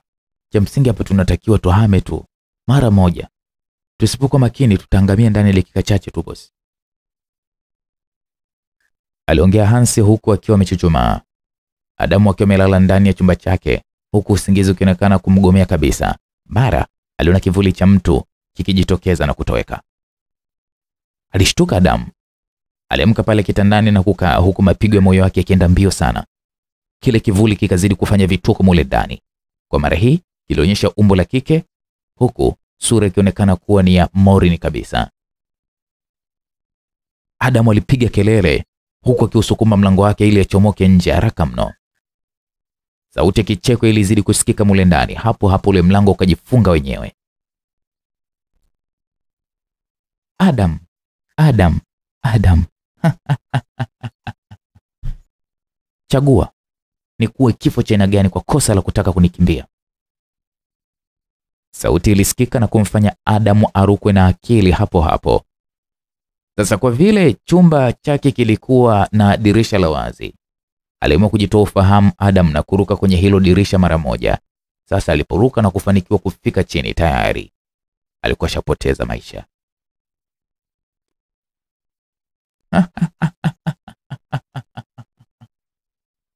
Sauti ya kile kicheko iliishia. Hatimaye Morin akaonekana mbele ya mwili wa Adam. Alinyanyua macho yake juu, huku kichwa chake kikibadilika na kuwa fuvu. Akaunyanyua ule mwili na kisha kuurusha hadi kwa kina Steve na wenzake. Ulipodondoka mbele ya kina Steve, e bana, kina Steve alitoka nduki na kumwacha Mr. Mluto peke yake akiwa ameyatoa macho yake kwa Adamu. Adamu, Adamu, Adamu! Alipayuka Mr. Mluto na kuwafanya wale waliokuwa wamekimbilia kwenda kujificha waanze kurudi mmoja baada ya mwingine. Alianza DBK na wa mwisho kurudi alikuwa ni Hansi. Morin baada tu ya kuwarushia ule mwili alionekana akichomoa kijidudu kimoja mithiri ya funza chenye macho makubwa kutoka ubavuni mwake. Alipokichomoa kile kidudu, alikirusha juu, kikaenda kudondokea juu ya kichwa cha Hansi. Morin alicheka kisha akatoweka mara moja eneo lile. Bosi, au tuende kwa mganga wa kienyeji, maana siamini macho yangu kabisa kwa hiki ninachokiona. Ndani ya dakika tano tu tumewapoteza wenzetu wawili, Rashidi na Adamu. Tumebaki wanane tu, wewe ukiwa tisa. Sasa tulitazama ili bosi kwa jicho la tatu, maana haiwezekani Adamu afe kwa kifo cha kutisha namna hii. Aliongea Mr. Mluto baada ya kufunika mwili wa Adam kwa kutumia shuka la Kimasai alilokuwa amejifunika. Ya, itabidi kesho tuairishe safari, twende kwanza kwa huyu mganga. Nahisi kabisa Beni atakuwa anatufanyia umafia, aliongea Steve wakiwa wanaendelea na mazungumzo yao. Ghafla Hansi alianza kutetema mithiri ya mayele.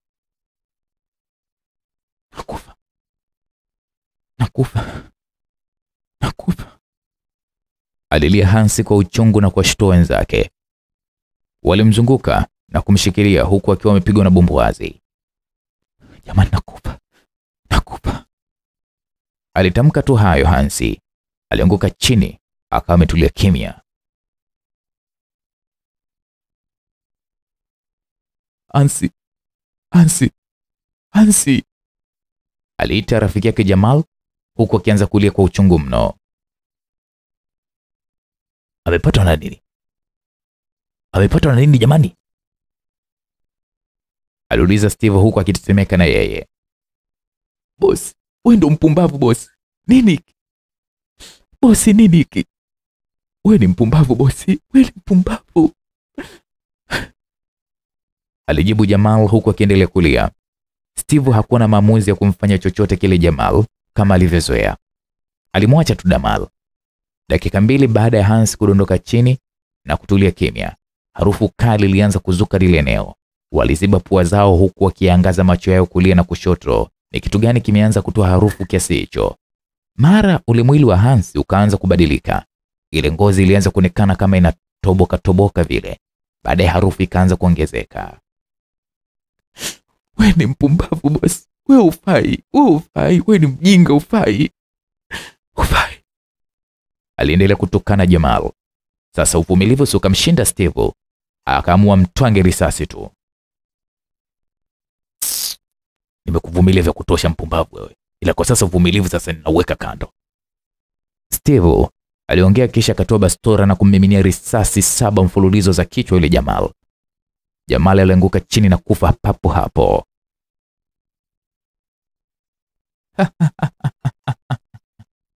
na kutamani sana wewe Steve, yaani siku ya kifo chako ikifika utakufa kwa mateso.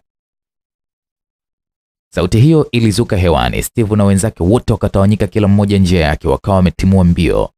Kome imevunjwa, kila mmoja afanye yake, aliongea Steve huku akitimua mbio kuelekea mjini.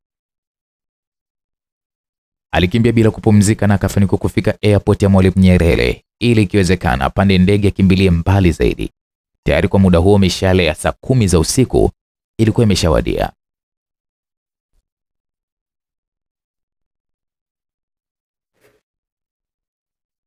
Steve alitembea kwa mwendo wa haraka haraka mno kulisogelea benchi moja la kisasa lililokuwa limewekwa upande wa kusini.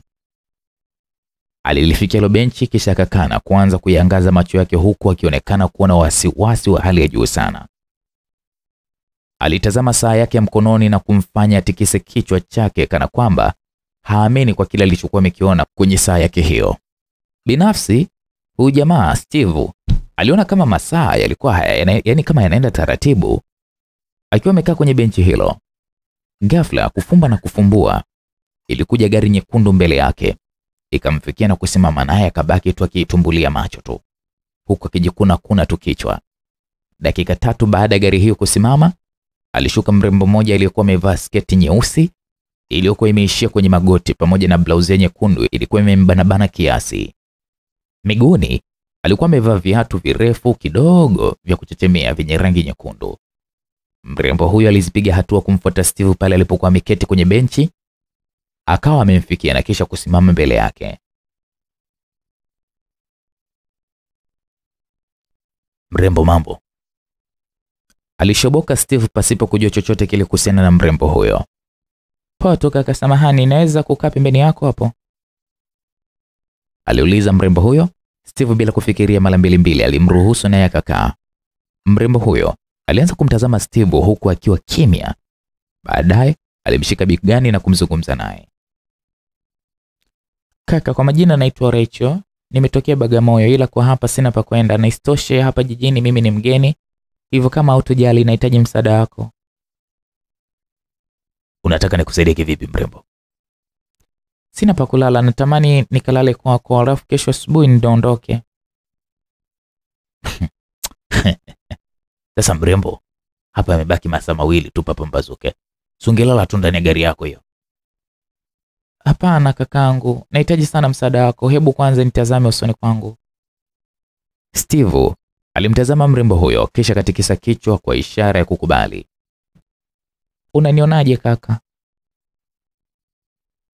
aliuliza mrembo huyo huku akimtazama Steve kwa macho ya kumrembulia. Ah, uko vizuri, uko vizuri mrembo. Kama nipo vizuri, nisaidie sasa, na kilicho kizuri zaidi nitakupatia. Sijakuelewa, unamaanisha nini kusema utanipatia kilicho kizuri? Nitakupa tunda langu, alijibu mrembo huyo Recho na kumfanya Steve afikirie mara mbili mbili. Alinyamaza kimya, kisha akawa anajiongelesha kimoyomoyo huku akimtazama mrembo yule kwa macho ya kuibiaibia. Kwani huyu binti ametokea wapi huyu? Na kwa nini anifuate mimi kuniomba msaada wakati kwenye eneo hili tupo wengi? Nisije nikamsaidia alafu akanitokea pwani ese. Maana hili jiji hili halina utofauti na Zanzibar. Nisije nikamsaidia nikajikuta nimemsaidia jini, potelea mbali. Siwezi kumsaidia huyu. Alijiwazia Steve moyoni. Kaka, vipi, mbona kimya? Dada, kwa kweli mimi hapa labda tu nikwambie ukweli. Pamoja na kwamba unaniona nina kitambi, lakini sivyo unavyonifikiria. Na sio kila mwenye kitambi ana pesa. Wengine wana vitambi lakini hawana pesa. Kuna vitambi vingi, yani kuwa na kitambi sio kigezo cha kwamba mtu ana pesa au kumiliki pesa. Kwani kuna vitambi vingine ni vya asili vya utapia mlo. sio unaelewa eh? Sijakuelewa kakaangu, ina maana hutaki kunisaidia? Sio kama sitaki kukusaidia. Kukusaidia nataka sana, ila uwezo kukusaidia sina. Mimi mlala hoi tu. nimekuja kuja hapa kupunguza maumivu ya kunguni kwenye godoro langu. Godoro langu la mbili kwa nne. Nimewakimbia kunguni tu dadangu. Na ndio maana unaniona napiga mayowe tu hapa. Kunguni ndio wadudu gani au kakangu? Ona sasa. Huwajui hata kunguni. Na ndio maana nimekwambia mimi uwezo kukusaidia sina. Nimewakimbia kunguni kwenye kigodoro changu cha ajabu ajabu. Kunguni dada yangu wasikie tu. Afadhali ung'atwe na mbu kuliko wadudu hao. Kaka, mimi nipo tayari, hata kama wataning'ata nitajikaza tu, ili mradi tu pambambazuke. dadangu hebu nisikilize usiteseke wewe usiniharibie pozi Isitoshe nina mambo yangu mengi sana kuyafanya na mambo mengi sana kuyafikiria muda huu. Sasa naomba usimame tu uondoke, nisije kufanya kitu kibaya. Yamekuwa hayo tena? Bwana, ndio bwana, kama ulivyosikia, nataka usimame uondoke kabla sija kufanya kitu kibaya, maana mimi akili yangu naijua mimi mwenyewe. Takuletea gundu tu hapa. aliongea Steve, na hapo hapo yule mrembo alisimama na kumtazama kwa muda wa dakika tano, kisha akaanza kuondoka mbele yake huku akigeuka kwa nyuma. Alitembea taratibu hadi akaifikia gari yake na kupanda hadi ndani. Sasa baada ya kukaa kwenye usukani, mrembo yule alianza kujibadilisha, kufumba na kufumbua, akawa Morin na gauni yake jeupe. Damu ilianza kumvuja kunako sehemu yake, huku akionekana anacheka kwa kicheko ambacho hakikuwa cha kawaida. Aliendesha ile gari, akakata kuna moja tu, gari ile ikapotea eneo lile bila hata kujua lilielekea wapi. Saa kumi na mbili ilipofika, Steve alianza kutafuta uwezekano wa kupata tiketi ya ndege ili aondoke nchini, maana kwake aliona hali imeshakuwa tete, akizembea kidogo tu yatamtokea puani.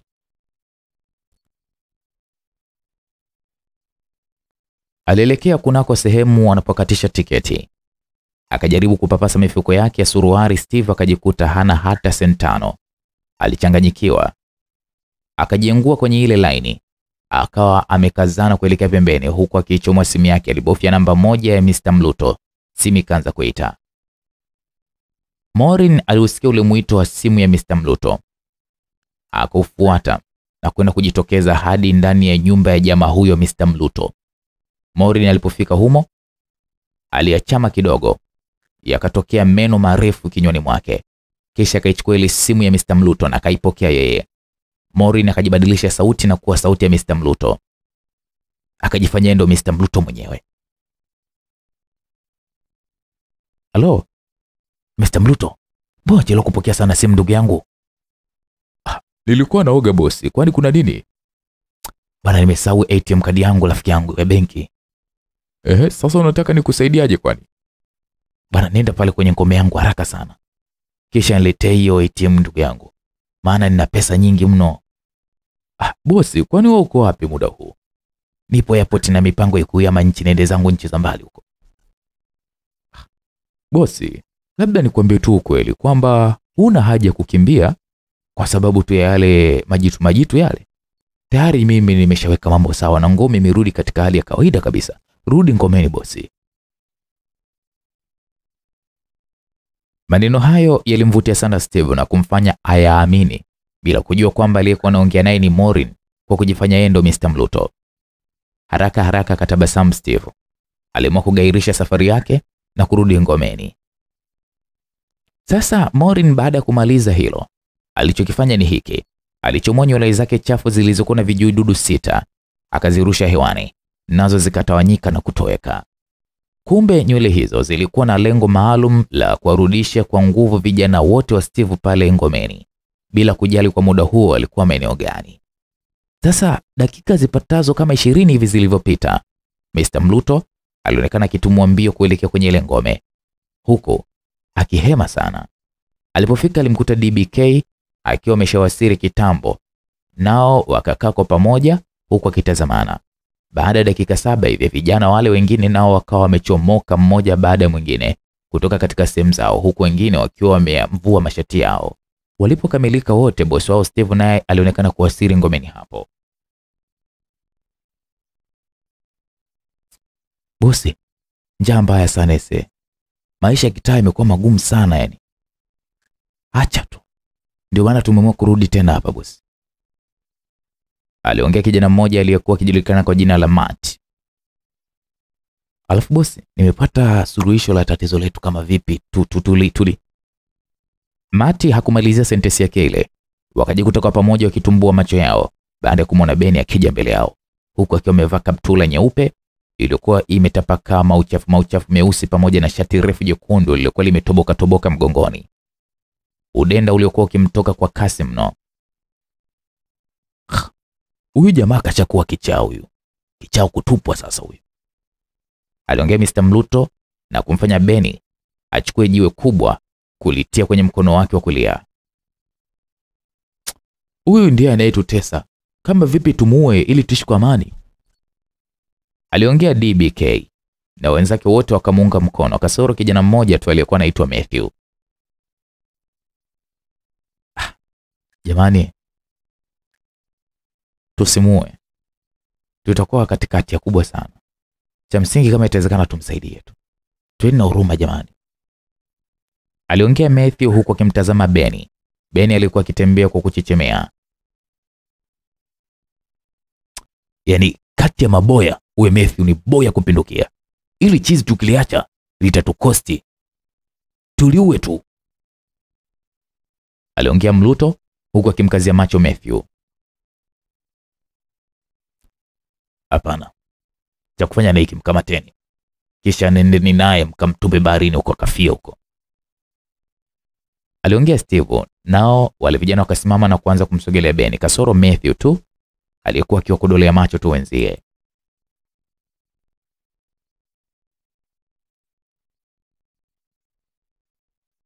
Walisogea haraka haraka, hatimaye wakawa wamemfikia Beni.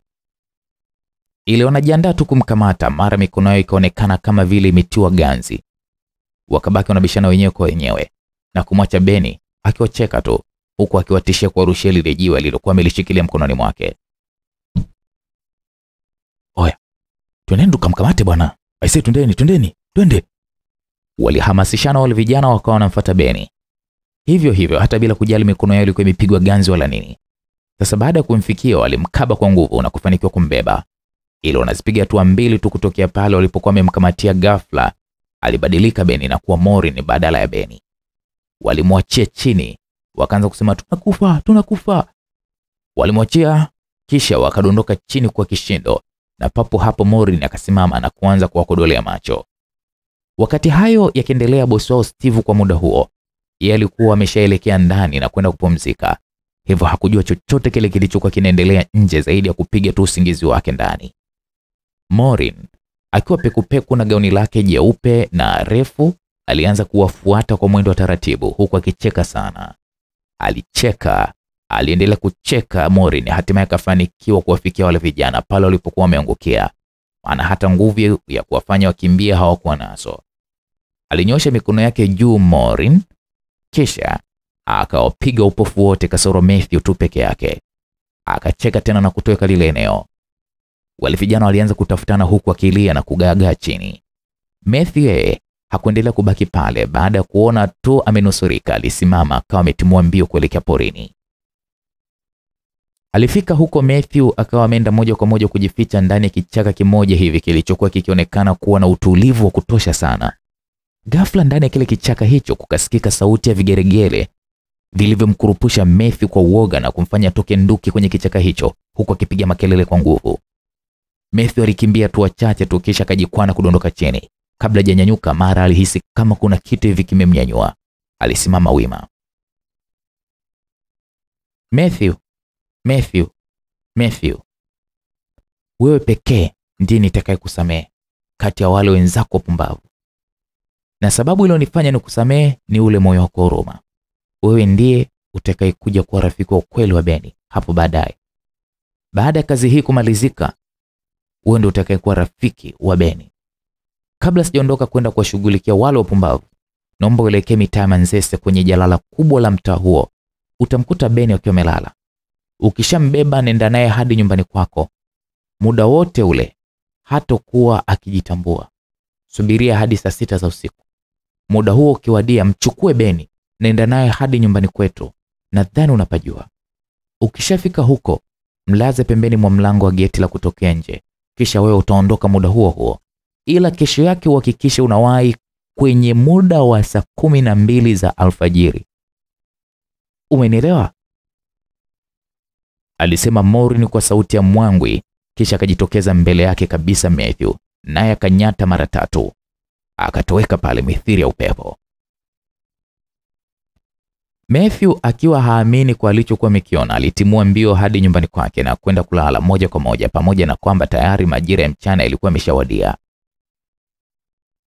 Baada ya Maureen kuondoka pale, alielekea tena hadi kwenye ngome ya Steve, na kwa mara hii alidhamiria kwenda kuwateketeza kabisa vijana wote wa Steve ili Steve mwenyewe awe wa mwisho kushughulikiwa, tena kwa uchungu zaidi. Maureen alifanikiwa kufika ndani ya ile ngome, akawa amesimama mbele ya vijana wale, kisha akajishika kiuno kana kwamba anawashangaa. Aliunyosha mkono wake wa kulia, akawafumbua macho wale vijana, nao wakawa wamesimama na kujaribu kukimbia. Walijaribu kufanya hivyo, lakini hawakuweza, maana miguu yao haikuwa na nguvu hata kidogo. Morin bila kupoteza muda alirusha juu vitu fulani hivi vya ajabu kweli, vikaenda kuwa nyonga shingoni kwa pamoja, wakadondoka chini na kupoteza maisha yao pale pale. Alinyanyua miili yao kisha akaivurumisha kwa hasira kama makaratasi, ikaenda kwa kasi mithili ya upepo, nayo ikaenda kudondoka ndani ya bahari ya Hindi na kuzama moja kwa moja.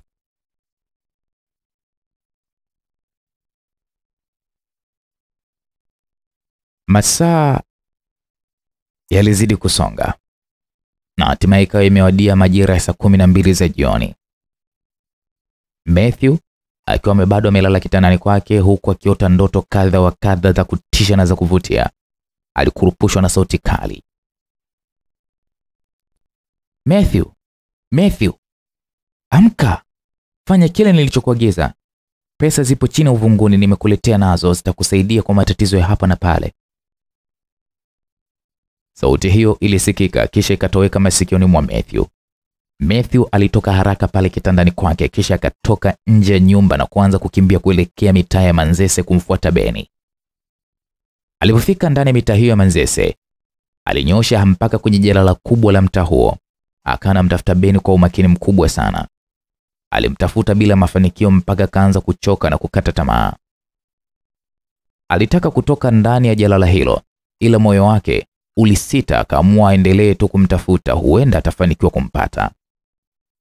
Akiwa anaendelea kufanya hivyo, mara kwa mbali akaona kitu kimelala mithiri ya mzoga, akaamua akifuate.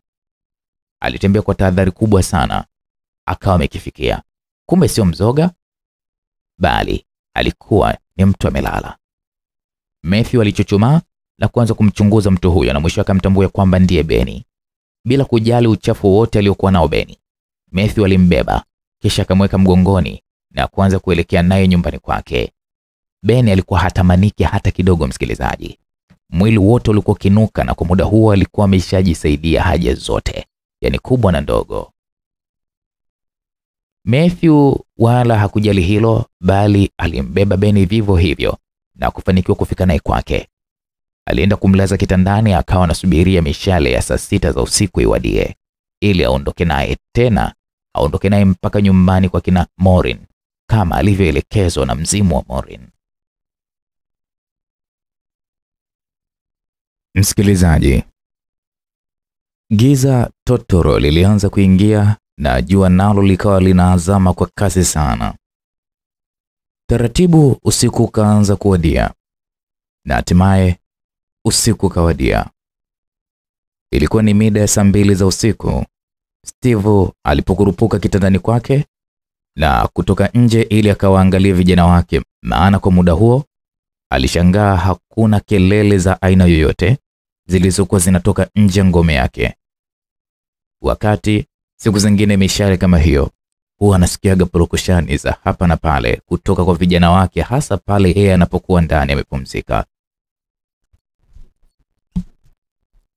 Steve alitoka nje kwa mwendo kunyata, huku akiangaza macho yake kwa tahadhari mno, ili ajiweke katika hali ya usalama zaidi.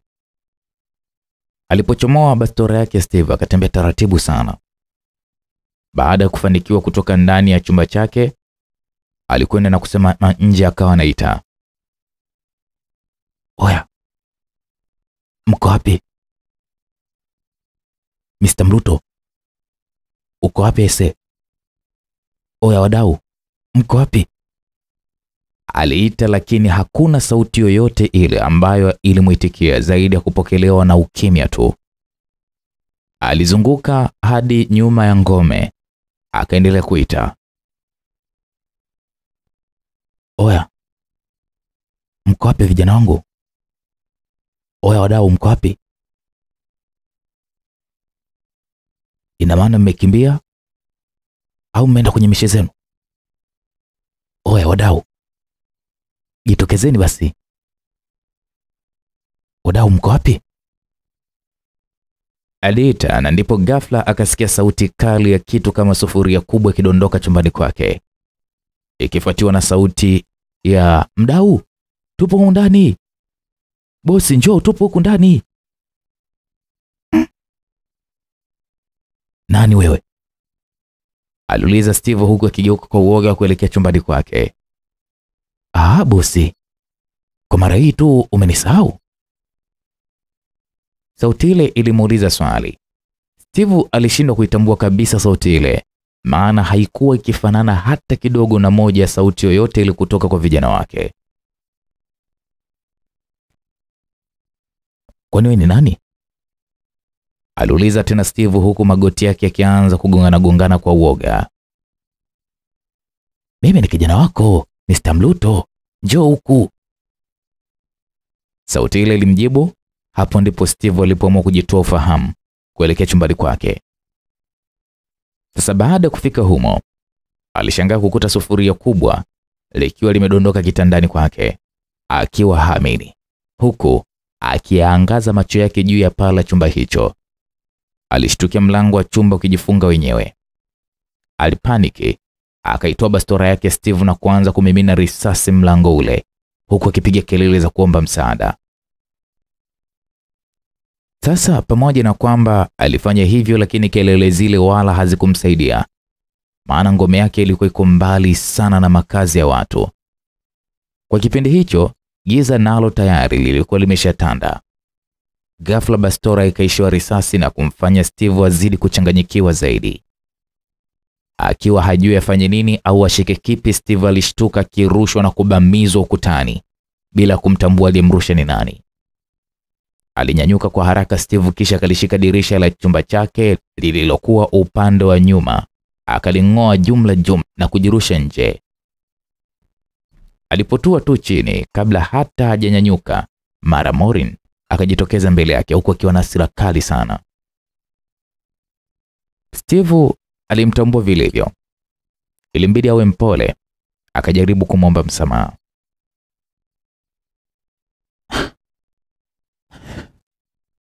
Nisamee Maureen, nisamee Maureen, nisamee. aliongea Steve huku kijasho chembamba kikianza kumtoka usoni. Kamwe sitokusamehe wewe, lazima nikuue ili ahadi yangu itimie, alisema Maureen, muda huo huo akianza kumfuata kwa mwendo kunyata. Maureen, nisamehe Maureen, sitorudia tena, nisamee. Alisema Steve huku akianza kulia kwa uchungu. Maskini ya Mungu, Morin hakumsikiliza Steve wala kumhurumia, bali aliendelea kumfuata hadi akamfikia. Baada ya kumfikia, alimnyanyua kwa juu kwa kutumia mkono wake wa kushoto, kisha akamkaba shingoni kwa nguvu na kumsukumiza kwenye mti mmoja mnene hivi uliokuwa umepakana na ukuta wa kile chumba. Baada ya kumsukumiza hapo, alimfuata tena. Morin, nisamee, nisamee Morin. Alizidi kuomba msamaha Steve. Sitaweza kukusamehe wewe, umeua watu wengi sana na umevunja uhusiano wangu mimi na Beni kwa kuutoa uhai wangu. Sasa leo na wewe ni lazima ukawasalimia kuzimu. Alipomaliza tu kuyazungumza hayo, alimkamata shingoni na kumlarua kwa makucha marefu, kisha akaing'oa shingo hiyo na akawa ameitenganisha na kiwiliwili. Hakuishia hapo, Morin alilipasua tumbo lake. Aliubeba mwili mzima mzima na kuurusha hewani. Mwili wa Steve uliruka na kupepea kama karatasi, ukaenda kudondoka katikati ya msitu mmoja mnene wa kutisha. Naye ameshalipa, aliongea Morin na kisha kutoweka pale kama mvuke. Baadaye alikuja kutokelezea tena kule msituni, akasimama mbele mzoga Steve na kuanza kuushuhudia mzoga huo ukishambuliwa na fisi waliokuwa wakiula na kuuzongazonga huku wakifukuzana. Kazi imeisha na jukumu langu limekamilisha, ila kabla sijarudi kaburini, lazima nimshuhudie Beni akiwa mzima tena. Aliongea Morin kisha akapotea pale na kutokomea sehemu za magharibi. Msikilizaji, basi bwana, stori inazidi kunoga, ngoja tuone mwisho wake. Baada ya masaa ya usiku kusogea sana, hatimaye saa tisa kamili iliwadia. Muda huo Matthew alikumbuka vilivyo maana yale maagizo kutoka kwa mzimu wa Morin hakuwa ameyasahau. Alimbeba Beni, hajitambui kabisa Beni. Alipombeba akafanikiwa kutoka naye nje ya chumba chake. Akasimama na kuonekana akiwaza kitu fulani kwa takriban dakika mbili. Alipiga moyo konde Matthew yule kijana, akaanza kuzipiga hatua kuelekea nyumbani kwa kina Morin. Alitembea kwa mwendo wa haraka haraka sana, na baada ya dakika kadhaa kupita alifika huko. Kabla hajamshusha Beni, aliangaza macho yake kulia na kushoto, na baada ya kujiridhisha hapakuwa na mtu yoyote yule maeneo yale, alimkimbiza haraka haraka Beni na akawa amemlaza karibu na mlango wa geti la kutokea. Alitazama tena kushoto na kulia, akamalizia na upande wa nyuma yake, na baada ya kujiridhisha alichomoka mbio kuondoka lile eneo kwa haraka sana. Alifanikiwa kufika kwake kwenye mishale ya saa saba kamili na bila kupoteza muda aliingia ndani na moja kwa moja akawa ameenda kumalizia usingizi wake. Ifikapo saa kumi na moja amke tena. Ilipowadia tu hiyo saa kumi na moja aliamka tena na kuanza kutembea kwa mwendo wa kukimbia kimbia kuelekea nyumbani kwa kina Morin. Matthew alifika nyumbani kwa kina Morin na kisha akajibanza ukutani kwa umakini zaidi akawa anasubiria wenyeji wa nyumba hiyo watoke ili naye ajitokeze endapo tu atamwona Beni eneo lile. Dakika ziliendelea kwenda, hatimaye saa kumi na mbili nayo ikaingia. Huku ndani alionekana Agnes, yule mfanyakazi wa ndani wa kutumainiwa katika familia hii, akizipiga hatua kuelekea kwenye mlango ule wa geti, huku kwenye mkono wake wa kulia akiwa ameshikilia ufagio mrefu kwa vile bado kwa kipindi chote kile tangia mama Morin amuue mlinzi wa getini hapakuwa amepatikana mlinzi mwingine. Agnes alifika hapo na kisha kuufungua huo mlango moja kwa moja. Baada ya kutoka tu alijikuta macho yakimtoka kwa uoga, na bila kutarajia alianza kupiga makelele mpaka ikasikika na kumkurupusha mama Morin aliyekuwepo amelala chumbani kwake.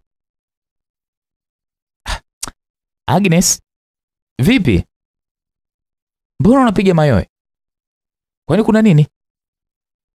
aliuliza mama Morin huku akikimbia kimbia kutoka ndani ya chumba chake. Mama, mama, mama, chouone uone, njoo jionee, aliongea Agnes huku akivirusharusha vidore vyake. Kwani kuna nini? aliuliza mama Morin huku akifika kwenye mlango ule wa geti. Beni mama, Beni, Beni mama aliongea Agnes, na muda huo huo Mathew akajitokeza pale alipokuwa amejificha. Beni, I can't believe, aliongea mama Morin, huku mapigo ya moyo wake akianza kwenda kwa kasi. Ndiyo mama, ni Beni, sijui upo hai, sijui amekufa, ni Beni, alizidi kupayuka Agnes. Hapo ndipo mama Morin alipotoka kwa haraka ndani ya geti lile na kujikuta naye akiyatumbua macho yake kwa uoga mno. Ha, Beni? Beni?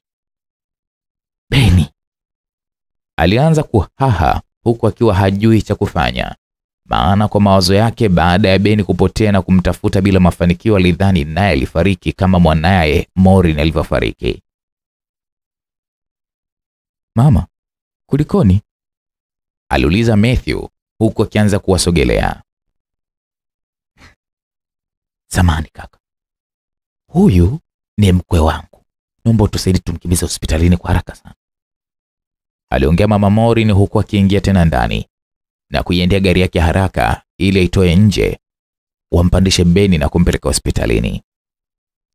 Aliwasha ile gari na kuitoa haraka humo, akawa ameisogeza pembeni kidogo na pale walipokuwapo watu hao. Walimbeba Beni na kumwingiza ndani ya gari, kisha mama Morin na Matthew wakapanda na kuingia humo ili waelekee moja kwa moja hospitalini.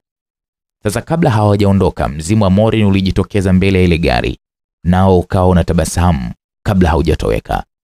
Hakuna hata mmoja ambaye aliuona mzimu huo. Mama, kama hamtojali, natamani na mimi niongozane na nyinyi kuelekea huko hospitalini. aliongea Agnes na kumfanya mama Morin atabasamu kidogo. Sasa wakati mama huyo akitabasamu, ule mzimu wa Morin ulijitokeza tena kwa mara hii, ulisimama nyuma ya gari na kuanza kutabasamu. Uliendelea kutabasamu kama dakika mbili hivi, baadaye ukapotea bila yoyote yule kumwona. Mwanangu, na usafi je? Au mwanangu ukirudi ndio utafanya usafi? aliuliza mama Morin huku akiendelea kutabasamu. Kwa muda wote ule, baada ya Morin kufariki dunia na kupita siku nyingi, Agnes, mfanyakazi wa ndani wa nyumba ile, alikuja kuonekana kama mbadala wa kuliziba pengo la Morin. Mbali na kwamba binti huyo mwenye umri wa miaka ishirini alikuwa ni mfanyakazi wa ndani tena wa muda mrefu, mama Morin alimchukulia yule Agnes kama mwanaye wa kumzaa, huku akijapiza ya moyoni mwake kutokuja kumpoteza kwa namna yoyote ile. Pia alipanga kumleta mfanyakazi mwingine wa ndani ili Agnes abaki kuwa mtoto wa pale na asimamie mambo makubwa ya kibiashara na masuala mengineo aliyokuwa yakimiliki mama Morin. Kitu pekee ambacho kilimfanya mama huyo ampende Agnes na kuamua kumfanya kuwa kama mwanaye, na kipindi chote hicho ndiye aliyekuwa akimfariji na kumliwadha, hasa pale tu anapomkumbuka mwanaye Morin. Sawa mama, kwa hilo wala hata usijali, nitakuja kuosha vyombo baadaye. aliongea Agnes naye akitabasamu na kuufanya mwenye wake uliobeba meno meupe uonekane wazi wazi. Au acha tu mwanangu Agnes, huyu Jimmy anayelala mpaka saa mbili akiamka ndiye atakayefanya mambo hayo ya usafi. Panda twende mwanangu. Agnes baada ya kuyasikia maneno yale kutoka kinywani mwa mama Morin alifurahi sana, kwani alijua tayari kashaanza kupendwa. Alionyesha tabasamu la dhahiri usoni mwake, kisha akaufungua mlango wa kushoto wa ile gari, akapanda moja kwa moja hadi ndani ya gari. Mama Morin vile ndiye aliyekuwa dereva, hakukawia sana, kwani aliwasha gari yake na kuondoka kuelekea huko hospitalini kumpeleka Beni akapate matibabu. Walitumia kama muda wa dakika 35 nao wakawa wamewasiri hospitalini. Wauguzi waliwapokea vizuri, kisha wakamchukua Beni na kuondoka naye kwenda kuanza kuangalia utaratibu wa kumfanyia matibabu. Wakati wakimpeleka huko, mama Morin alikuwa akiwafuata kwa nyuma pamoja na Matthew. Kisha wao hawakuingia ndani ya kile chumba cha wodi ambacho Beni alipelekwa. Walikaa kwenye benchi moja lililokuwa limepakana na ukuta wa chumba kile, wakawa wanazungumza mawili matatu. Agnes naye uvumilivu wa kukaa ndani ya gari ukamshinda, akaamua shuke humo aelekee kwa wawili hao ili naye akaungane nao katika kupanga mikakati yoyote ile waliokuwa wakiipanga. Agnes aliwafikia naye akakaa. Kijana, wewe unamfahamu Beni kama nani yako? aliuliza mama Mori ni muda huo akiwa ameshamshika mkono wa Agnes. Ah, mama, mimi Beni namfahamu kama rafiki yangu. Kiukweli, baada ya kumwona katika hali ile nilisikitika sana, maana sio Beni yule ambaye mimi namfahamu. Alizungea Matthew kwa sauti ya upole kidogo.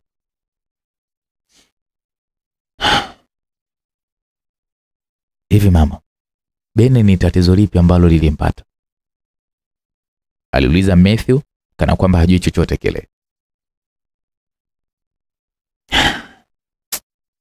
Acha tu mwanangu, hii ni zaidi ya stori, tena stori ya kusesemua Sitaki kujikumbusha machungu, ila yote kwa yote namwachia Mungu tu, maana yeye ndiye ajuaye, aliongea mama Morin, huku Agnes akianza kumpapasa papasa kifuani kama ishara ya kumtuliza asianze kukumbuka mwanaye kipenzi Morin ambaye alimtoka katika mazingira ambayo hakutarajia.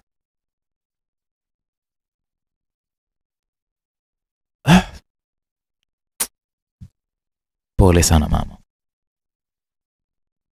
Naamini kabisa Mungu atakutia nguvu na katika hayo yote atakusaulisha machungu yote ulionayo, maana najua hii dunia tu hakuna namna, lazima tuendelee kuishi. Aliongea Matthew, nao wakaendelea kuzungumza na mambo mengineo mpaka zikakatika dakika 45 hivi. Kwenye dakika ya hamsini na saba alitoka daktari mmoja akamuita mama Morin hadi ofisini kwake. Mama huyo aliyesimama haraka haraka akiwa ameongozana na daktari hadi ndani ya ofisi ile.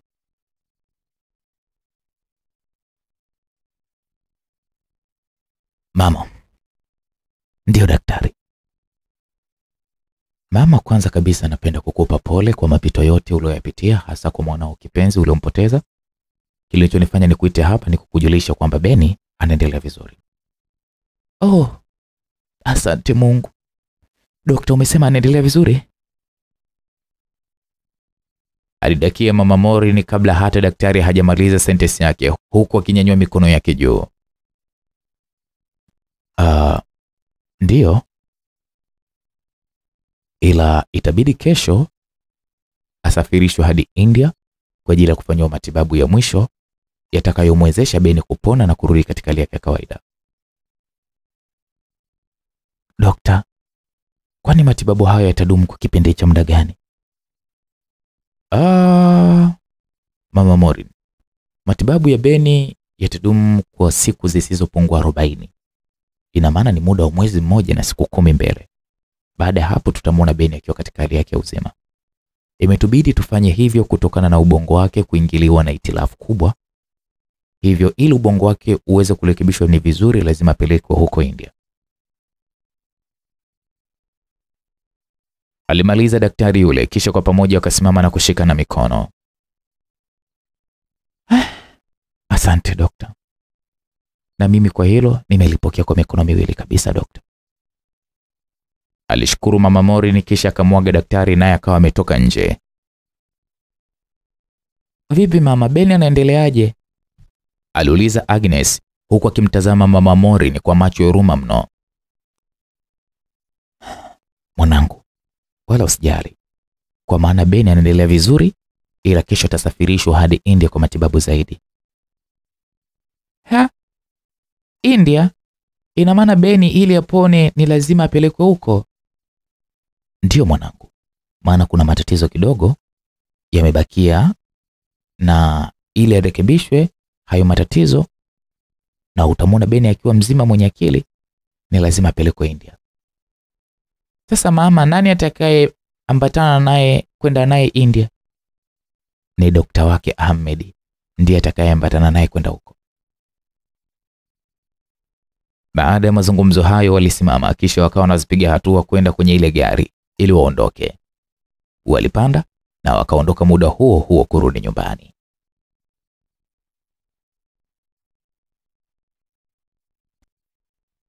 Kesho yake ilipofika alfajiri na mapema, Beni alisafirishwa hadi nchini India kwa ajili ya kufanyiwa matibabu zaidi. Kwa upande wa familia ya mama Morin, uchungu ulianza kufifia taratibu na mambo yakawa yanaenda vizuri kabisa bila ya pingamizi chochote kile. Matthew ambaye ndiye rafiki mpya mtarajiwa wa Beni, kila siku alianza kuitembelea familia ile mpaka ikafikia kipindi akawa kama mtoto wa pale. Tabasamu la mama Morin likarudi kutokana na vijana hao wawili, yani Matthew na Agnes, kumfaridi vya kutosha na kumsaurisha uchungu wote. Kidogo kidogo, hata ile tabia ya ukali aliiacha, akabadilika na kuwa mama ukweli wa kuigwa. Aliokoka na akawa miongoni mwa washirika wazuri wa Yehova, akiambatana na Agnes kuhudhuria kanisani kila iitwayo Jumapili. Tunda la upendo lilichipukia kwa kasi moyoni mwa mama huyo, naye akampenda zaidi Agnes na kumwahidi hatomnenea ubaya wowote ule. Pamoja na kwamba binti huyo hakuwa na wazazi zaidi ya bibi yake tu mzaa mama, Mama Morin aliapa kumhudumia Agnes kama mwanaye wa kumzaa. Basi waliendelea kuishi kwa amani na upendo wa hali ya juu sana, na siku nazo zikawa zinazidi kupita, moja baada ya moja, wiki baada ya wiki. Mama Morin alileta mfanyakazi mwingine wa ndani. Mfanyakazi huyo alipoletwa, Agnes alipumzishwa na kumfanya rasmi sasa Agnes kuwa mtu ambaye anasimamia miradi mbalimbali ya kibiashara ambayo anaikuwa anaifanya Mama Morin. Pia Agnes akafundishwa hadi kuendesha gari na mwishowe akaja kukabidhiwa funguo ya gari yake mpya kabisa kwa ajili ya usafiri wake binafsi. Agnes alianza kunawiri maradufu na urembo wake na ukawa unaonekana. Ikafikia kipindi akawa mrembo sana Agnes kuliko hata Morin mwenyewe. Wiki mbili baadaye, kabla ya zile wiki zingine kutimia, ili Beni arudishwe kutoka nchini India, mzimu wa Morin ulijitokeza katikati ya bustani ya familia hiyo na kumkuta Agnes akijisomea kitabu chake alichokuwa kikipenda sana. Kwa muda wote ule mzimu wa Morin ulikuwa kimya tu, maana ulikuwa ukitokwa na machozi ya uchungu, na Agnes wala hakuona, kwa maana alikuwa bize sana akiendelea kusoma kitabu chake cha hadithi. Sasa mzimu wa Morin ulibaki sana kimya, hatimaye ukaamua kuvunja ule kimya. Akaanza kumuita Agnes. Agnes. Morin aliita huku machozi yakiendelea kumtoka kwa uchungu. Sauti ile ilimkurupusha Agnes, maana aliitambua vilivyo kwamba ni sauti ya marehemu Morin. Agnes aligeuka nyuma na kuanza kuyangaza macho yake huku na huko, hatimaye akamwona Morin akiwa amevalia gauni jeupe. Agnes aliogopa sana, lakini Morin akamtuliza na kumsia asiogope. Usiogope Agnes, mimi ni Morin.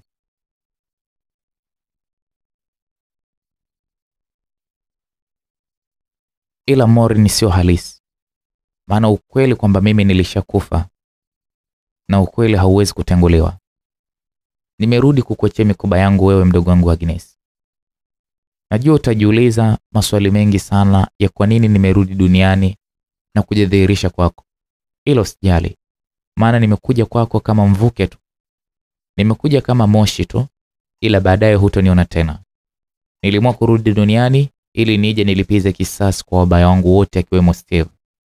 Steve ndiye aliyeniua mimi kwa kunibaka kwa nguvu zote, tena bila huruma na vijana wake. Alikuja kutudanganya mimi na Beni kwamba ananihitaji mimi ili nikamuunguze mke wake. Badala yake hakufanya hivyo zaidi ya kutoa uhai wangu. Hivyo basi, Beni hana makosa yoyote yale na ni kiumbe asiyekuwa na hatia ya kumfanya hukumiwe. Sasa mdogo wangu, huu ni muda wa wewe kumfariji Beni na kumsaurisha uchungu wote wa kunipoteza mimi, japo haitokuwa rahisi kunisahau. Mfurahishe Beni kwa kadri uwezo wako, naye ataipata faraja na furaha katika maisha yake. Ni hayo tu mdogo wangu, mimi narudi kaburini. Hilo simwambie mama chochote kile, wala Beni usije ukamwambia chochote kile. Hii ibaki kwa siri yako.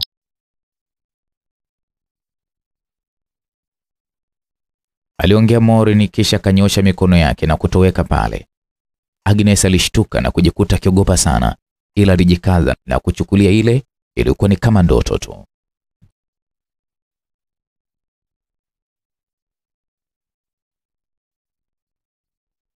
Baada ya siku arobaini kutimia, alionekana Beni akiingia ndani ya geti la nyumba ya mama yake na Morin, huku akiwa ameambatana na Dr. Ahmed. Beni alikuwa amevalia suti yake nzuri yenye rangi ya bluu, huku akionekana kuwa bonge la handsome kuzidi hata alivyokuwa mwanzo. Alikuwa amepona kabisa na hakuwa na dosari yoyote ile katika mwili wake. Sasa wakawa wanazidi kusogea. Waliposogea kulifikia jumba lile la kifahari, walisimama na kuanza kubisha hodi. Mtu wa kwanza kusikia sauti hizo alikuwa ni Jimmy. Alipotoka nje hakuyaamini macho yake kabisa. Ha? Chembeni? Hivi ni wewe kweli ama macho yangu yanandanganya? Aliuliza Jimmy huku akimtazama mara mbili mbili Beni. Ni mimi shemeji, mimi ndiye Beni. Du, I say. Aliongea Jimmy kwa mshangao. Mke wangu Maureen nimemkuta, maana kumbukumbu zangu zinaniambia nilimkuta barabarani akiwa jitambui. Aliongea Beni. Muda huo huo Agnes alifika lile eneo na kumshika mkono Beni ili akaketi naye bustanini. Dokta, tunashukuru sana, aliongea Agnes huku akianza kuondoka na Beni kuelekea bustanini. Kabla hawajafika huko bustanini, Agnes akiwa amemshika mkono Beni aligeuka na kisha kumpungia mkono wa kwaheri Dr. Ahmed ambaye kwa muda huo alikuwa akiishilia kutabasamu tu. Dokta, asante sana kwa wema huu uliotutendea, japo hatuna cha kukulipa, ila Mungu ndiye atakayekulipa. Tunakuombea maisha marefu na afya njema katika dunia hii, alisema Agnes, na muda huo huo Beni akageuka na kumtazama Dr. Ahmed. Uh, dokta, mdhani kwa upande wangu sina budi kushukuru kwa kunisaidia katika kipindi kile kigumu nilichokuwa nacho. Mungu na akubariki sana tena sana, na baraka zake ziwe juu yako. Nitakutembelea siku nyingine ili tuje tuongee zaidi. Ah, Beni, asante sana. Agnes, asante pia. Huu ulikuwa ni wajibu wangu tu, na ndio kazi yangu ya udaktari kuhakikisha afya za watu zipo madhubuti, na hili sio kwamba tunalifanya tu kwa kutegemea akili zetu, huwa tunamtegemea sana Mungu, kwa maana yeye ndiye mwezo wa yote. Aliongea Dr. Ahmed huku akianza kuzipiga hatua za mwendo taratibu. Beni, uh, Mungu na azidi kukutia nguvu katika maisha yako. Tutaonana tena Mungu mwenye akipenda. Shukrani dokta, alisema Dr. Hamed, kisha wakaagana na Beni akaondoka na kutoka nje ya geti. Alielekea hadi kunako gari yake, akaenda na akapanda na akaondoka. Muda huo huo alirudi kazini kwake kuendelea na majukumu yake kila siku. Huku nyuma, baada ya dokta kuondoka, Agnes na Beni walifika pale garden, wakakaa kwa kutazamana kwanza. Pole sana Beni kwa yote ambayo uh, kwa yote ambayo yaliyokupata. Najua hayo yalikuwa ni mapito tu. aliongea Agnes huku akimshika kwenye bega la kila kushoto Beni. Nishapona Agnes, ila Mori ni mke wangu yuko wapi? aliuliza Beni na kumfanya Agnes ajinamie. Aliinua kichwa chake na kuanza kumtazama sana usoni. Alishindwa anzie wapi, ila alijikaza na kuamua kufunguka tu ukweli wote. Beni, Morin tulishamzika mwaka mmoja sasa umepita, na ndio maana nikaanza kwa kukupa pole kwa yote uliokuwa umeyapitia. Baada ya Agnes kuyaongea hayo, Ben alianza kukumbuka hapo hapo matukio yote kuhusiana na Maureen mke wake. Akakumbuka jinsi ilivyokuwa. Ni kweli Morin alifariki, tena alifariki mbele ya macho yake mawili. Kwa uchungu, Ben alijinamia, kisha chozi likawa linamtoka. Ikafikia kipindi akawa analia, akawa analia kabisa, mithiri ya mtoto mdogo. Agnes aliuvaa ujasiri wa hali ya juu, akamsimamisha Beni na kuanza kumtuliza na kumkumbatia. Pole Beni, najua una uchungu mzito sana kwa kumpoteza Morin, ila ndio imeshatokea. Hatuna budi kukubali tu ukweli. Ninachokijua mimi, hii ni njia yoyote. kwani hapa duniani sisi ni wapitaji tu na makao yetu ya milele yapo mbinguni. Morin ametangulia, nasi tutamfuata. Ukiendelea kulia Beni, hata mimi pia utanifanya nilie, maana binafsi sipendi kukuona ukiwa katika hali hii. Ya dunia ni mengi Beni, nyamaza, usilie. Agnes kwa sauti ya upole alimbembeleza sana Beni mpaka akafanikiwa kumtuliza. Beni alinyanyua uso wake akawa anamtazama Agnes. Agnes naye vivyo hivyo akawa anamtazama pia Beni, japo yeye alikuwa na aibu fulani hivi ya kike. Waliendelea kutazamana huku Beni akianza kufarijika.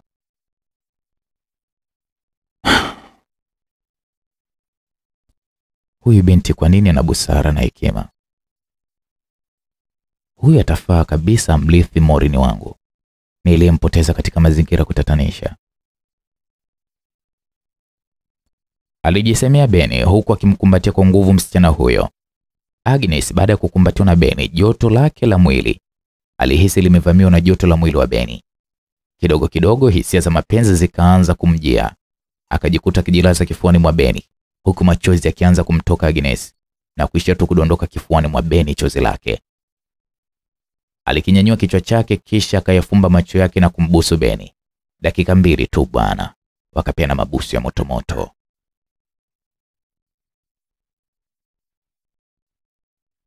Beni, nikabidhi mimi moyo wako Beni, ili nami nikukabidhi moyo wangu. Hisia za mapenzi zote zimemia kwako. Nitakufariji na kukusaurisha uchungu wako wote, na nitakupenda daima. Nitaendelezea pale alipoishia Morin, nami nitakuwa mama watoto wako, na wewe nitakuita baba watoto wangu. Agnes, wewe ndiye mrithi wa Morin. Naomba tuungane kwa pamoja ili tuyaendeleze maisha yetu ya hapa duniani. Waliendelea kupiga stori zingine huku wakifurahi na kucheka kwa pamoja na wakati mwingine kutaniana. Msikilizaji, basi kwa upande mwingine Agnes na Beni, penzi baina yao liliendelea kunawiri huku akizidi kupendana maradufu.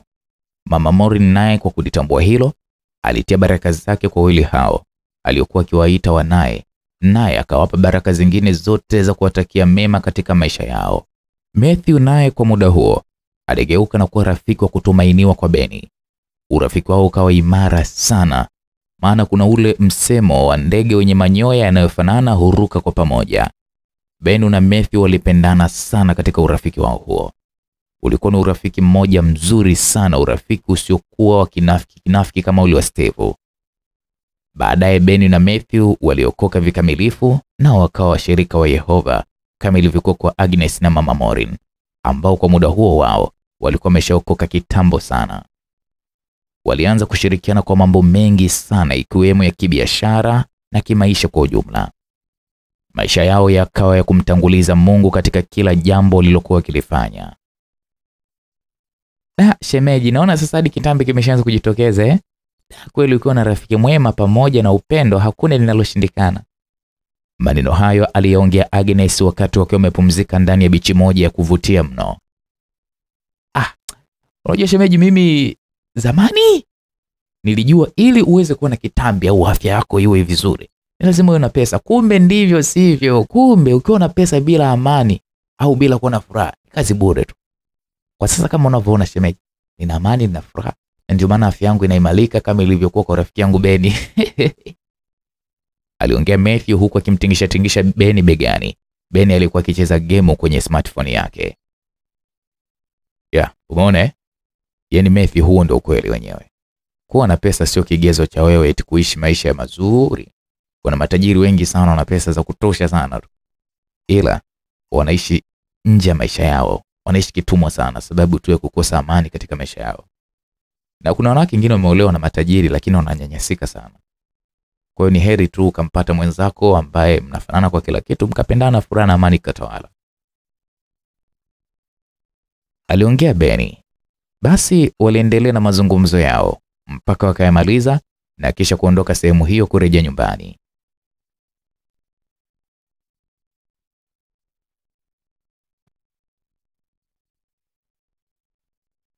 Msikilizaji, miezi saba baadaye,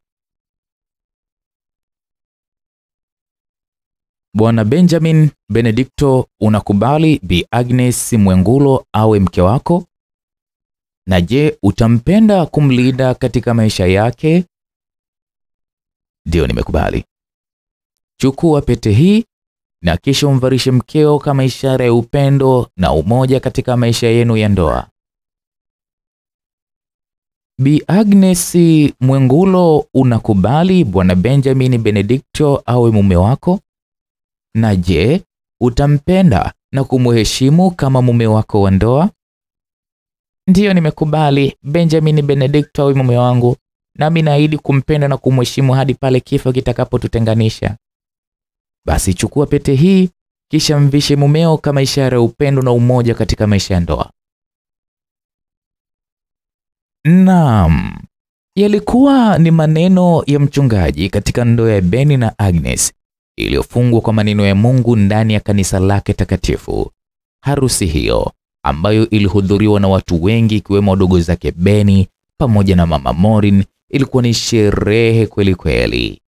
Ilikuwa ni sherehe moja ya kipekee sana kuwahi kutokea. Ndoa hiyo ilifungwa na ikawa imeshahalalishwa kwamba sasa Beni na Agnes ni wanandoa.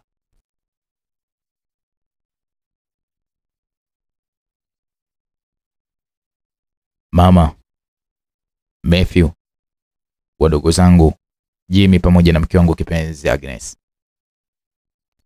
Leo hii natamani yazungumze maneno haya mbele ya mboni za macho yenu. Nimegundua kumbe katika maisha ya hapa duniani ni bora uwe na rafiki mchafu na maskini utaishi naye kwa amani kuliko kuwa na rafiki mwenye pesa ambaye atakufanya uishi naye kwa mashaka. Steve, mimi naye tulitoka mbali sana. Hata siku moja sikuzani kama angekuja kunifanyia ubaya wote ule alionifanyia, ila napenda niseme tu kwamba kokote kule alipo, Mungu amrehemu, maana hakuwa anajua alilokuwa nalitenda. Ni kweli Maureen alinitoka katika kipindi kigumu sana, tena kwa kifo cha uchungu na mateso, ila anajua kokote kule alipo, Mungu tayari ameshaiweka roho yake mahali pema peponi. Nikiwa naishi naye katika maisha yetu, ni mambo mengi sana ambayo tuliyapanga, ikiwemo kuzaa watoto watakaokuja kutusaidia baadaye, ila ndo hivyo tena, kaburi limeshammeza. Sasa Mungu amenijalia neema nyingine tena ya kunipa mke mwema, mke mwenye hulka ya Maureen ambaye ni Agnes. Nampenda sana Agnes na nitazidi kumpenda hadi mwisho wa maisha yangu, ila Maureen, na hapa sitolisahau jina lako. Na kukuzingatia hilo, endapo Mungu atanijalia mimi na mke wangu Agnes kumpata mtoto wa kike, tutamwita jina la Maureen kama kumbukumbu isiyofifia, na mtoto huyo atakuwa ni zawadi kwako wewe na mama yangu Bimeri, mzaa Chema, ambaye chema chenyewe hakikudumu hapa duniani. Maneno hayo aliyaongea Beni wakati akiwa ameketi mbele ya watu wake hao ndani ya jumba la kifahari. Alitoa ahadi hiyo na historia ikaandikwa, likabaki ni swala la muda tu. Siku moja ya Jumamosi mnamo majira ya saa kumi za jioni, Beni, Agnes pamoja na Matthew walionekana bwana, wakizimalizia kuzipiga hatua za mwendo wa polepole kuliendea kaburi ambalo Morin alizikwa, wakiwa na mashada gharama kwa ajili ya kwenda kuyaongezea pale kama ishara ya upendo waliokuwa nao kwa binti Morin ambayo uhai wake ulidhurumiwa.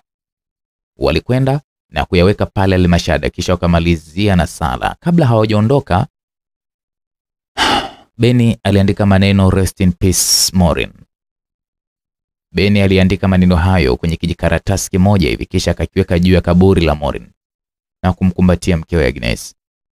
Agnes naye akampokea na wote kwa pamoja wakabaki wanalia. Matthew aliongezeka pale, naye akawakumbatia wenzake huku akiwautuliza. Walipoachiana walianza kuondoka polepole maeneo ya makaburini. Twende mume wangu Beni, tukaendeleze maisha, maana jua bado linaendelea kuchomoza. Maisha yapo na yataendelea kuwepo. Siku zetu zikisha nasi tutaifuata njia ya utimilifu aliyoenda Morin, aliongea Agnes, kisha wakashikana mikono na kuondoka pale kurejea kwao kuendelea na maisha. Na huu ndio mwisho wa hii simulizi niliyokusimulia. Naitwa Uncle J. Tukutane katika simulizi nyingine itakayokujia hapa hapa kupitia Simulizi Mix. Mimi unaweza ukanipata pale Instagram. Ukiingia Instagram, andika kwa Kiswahili, yaani unavyonitafuta, andika spelling zako zile, ziandike kwa Kiswahili Uncle J, na pia Twitter utanipata hivyo hivyo Uncle J. Asante kwa kuwa pamoja nami.